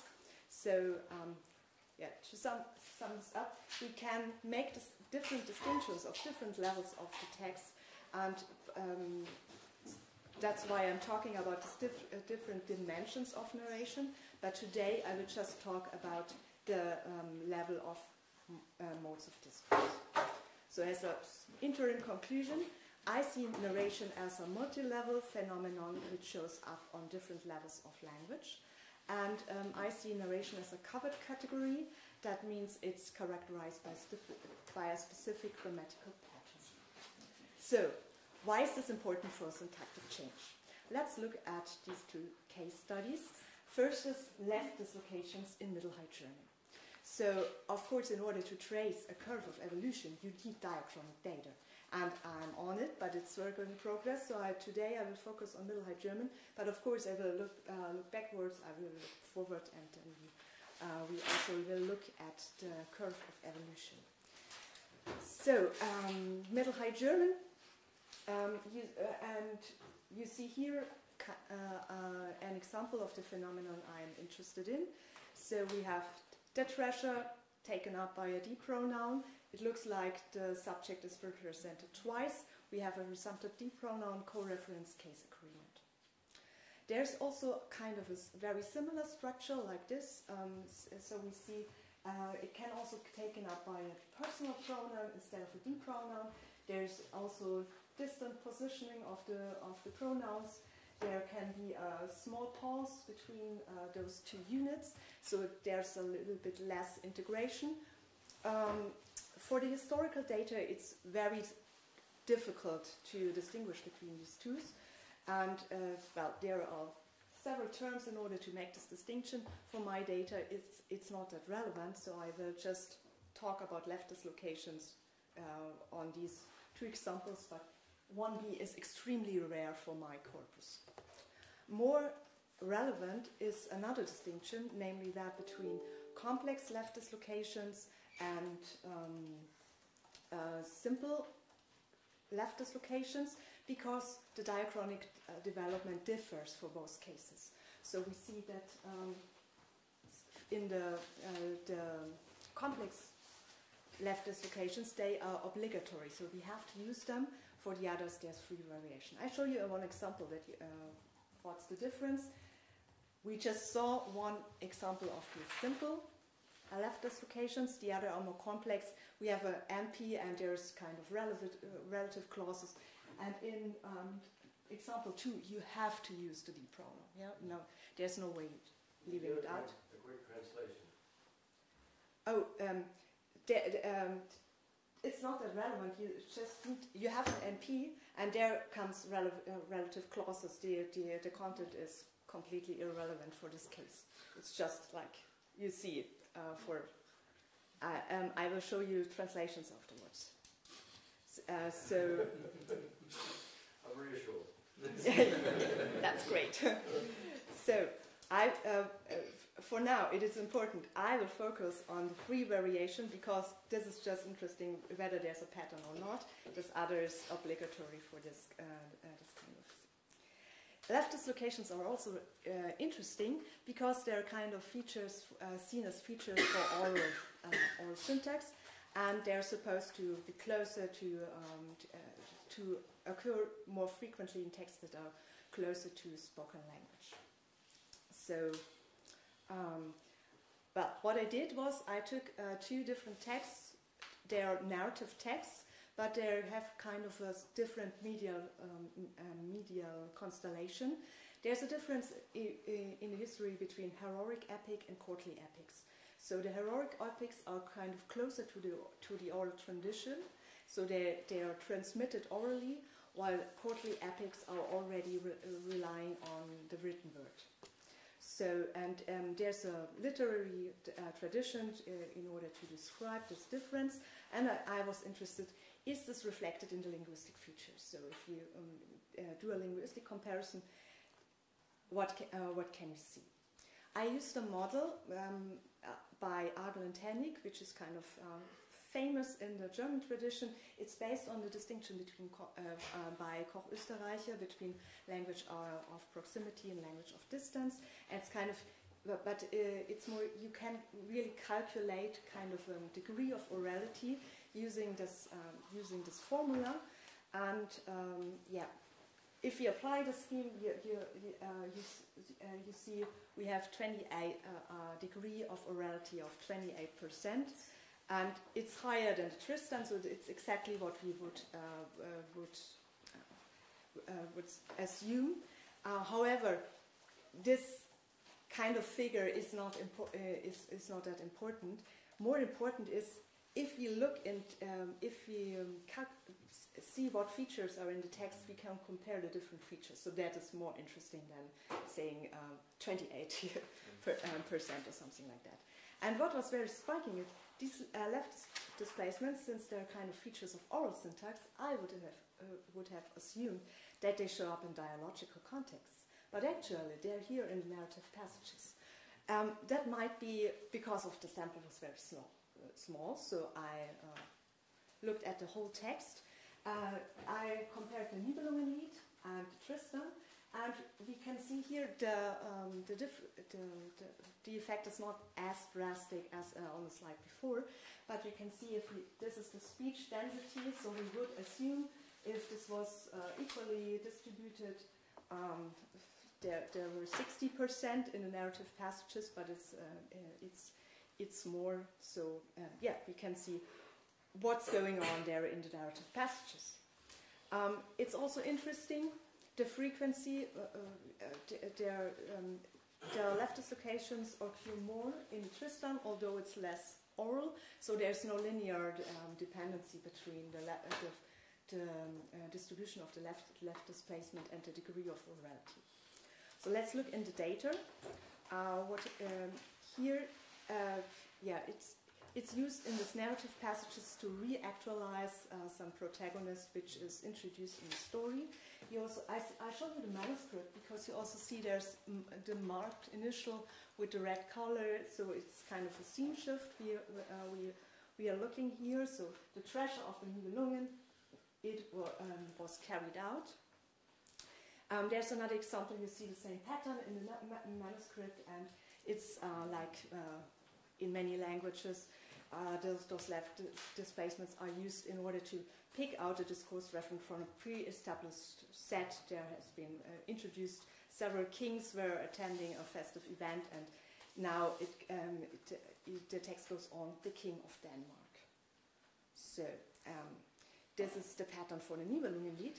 If you look at the Tristan, interestingly, it's a little bit different. Not that different, but we see here a combination with this, uh, with this particle nu, which is used to introduce a new set, uh, a, a, new step on um, in the uh, in a, a new scene shift or another event that's going on, and we have this this pattern now a proper name and then uh, left the, the D pronoun and that it's added something. So we have a kind of a new pattern of discourse uh, progression, uh, which we can see here.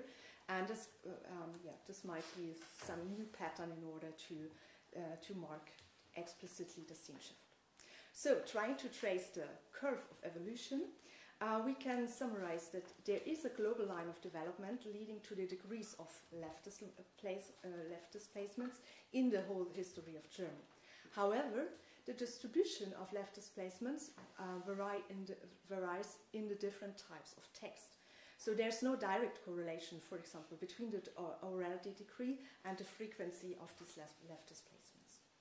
And um, narration seems to display its kind of its own curve of development, and we have this progression um, from implicit to explicit marking in order to uh, to mark the scene shifts.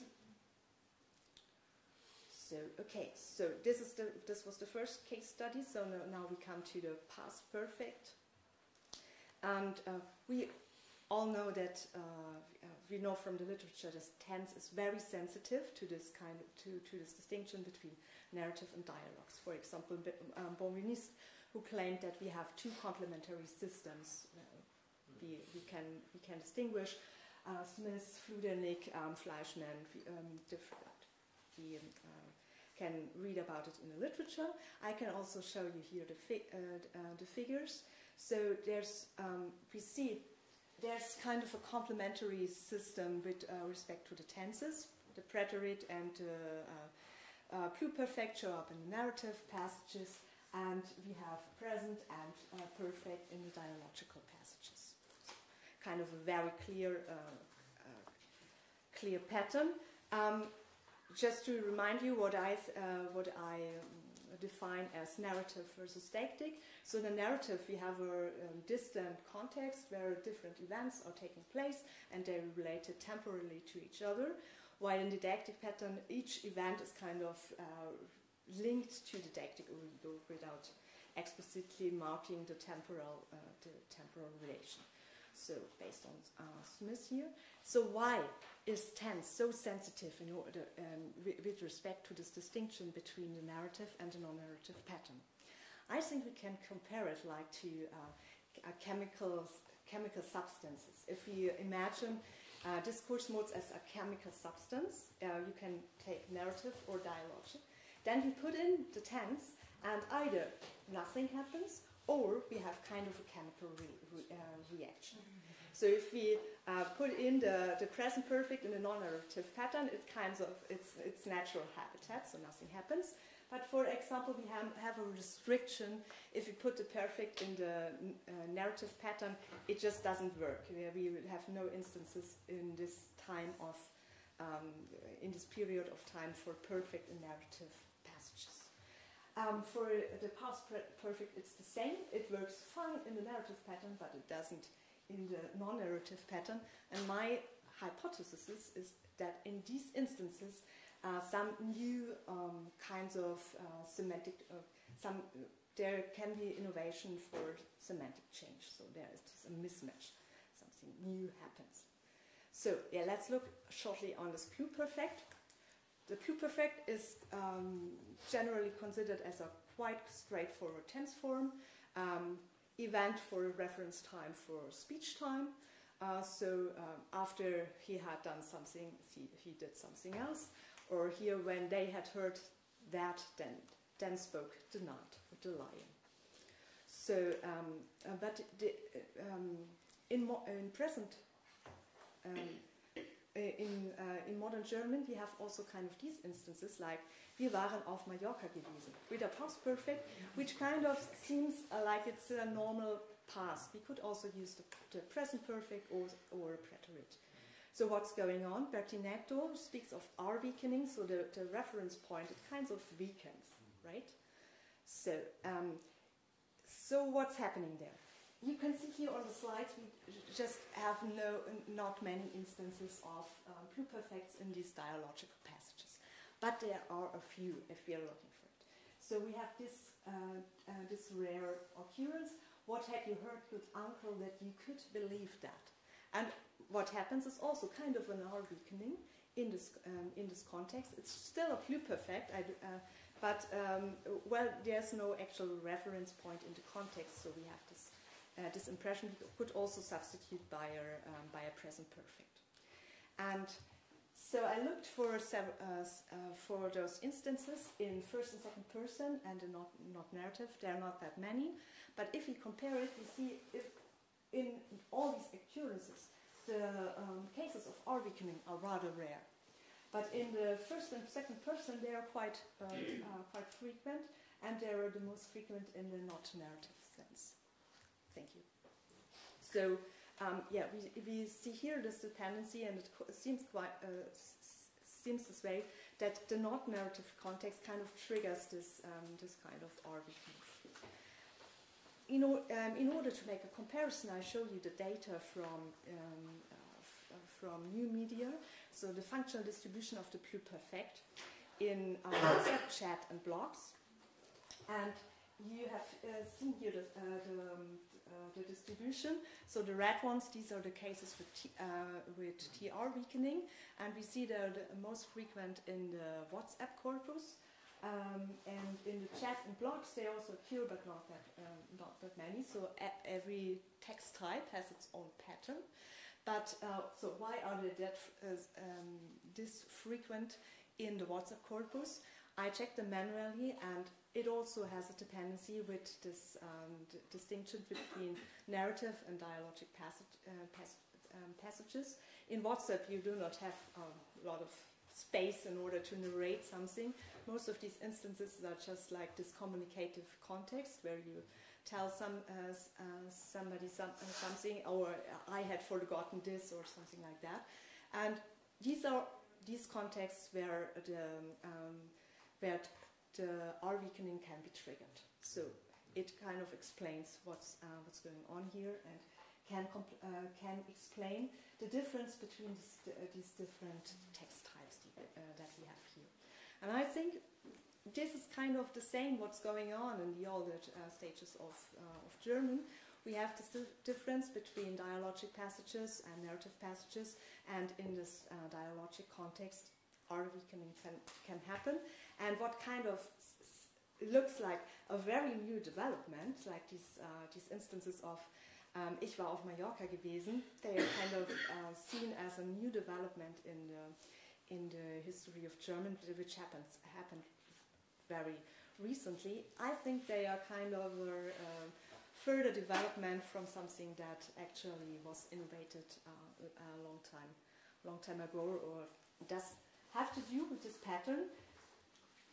Looking back here, in the, the non-narrative pattern and the narrative pattern, um, if I'm right, we uh, we can assume that we have kind of two different de developments, so kind of two different grammaticalization pathways, but the uh, we didn't see it before because the instances are very rare and kind of do not show up in our data. Just if you're uh, looking for these rare cases, what's happening in the uh, non-narrative pattern there. So in the narrative pattern, kind of um, not that much change is going on. The pluperfect has already in the uh, in the older stages of uh, language a lot of different functions which are not uh, all um, documented in our grammar books.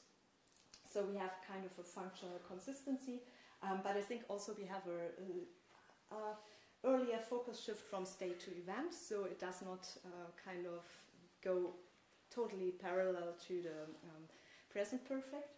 And we, in the non-narrative pattern, we have these cases of R weakening, and I think also we have kind of this development of factive readings.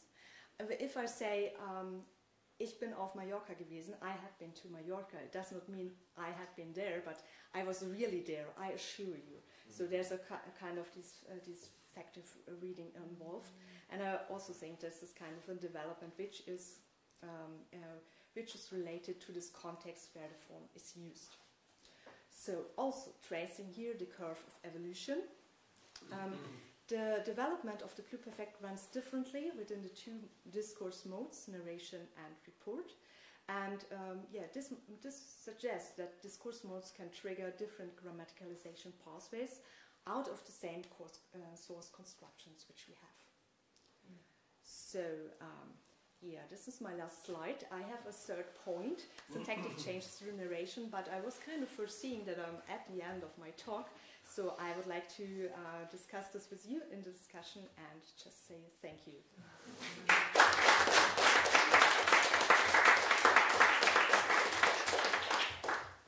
Thank you very much. Do we have any questions?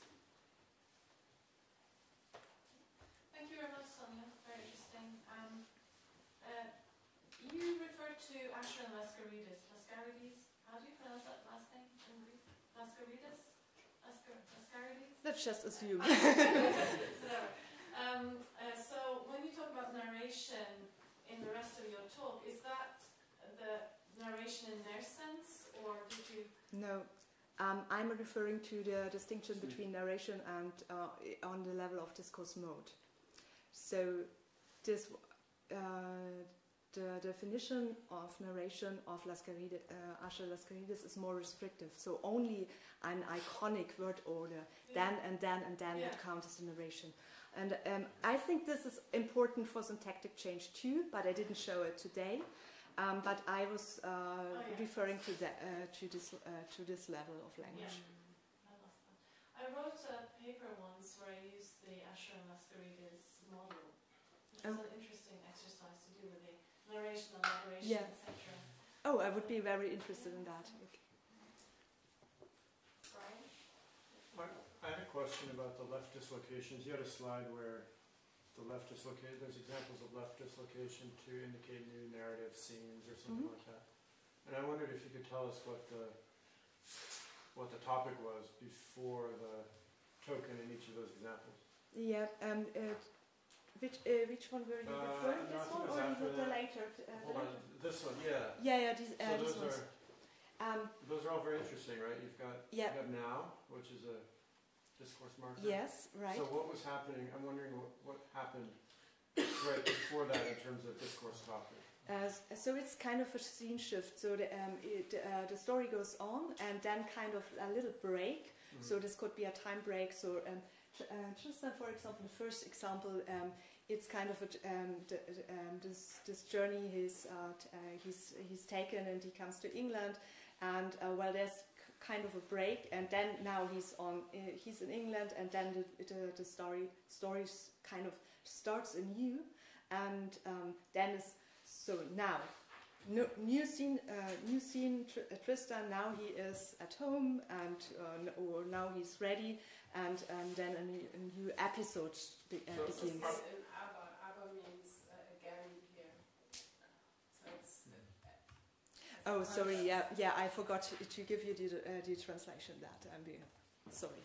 So have we been talking directly about Tristan right before, or have we taken a detour and we're coming back to Tristan? Yes, we are, we are coming back to Yeah, Tristan.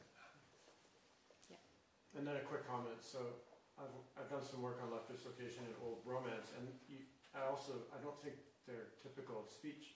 They're very common, and they're, they're not necessarily very Ah, common. okay, But the that's- ones that I found were Oh, that's very also, interesting. Yeah. You know, mostly, and I didn't analyze it, but I, impressionistically, I don't remember Yeah, them being but- uh, but- characteristic of speech. I mean, here it uh, in the Tristan it's kind of uh, distributed equally. I also looked at um, sermons because uh, they have a lot of dis- uh, left dislo- uh, dislocations, and I want um, uh, I want uh, left displacements, and I wanted to see whether also they occur in the narrative passages. But it's kind of a co- kind of a di- completely different pattern. So um, yeah, they have different uh, different functions and different text types. Okay, As one I last see it. question, and then we make. Okay, Catherine. you want to? Yeah, it's it's just uh, adding on to this. Uh, in uh, middle of German administrative and legal texts, you have a lot of uh, cases where you have some uh, kind of conditional clause uh, before a main clause, and it's the, the condition for the main clause. So it's Mhm. like if somebody does this and that, then.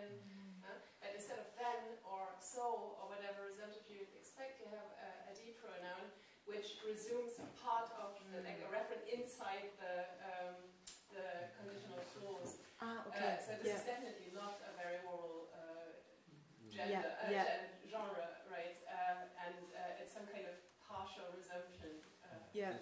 Yes, thank you so much. Uh, This is very, uh, very interesting. It co- also kind of um, reminds me to uh, of the sermons, where Mhm. kind of a diff- um, different pattern. And I mean, these are so interesting because it uh, just seems that every they can be used in different functions according to the, the relevant text type. Thank you so much. Okay, one last point. Yeah, um, I'm going to, to, to ask you a question which uh, links up to what we talked about uh, in, the, uh, in the preceding uh, uh, presentation. Um, example number six here. Uh, am I right that it means that now Tristan has, uh, who has arrived uh, home? Mhm. Yeah. Okay. So um, this is a composed uh, form which would um, often be the, uh, appear in, uh, in epic um, in epic uh, songs where the the main line of narration is made in the present tense, which is a historical uh, historical present, and then the, the the composed past here is indicating something that happened just before. So in, indeed, it's the same pattern that we find, find in dialogues, but it is used in uh, narration. Yeah. And uh, so, so the, the division that we had with uh, Benveniste um, Mhm. and, and Weinrich uh, has Yeah. made the same uh, division between narration and, and discourse. Um, then it means that you can switch in, uh, in uh, when you use the, the historical present uh, present tense uh, instead of the past tense. Mm. So, so that that breaks down the, the, the, the strict uh, Yeah. division between narration and uh, and dialogue, and it also means that the, the composed form here is not necessarily a past, but it may be uh, um, a, a form of the a, a a sort of a present that is that is finished. So it's it's an achievement. Yes, thank you so much for this remark, uh, and be, because uh, this kind of are, I think in these uh, changing the situations or the uh, in the scene shifts, we have kind of uh, often we have this kind of uh, that, that we have a combination of proximity and distance markers. So we have kind of proximity new, uh, which uh, can be used as kind of uh, referring, okay, now in the story, but also now in the, on the discourse level, because I'm, uh, I'm telling you the story and also trying to um, t- t- uh, trying to use this tense form with the with the present or the present, um, present perfect. But interestingly, for example, past perfects can also occur in this environment. So it's mm. kind of mixing, and it is, it is, it, it is exactly in these scene shifts where, kind, where we kind of progressing of the story, but also uh, we, we are drawing back to our discourse situation where the narrator actually tells the story and it is, uh, it is characteristic for those epics that we have a strong narrator and drawing back also to this uh, this uh, situation of narrating the story, and it's, it's exactly what you described what's happening here.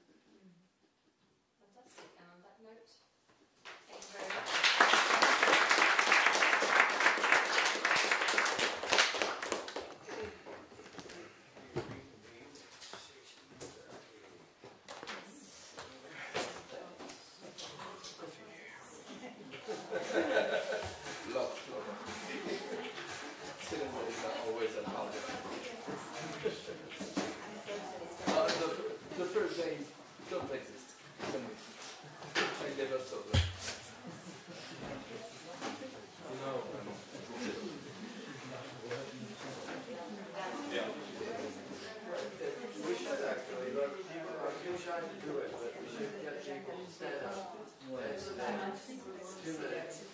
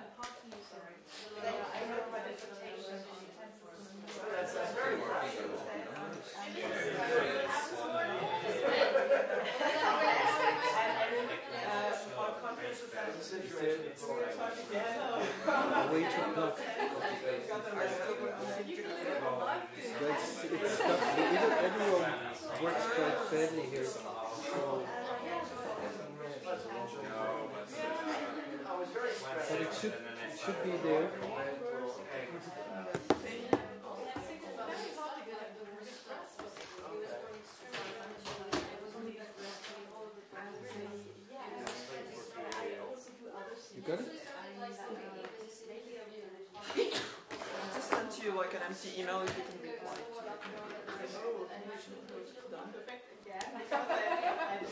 Apparently the second and third ones are even more chill.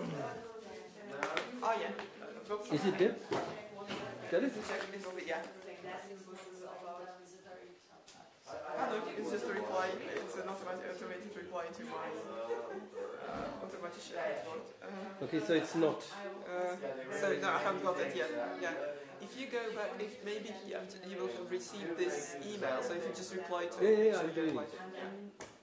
You know, absolutely, I'm really very feature turn this into, I mean, I haven't, yeah, to turn it into a contribution.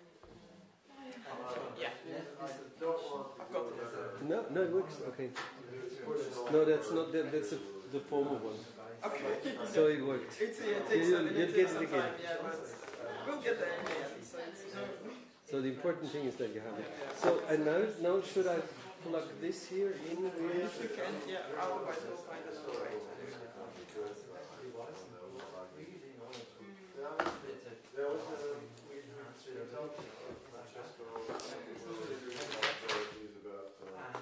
uh, what were the proceedings of the Philsop, but they're fully booked for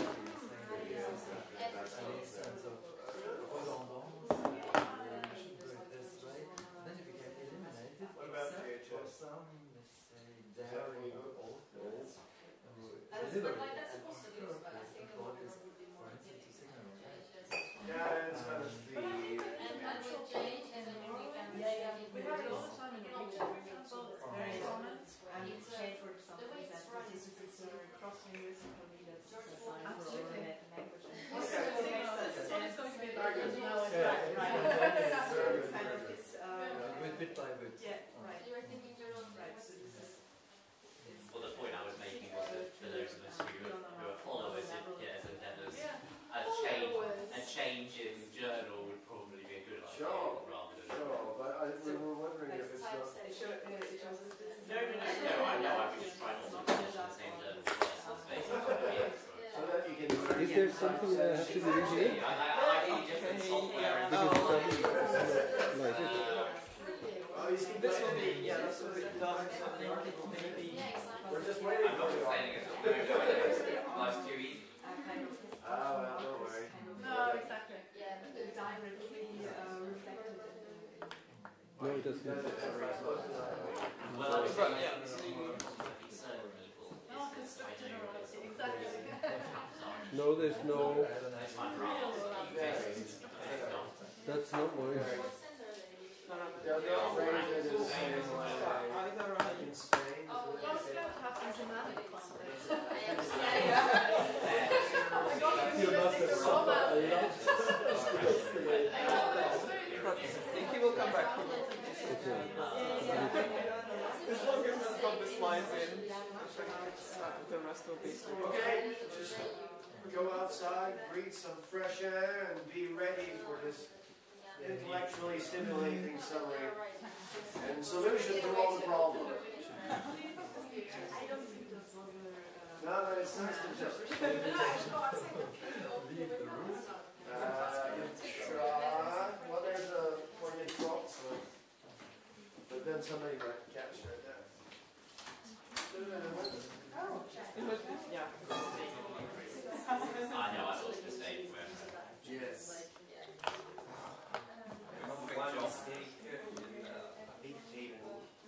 That's why you're there. Oh no. Where it is? Did you ask AI? Yes. I'm sure. Yes. Yeah, but don't, yeah, don't worry about this. Don't talk about that. I'm Take it. Do like the coffee or something. Well, it's like you don't need to live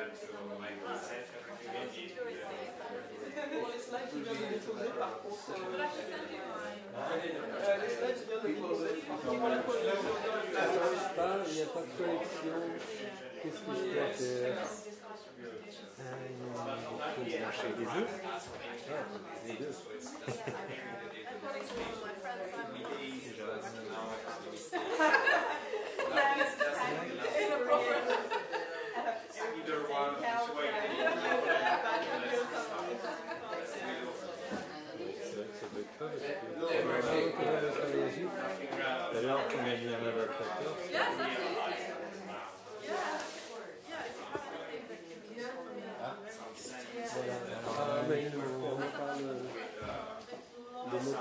Le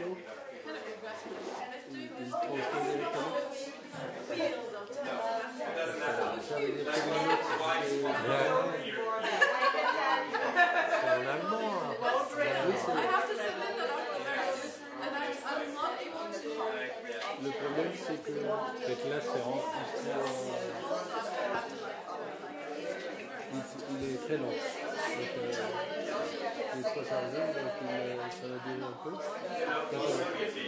Ah voilà, on touche plus.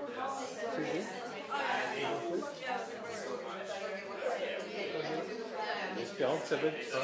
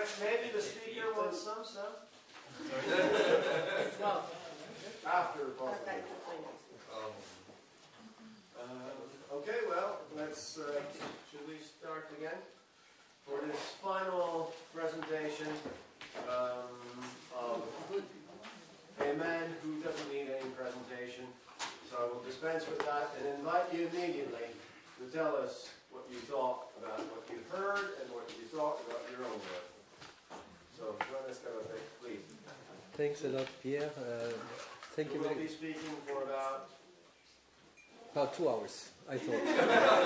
because I know, I know that you're all, we are all tired, and this, this have, uh, I'm really so full of ideas now. This uh, have been two very rich days with many, many interesting talks, and um, especially after Afra's talk yesterday, I thought, yeah, she explained the concepts and made everything clear. So, in fact, we could cancel my talk uh, uh, today.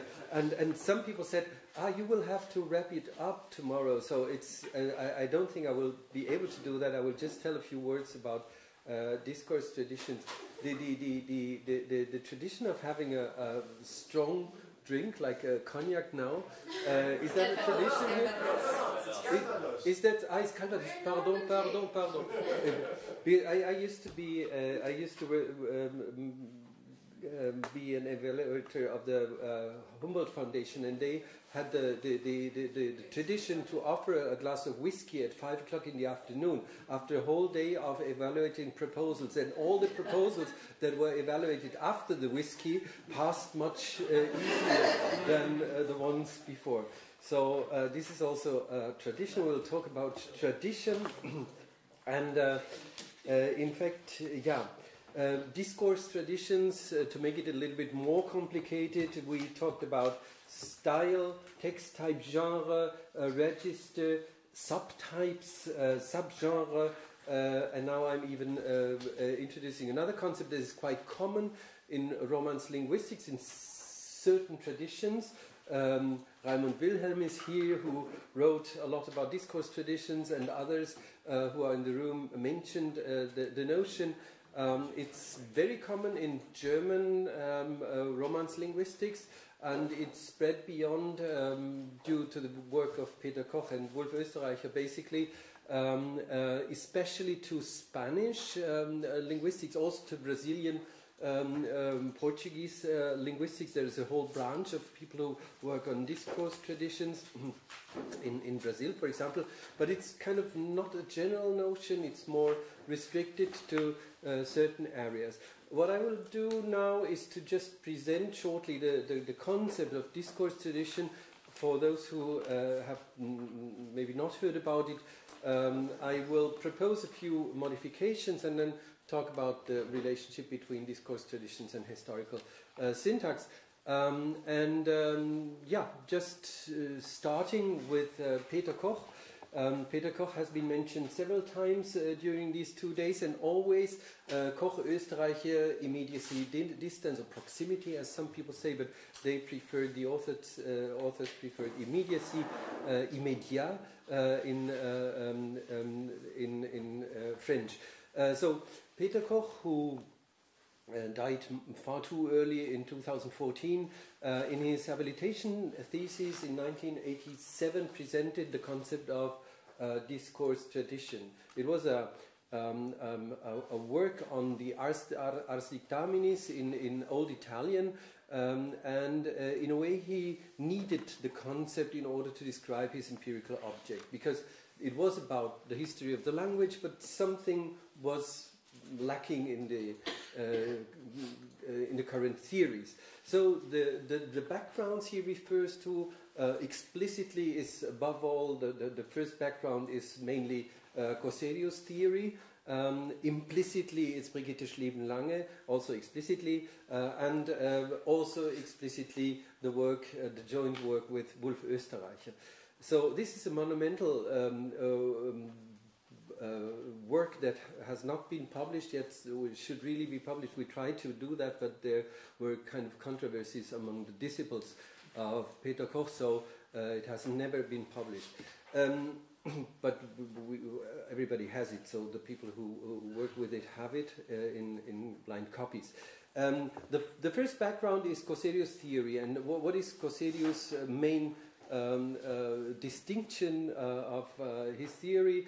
Uh, I mean, this is probably uh, quite well known. Coseriu distinguishes three levels the universal level of uh, speaking in general, which is common to all. Um, to, to human language in, general, then the historical language, the historical level of languages as particular, particular historical entities like French, Spanish, German, and the individual uh, level of discourse, which is, is the, the, the, the, only touchable level of the realization of uh, language. Um, and he further uh, distinguishes three aspects uh, energeia, dynamis, and ergon, uh, which are, of course, uh, Humboldtian and Aristotelian terms. Um, the, the, activity, the energeia side, side on, the, on, on one uh, uh, on the one hand, and, and then the, the, the energia is conditioned by the dynamis, by the knowledge or competence, and then we have the product. And uh, in fact, we want to talk about energia, but what we have is, uh, for example, in Corpora, uh, is ergon texts, a collection of texts which are the result of the energia. Um, and uh, in Koch's understanding, the discourse on the individual, individual level is a, a unique um, um, is, is, is, is, just a unique uh, event, uh, utterance that is irrepeatable. So it's uh, uh for him there is something missing the aspect of the possibility of repeating uh, uh, texts. Um, himself claims this distinction, this simple distinction of the three levels, to be his main contribution to the understanding of language and consequently to the foundation of linguistics, or, um, to put it in other words, he says in 1985, one of the few texts in English, what constitutes my permanent frame of reference. Um, I won't go further into that quotation and uh, uh, skip again to Koch's uh, work. These are uh, the original schemes. 80s, uh, still with typewriting manuscript, typewritten manuscript. on the left, you see the uh, schematic representation of Coseriu's idea of there is the activity uh, of, uh, of uh, speaking on the general, general level, uh, then there is the historical language, which would be the filter through which uh, speaking goes, and the result is the discourse or the utterances. And Peter Koch adds two aspects to this scheme. Um, um, on uh, first uh, he adds the discourse tradition, the discursive tradition, and then the individual language, uh, something that in Coseriu's terms uh, doesn't exist.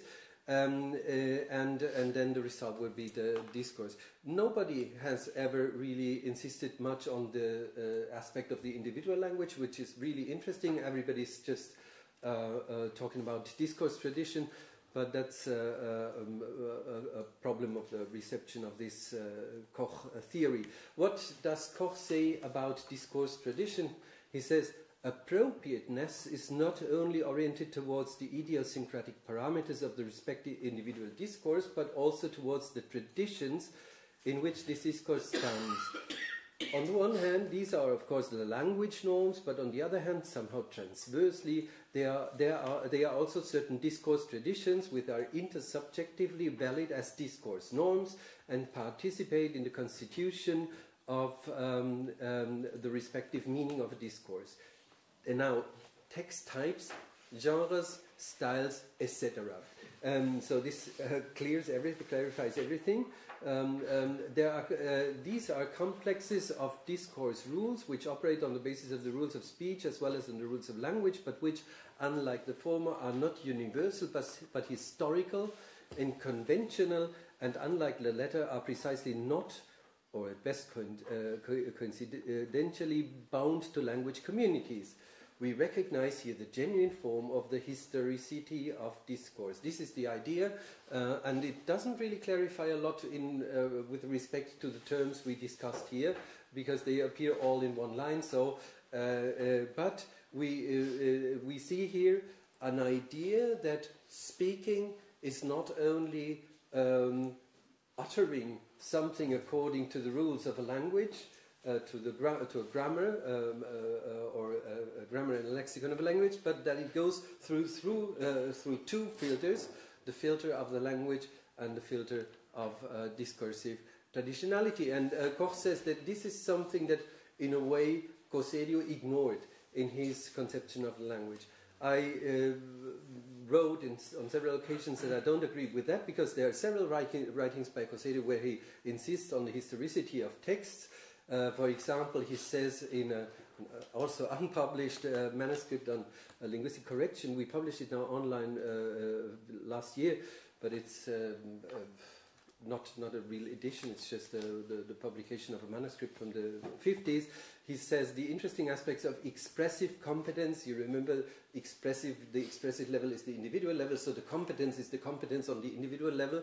The interesting aspects are those that, in both senses, present a certain degree of generality. Such aspects may be historical or universal. They are universal if they have to do with the nature of humans or with human experience in general, and they are historical if they depend on historically determined spheres of uh, uh, experience of culture. This means that expressive uh, competence has its own universality and its own historicity. Um, and um, so then he, he uh, gives lots of examples of that.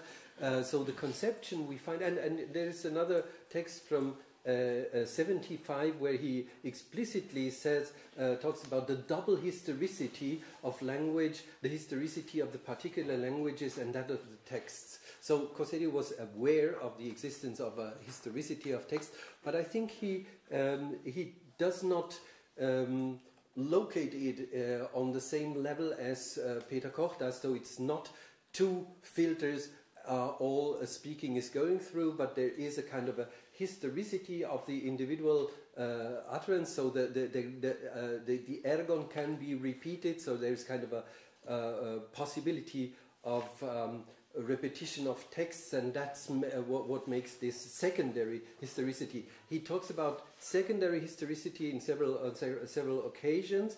Uh, as you know, was a structuralist who went beyond structuralism and uh, uh, also criticized quite uh, uh, um, directly structuralist approaches. And, um, and Coseriu um, was an anti-Chomskyan, very explicit anti-Chomskyan, but I think in our context this doesn't, really matter because uh, uh, his ideas on textual tradition and in general the notion of discourse tradition we see in Peter Koch is completely compatible with uh, different approaches, also with a, a generativist uh, approach. Um, um, I think um, language is considered clearly as a system uh, in a primary historicity, and there is a possible traditionality of texts that might interfere with the primary historicity, but both are uh, the, the, the, the secondary historicity is the is, is secondary, so it's it's a kind of a the repetition of uh, uh, uh, erga.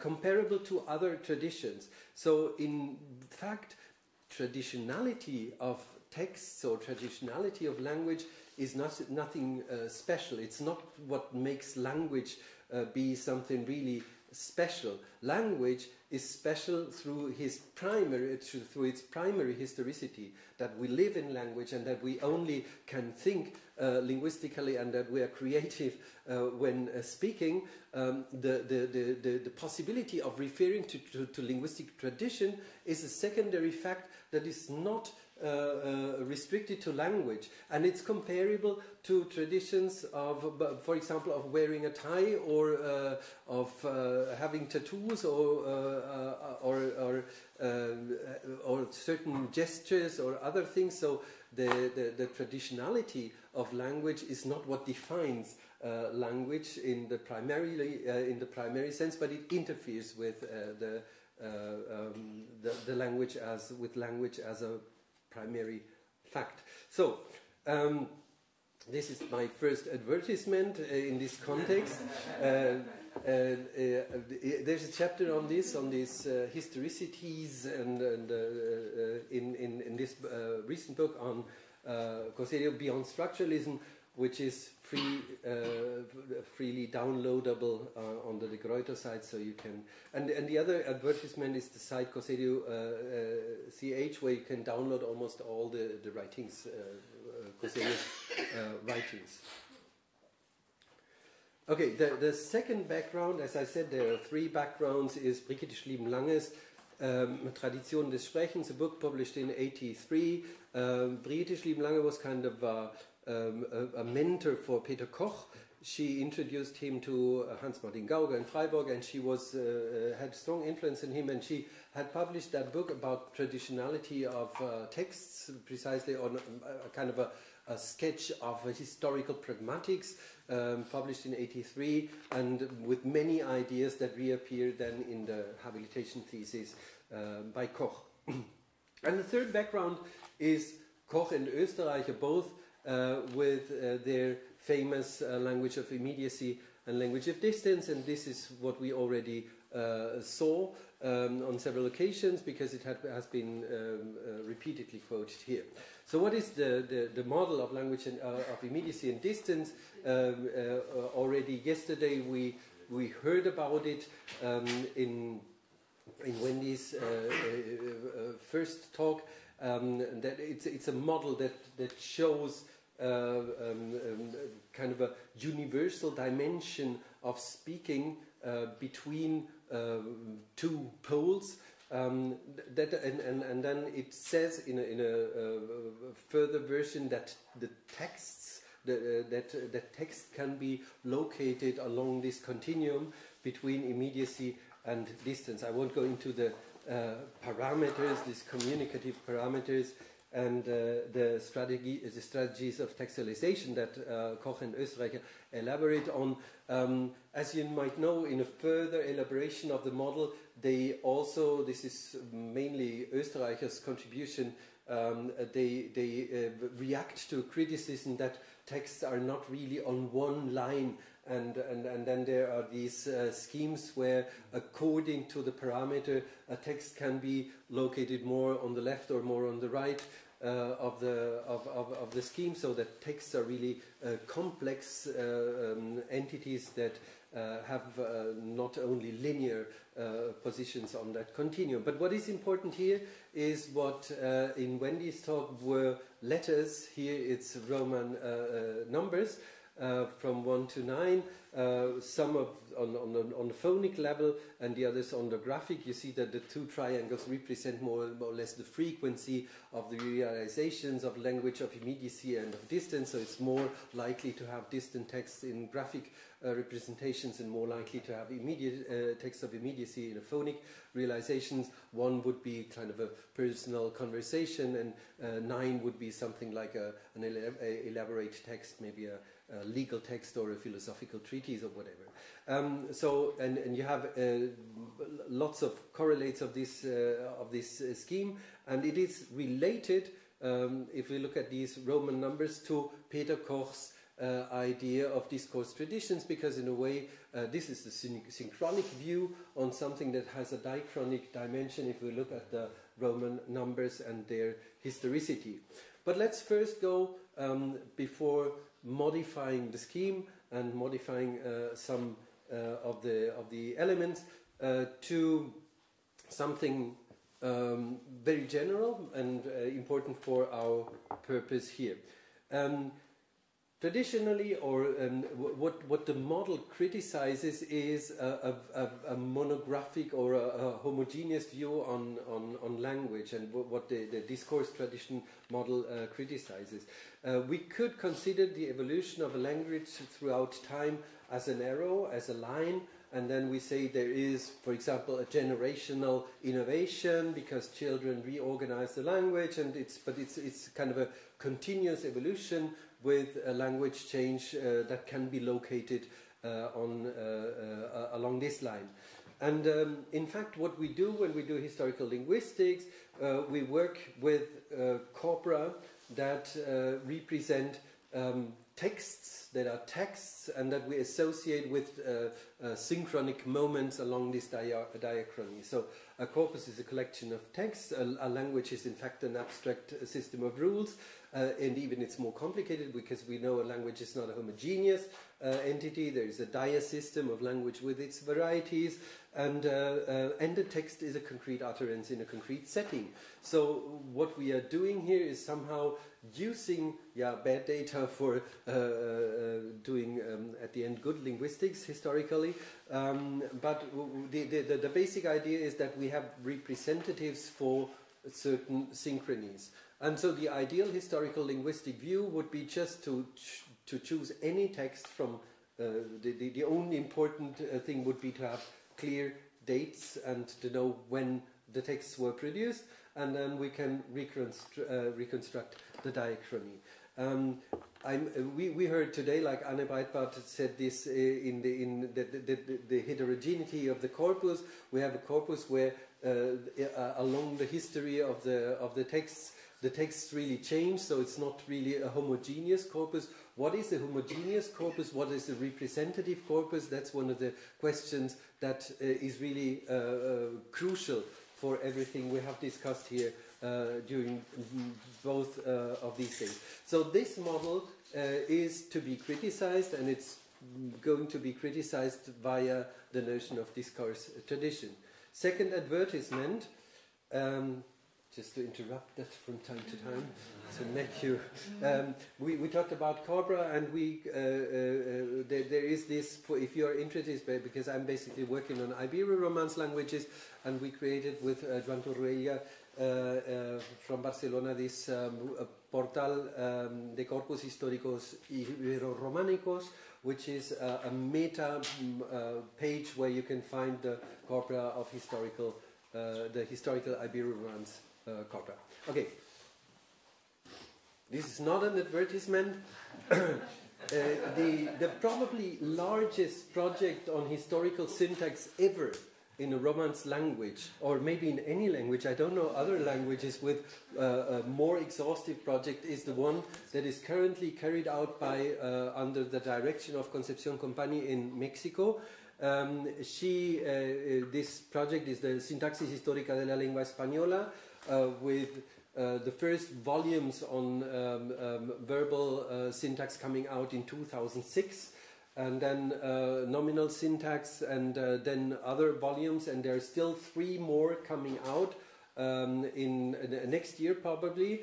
Um, so at the end it will be like uh, 10 11 or 12 i don't know exactly the number uh, but it's like this uh, uh, uh, quantity of books on historical syntax and you can find there everything um, and the, the, the, the project is based on uh, a so-called corpus base, which is a, a very, very small corpus with very few texts from different moments in the history of Spanish.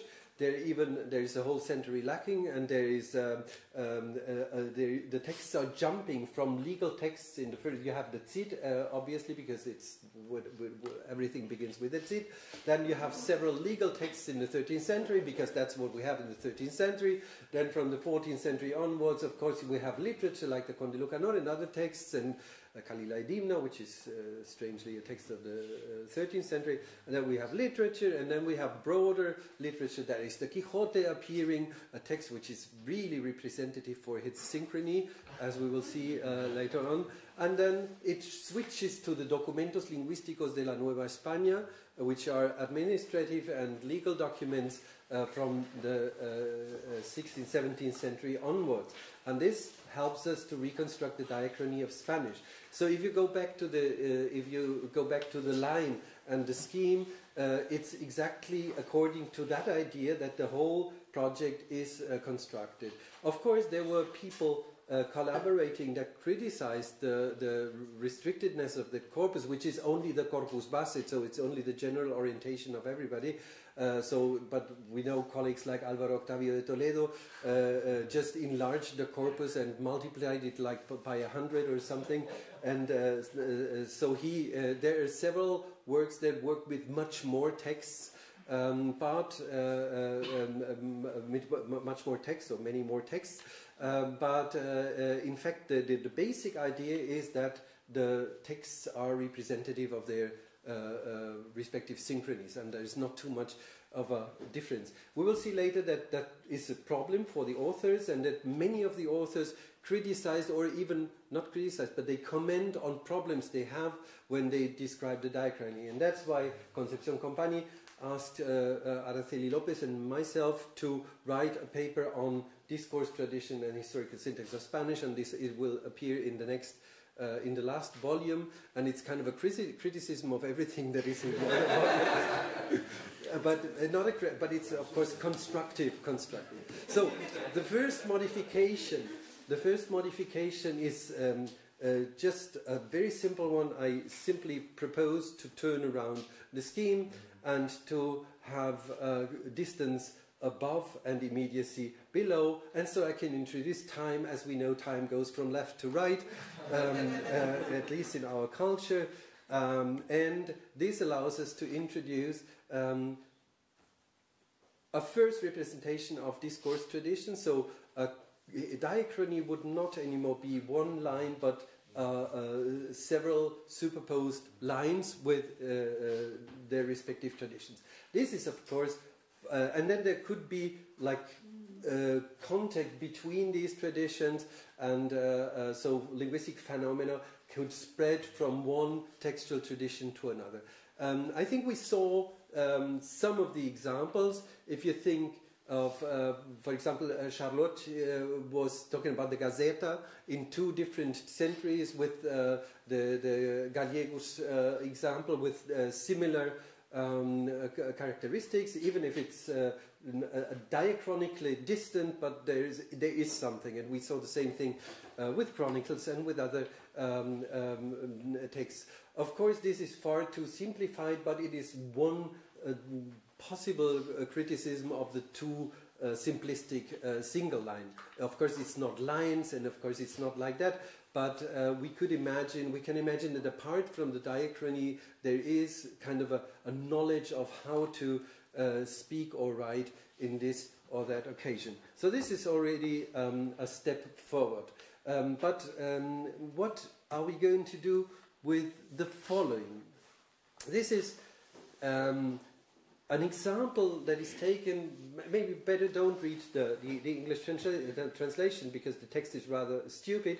But um, the, the, the, the important thing is here is like it was like uh, um, um, um, before we had also the, the, the translation doesn't it doesn't matter like in Sonja's uh, presentation.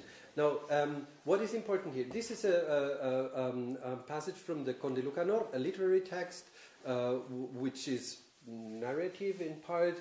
Um, it's kind of a dialogue between uh, the uh, Count Lucanor and Patronio. It's a, a, text that is in a in a uh, kind of a tradition of wisdom literature, as uh, prosa. I don't know how to translate that into English, but in in, in fact, it's a, it's a literary um, uh, tradition connected to um, a, a, a very very old uh, tradition that's coming from India and uh, passing to through the Arabic tradition to uh, Spain. That doesn't matter now, but what is interesting is that we have in the middle of this text uh, just the, the following. Finco por, por fazaña que si el marido dice que él corre el río contra arriba, que la buena mujer lo debe creer y debe decir que es verdad. And this is just exactly a quotation of a fuero text. Uh, you have uh, a, fue- a fuero is a, is a legal text or a uh, fazaña, um, um, which is a, um, um, um, it's a, it's a legal tradition, the popular legal legal tradition of of, of the, uh, um, uh, the the the. Uh, case law uh, on on the uh, Iberian Peninsula, and there exist collections of these texts, which are basically lists of conditional um, um, of, of, of conditions that say when you if you do this that w- uh, or that will happen. And there is a kind of a there is a syntactic structure behind that. And in the middle of this Conde Lucanor you have this quotation and it says even uh, finco por fazaña. So fazaña is one of the the, the, the, the names that uh, evocates really this tradition. So uh, all the readers or the, the, the people in the 14th century know exactly that this is referring to the legal tradition of the 13th or even uh, uh, the earlier tradition. So what we have is, in the middle of a text something appears that is referring to a tradition, but it's not a text that's a legal text. It's a completely different text. So what what what are we going to do with this? Um, we were talking about global traditions, about texts that have their uh, that are uh, as a whole a part of tradition, and we could say that the Conde Lucanor is part of a narrative tradition or uh, whatever. But now we have in the middle of this text something that is an allusion to a legal text, and it's really uh, a quotation. It's playing with the legal tradition. So what I propose then uh, at a certain moment, after a long discussion about what is uh, uh, genre, what is uh, text type, whatever, um, that the whole discussion about discourse tradition suffers from a problem of perspective. We start from certain categories um, uh, of repeated or repeatable elements, like types, genres, uh, regi- registers, and then ask which discursive tradition appears in each case.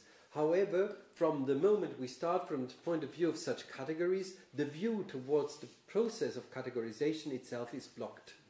So, what I propose is to just turn the whole thing around and say we don't look what text type we have or what genre we have uh, uh, in order to make the, the, the, the term discourse tradition really um, powerful we should just invert the perspective and look for tradition, uh, traditionality in texts. This is of course an easy proposal and not so easy to uh, uh, uh, carry out empirically but, or, or practically but at least it's it makes sense because that's what we have empirically. So, and um, now that I've just criticized the categories, um, I propose a couple of categories, um, but these are uh, emergent categories of, of uh, discourse traditions, and they could be, uh, uh, I, I would propose to distinguish formal uh, categories and categories of content. Um, and these, this is an open list because they are emergent uh, categories. That, so you discover traditionalities in text and you say this must be, this could be called this or that. And I propose to distinguish discursive forms, zones, or, and formula. Um, and then also on the side of the content, uh, the discursive domain, discursive theme, and discursive motive. Because there is no reason to separate formal uh, and uh, it, there's reason of separating uh, or distinguishing formal and uh, content aspects, but there are traditions of content, of saying something, uh, like motives or uh, certain um, um, themes, and there are also traditions of forms.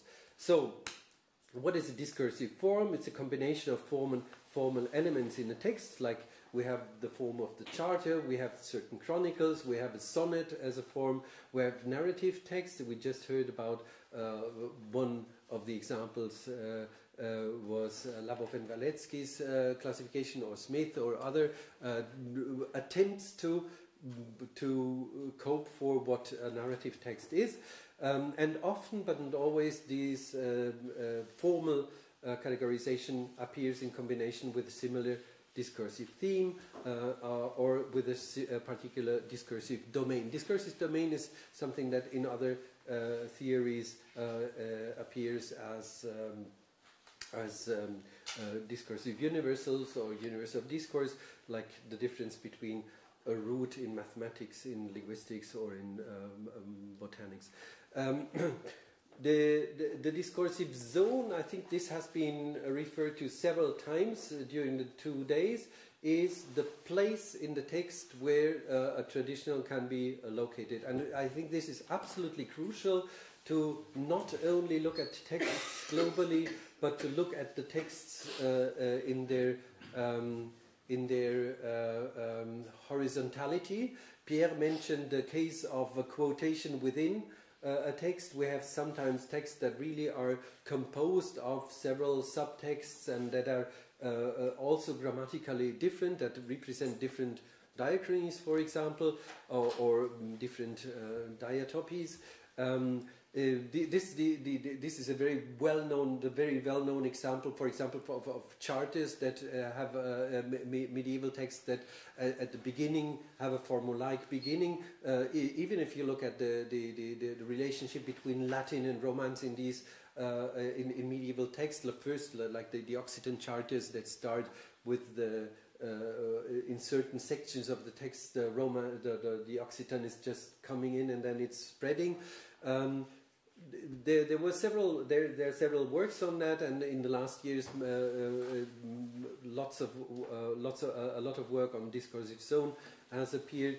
Um, this is uh, an example by uh, um, a work by Celia Lopes. We tried to represent the horizontality of texts with uh, this kind of schemes. Uh, she worked on uh, address forms in Brazilian Portuguese in the 19th century, and she showed that the the, the innovative form você is uh, you have here the two forms in the, uh, uh, the the blue ones and the red ones are the você forms, and that they're just in the marginal the, the marginal zones of letters. In that case, the innovative form is entering uh, more and more. Uh, it can be at the beginning, at the end, but it's normally restricted to cer- certain zones and then it spreads uh, uh, throughout the text. And of course, diachronically, if you only count você and tu, you will get a kind of a curve, uh, but in fact, this curve is stratified or is um, more differentiated if you look a little bit closer at the text. We did the same thing with medieval texts. Uh, with a little bit more um, complicated analysis of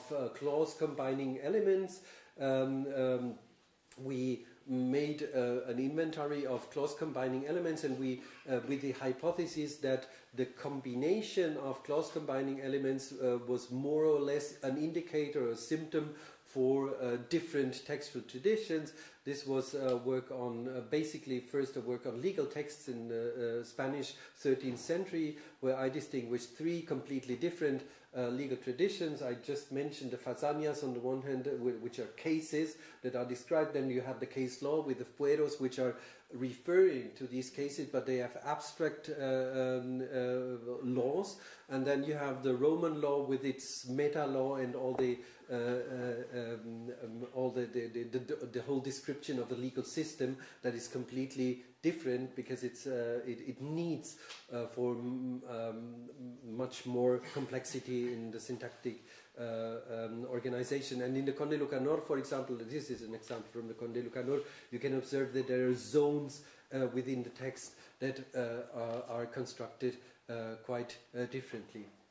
Discursive formula, this is something we all know, of course. Um, um, we just heard the, at the beginning of uh, the presentation the once upon a time uh, example. Uh, so for, a formula can be also uh, uh, an indicator of a form because that uh, is the beginning of a, of a, of a narrative text. Good morning is a formula. I hope this email finds you well. You can even find this now in all languages. It's funny how this entered also. How and, and that's something important to say that this, these traditions uh, obviously, as Peter Koch said, they, they're not language specific. They can spread from one language to another, another, another if you think of the sonnet or of, of other things. Uh, uh, and of course, medieval uh, uh, traditions like Onotsuda, Cosa Seja, or, Sepan Quantos esta carta vieren, uh, the beginning of charters. And frequently we have a combination of formula and zone because the formula appears in a certain zone. So, now, um, until this point, we can formulate two hypotheses, which are not really hypotheses because we have uh, just heard two days of confirmation of these uh, two hypotheses. Texts are not just products of lexicon and grammar. When speaking or writing, we repeat and evoke textual patterns and elements of previous texts. This is reflected not only in elements of content but also in formal ones. The linguistic means we use, including syntactic and lexicon ones, are related to discursive tradition. They, there is a mutual relationship between discourse tradition and historical grammar. And then there is a second hypothesis that there are features rather sensitive to discourse uh, to discursive traditionality and others more independent of it. So we should not now mm, say that diachrony is just texts and textual tradition, and, and maybe throw away uh, uh, the, the, the, the, diachrony and say everything is just text. Some people claim that, uh, but I think this is, and, and if I feel that in this room most people don't. So uh, uh, there's no radical constructivist here in the room uh, who defends that only texts exist and uh, the rest is some emerging uh, casuality. We assume that there is a continuum between influence and dependence. The position of a feature along the continuum can vary throughout history. So there is no fixed position. Um, and we could now, according to this hypothesis, um, distinguish three possible scenarios. There could be more probably. One would be changes without any relationship to discourse tradition, so just diachrony, pure diachrony without textual um, interference. And I, I put a question mark to that because I don't know if that really exists. Phenomena that emerge in a certain discourse tradition, and then oh, I have TD, which is tradition discursiva. I see that this is translation um, uh, discourse tradition and then spread uh, um, to the whole language phenomena that emerge, emerge in a certain discourse tradition and remain restricted to it, and there can be, be further scenarios. So let's just have a look at a few examples. And how much time do I have? Like still uh, an hour and a half. um, I'll, I'll uh, like ten more minutes or something. Okay. So. Um, a, a, a, an example of changes without any relation to discourse tradition would be maybe the history of differential object marking in Spanish, uh, where there is kind of, um, uh, as, as we know, there, there, there is a, a universalist or typologist uh, um, typological uh, explanation, um, and uh, Brenda Laca in, his, uh, in, in her um, uh, diachronic study, which is part of this uh, Concepcion Company historical grammar, but uh, she worked with a little bit more material, but still not a very large corpus. DOM Spanish has globally undergone a process of expansion that corresponds to the predictions of a hierarchy that takes into account the animacy and definiteness properties of the direct object referent, and we know these universal um, schemes, uh, uh, um, the, the, typology of DOM uh, by Judith Aissen in this case, but there are several uh, um, similar proposals that you have uh, animacy and definiteness as, as, the two factors along uh, which DOM in the languages of, the world, of the world generally grammaticalizes. So it goes from um, the, the human pronouns and uh, human um, uh, definites to um, and, and, and the, the, last uh, uh, marked would be inanimate, uh, um, non-specific. And um, um, Brenda Laca looked at the history of Spanish with these categories and with this uh, rather restricted corpus. And um, what she found out, let's see. I don't know if you can see that. Um, uh, these are uh, Laca's um, uh, data. You, you just saw the result already. Uh, if we go through the history, we can see that the tendencies are not really um, too clear. Um, Sam, Sam, Sam, yesterday said it would be nice. It, uh, Sam yesterday said it would be nice to have a clear line. We never have clear lines in the history of languages. But, but as you can see, we have here the uh, human definites. Uh, the, the, there is one line that works, and all the other ones. Uh, this is all Laca data, uh, data, but if, if you look at Esperad la Vieja, uh, uh, Beisaki Sumoso, uh, los Padrinos, these are old, older texts, and then you have the newer one, Al Ministro, A mi amo, Al Niño, all marked, and you, you can see that here really the diachrony works, and in all the other cases um, it seems not to be working, and it's not due to textual uh, issues, but due to the lack of data. There, there are unclear cases from the very early attestations. If we look at the Cid again, uh, we have a Colada, atizon, which are swords, uh, and the sword normal, uh, normally is an inanimate object, but they have proper names, so they uh, somehow are prominent. Um, uh, and we have Babieca, which is uh, the, the horse of the Cid, and it's also kind of a very prominent uh, referent uh, and has also a proper name. So uh, these cases should be uh, individually explained. And if we go through the diachrony of Spanish, we can uh, jump onto, uh, un- until the, the, the, period of early modern Spanish and see still residual archaic usages like uh, uh, una madama, un contramestre, indefinite human reference that are not marked, or plural human reference that are not marked, or even la nueva hermana, a definite human referent that is not marked. But these are residu- uh, residual uh, rests of, a, uh, uh, the, uh, of an older system, and the new system is emer- emerging. Emerging. If we, we should look at more cases because it's really kind of a complex uh, situation, certain verbs, certain constructions, and even some collocates like a España, which is of course something special and must be marked.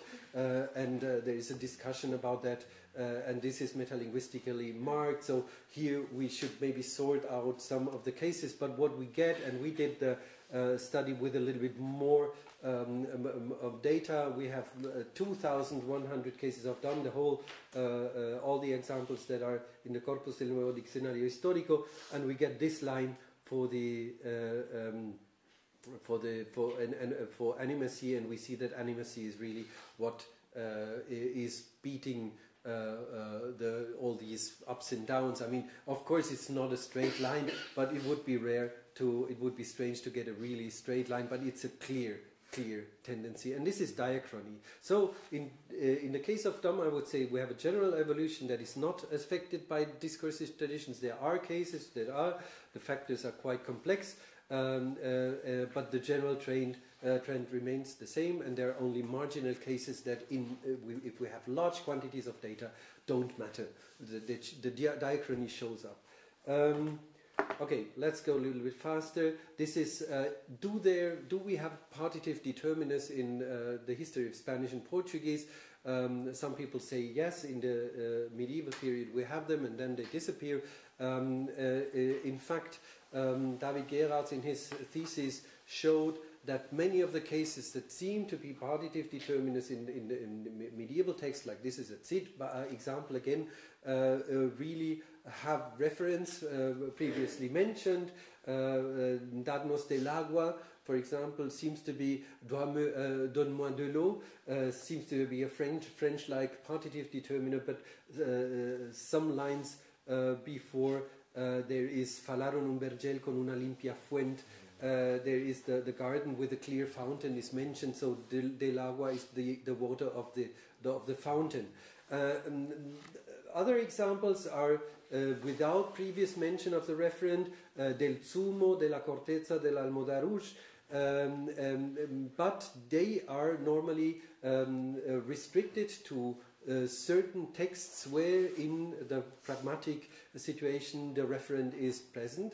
And uh, um, David Gerard showed that there is a, a bias for discourse traditions, uh, or for the discourse tradition of recipes, and that these uh, um, um, these partitives, uh, only partitive determinants, uh, appear mainly in uh, um, recipes, which you have here.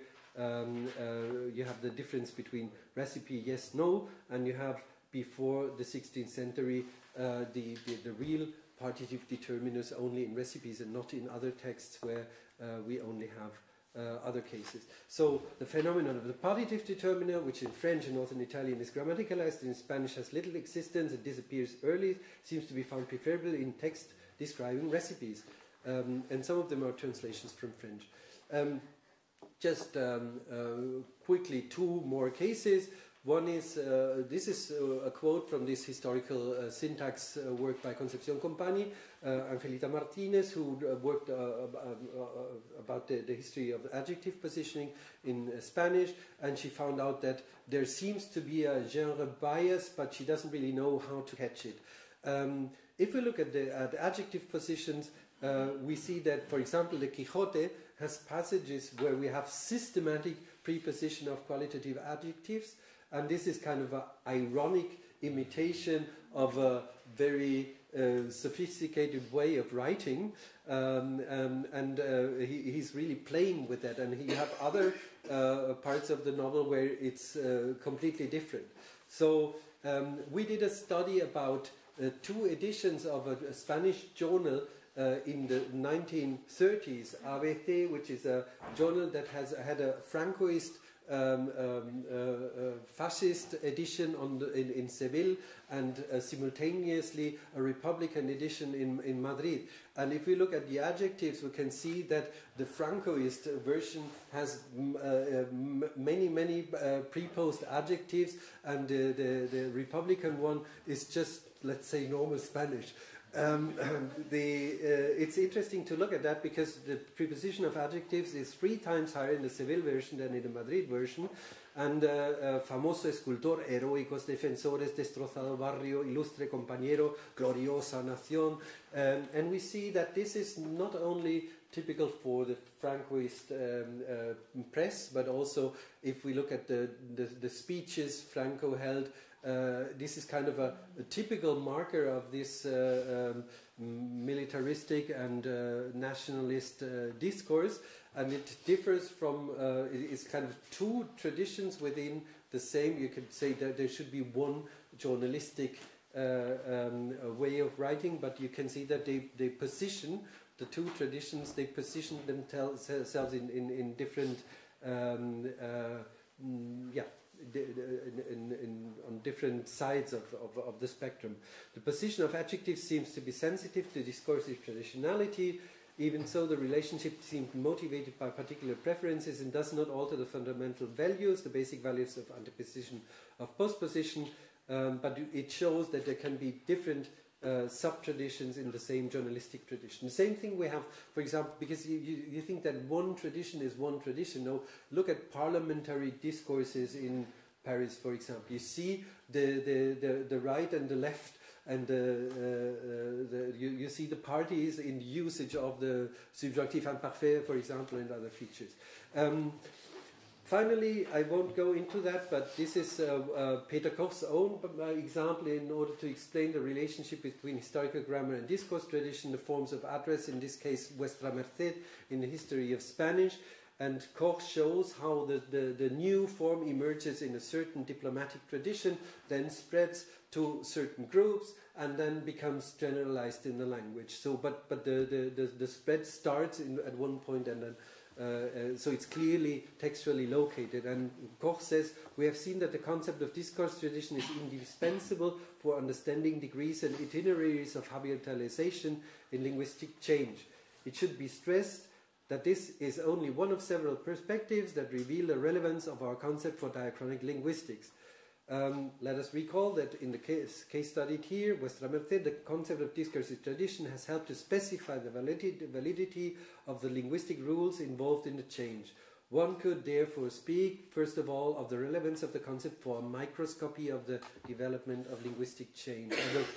Skip the next uh, quotation um, because it talks again about the two filters. The case of Vuestra Merced shows that discursive traditionality must be taken into account when studying a phenomenon of grammatical change. And this leads us to a continuum of um, evolutions that are rather independent from discursive traditionality, on others that are strongly dependent, uh, uh, affected by discursive tradi- traditionali- traditionality. We have here differential object marking, adjective position, the partitives, Vuestra Merced, other features like the future of subjunctive uh, uh, and and and and the the elements can move along this continuum uh, during diachrony and uh, what uh, Wendy mentioned yesterday was also that they can even be on different points at the same time.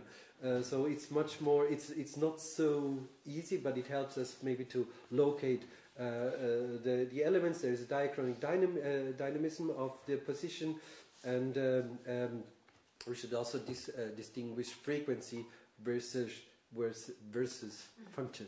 Okay, I wanted to say a few words on grammaticalization, but I will maybe skip that just very shortly. Uh, this is a study on caso um, in uh, uh, the history of Portuguese.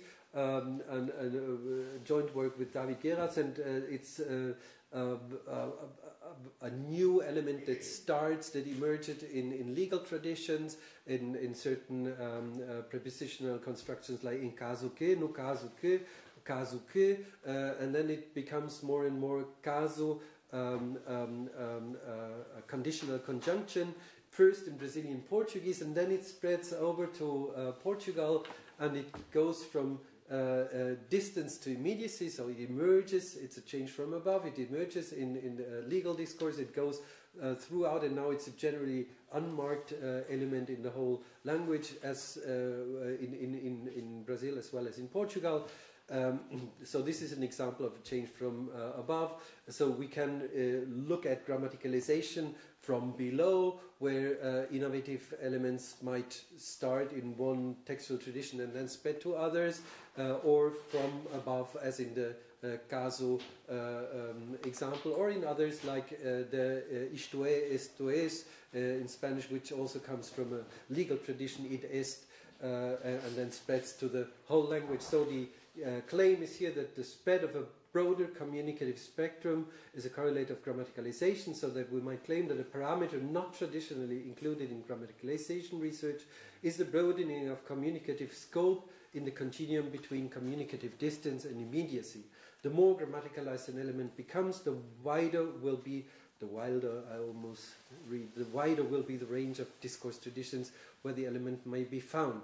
So, um, just one last word on frameworks, um, because as I told you, I mean, you know that the concept emerged in a structuralist tradition.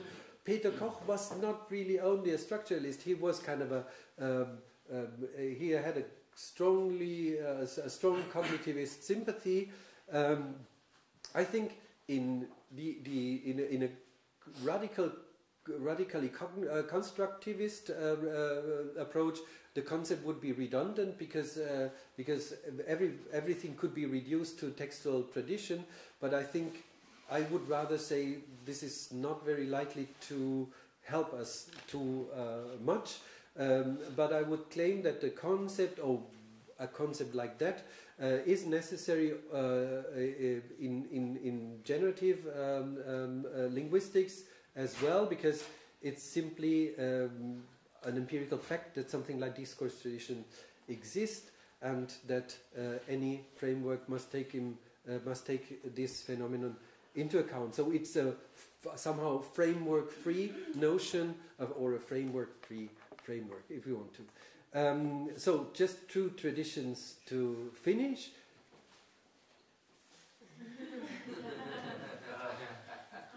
Yeah, that's evocation. Of yeah. course, you know what I'm talking about. Thanks.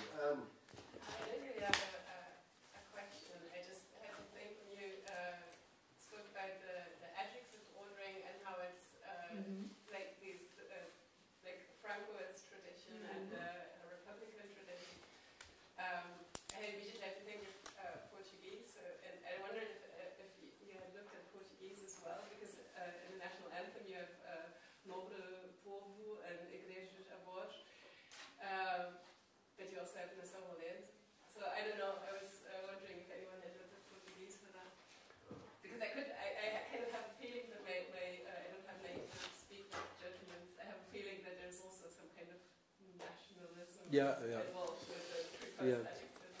Um, yeah, the, the, I, I have not looked at Portuguese, but the, the value is more or less the same, and uh, it's just, just the marked the marked position. So it's used and, and, and it, it enters a certain uh, or it it, it um, achieves certain stylistic values, and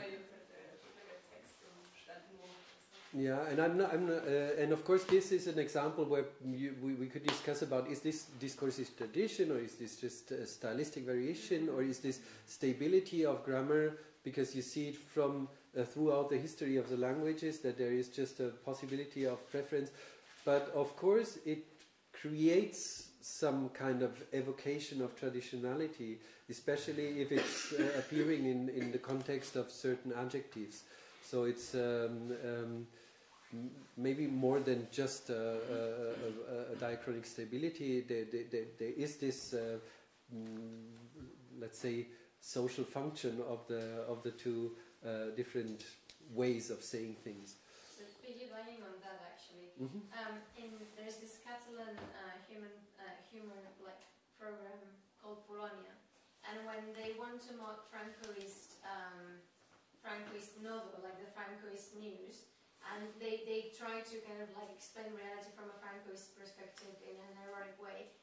The one thing they always do is adjective proposing. Mm-hmm. Like that is the Yeah, that works. Francoist marker. Yeah. So like just like piggybacking on that, like in, in, in the Spanish case from the Catalan perspective, that's how you sound fascist. Yeah. yeah, yeah, yeah, yeah. Good to know. It's, now, what, what is what is in in in, in fact uh, common to all uh, discursive traditions is that they are signs, so they have a semiotic value. So they, they, they, they add something to a text that goes beyond the the, the content of the text, and and, and they are recognized. Uh, as uh, signs that, for example, are associated with um, certain ideologic traditions or with particular situations or with um, text uh, types or whatever. So they are uh, identifiers of, uh, uh, of something. Kind of links back to talk today and uh, the Bible, uh, the Protestant Bible and its influence. Yeah. With respect to adjective proposing, it might be interesting, and fascism, it might be interesting to look at uh, the Istituto Luce um, journalists in Italy that might be the initiators of this trend. And that uh, I, I recognize that in Italian fascism and uh, the Istituto Luce, which was founded by the regime in the 20s, might be actually the initial starter of the this uh, tradition of anteposing Also, also Mussolini. Yeah, yeah, yeah, yeah, yeah, yeah. But it's it's it's not the it's not preposing just preposing. It's also the the like the the, the military and the, the so the the, the the list of adjectives like heroico, for example, is just a typical uh, um, or. Um, the, the, I, I have this. Um, I once analyzed several discourses of uh, Franco himself, and then and there you have it systematically. Yes. But i- it's not just the preposing, because in, in French, preposing of an adjective is essentially a register issue outside. Uh, A dozen very short, very frequent adjectives. All the rest is literature, but it doesn't have the political Mhm. um, aware. So, yes, so there's obviously something, another layer there. Uh, can I, can I ask you, you, you- you said the, the spread starts in those texts and the, or it stops in those texts or whatever.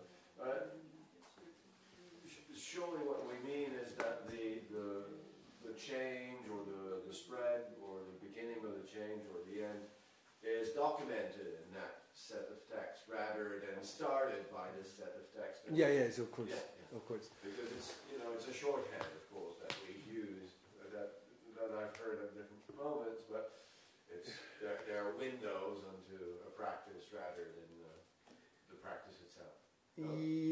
Both things. Uh, in the case of changes from above, sometimes the text itself is the place of innovation.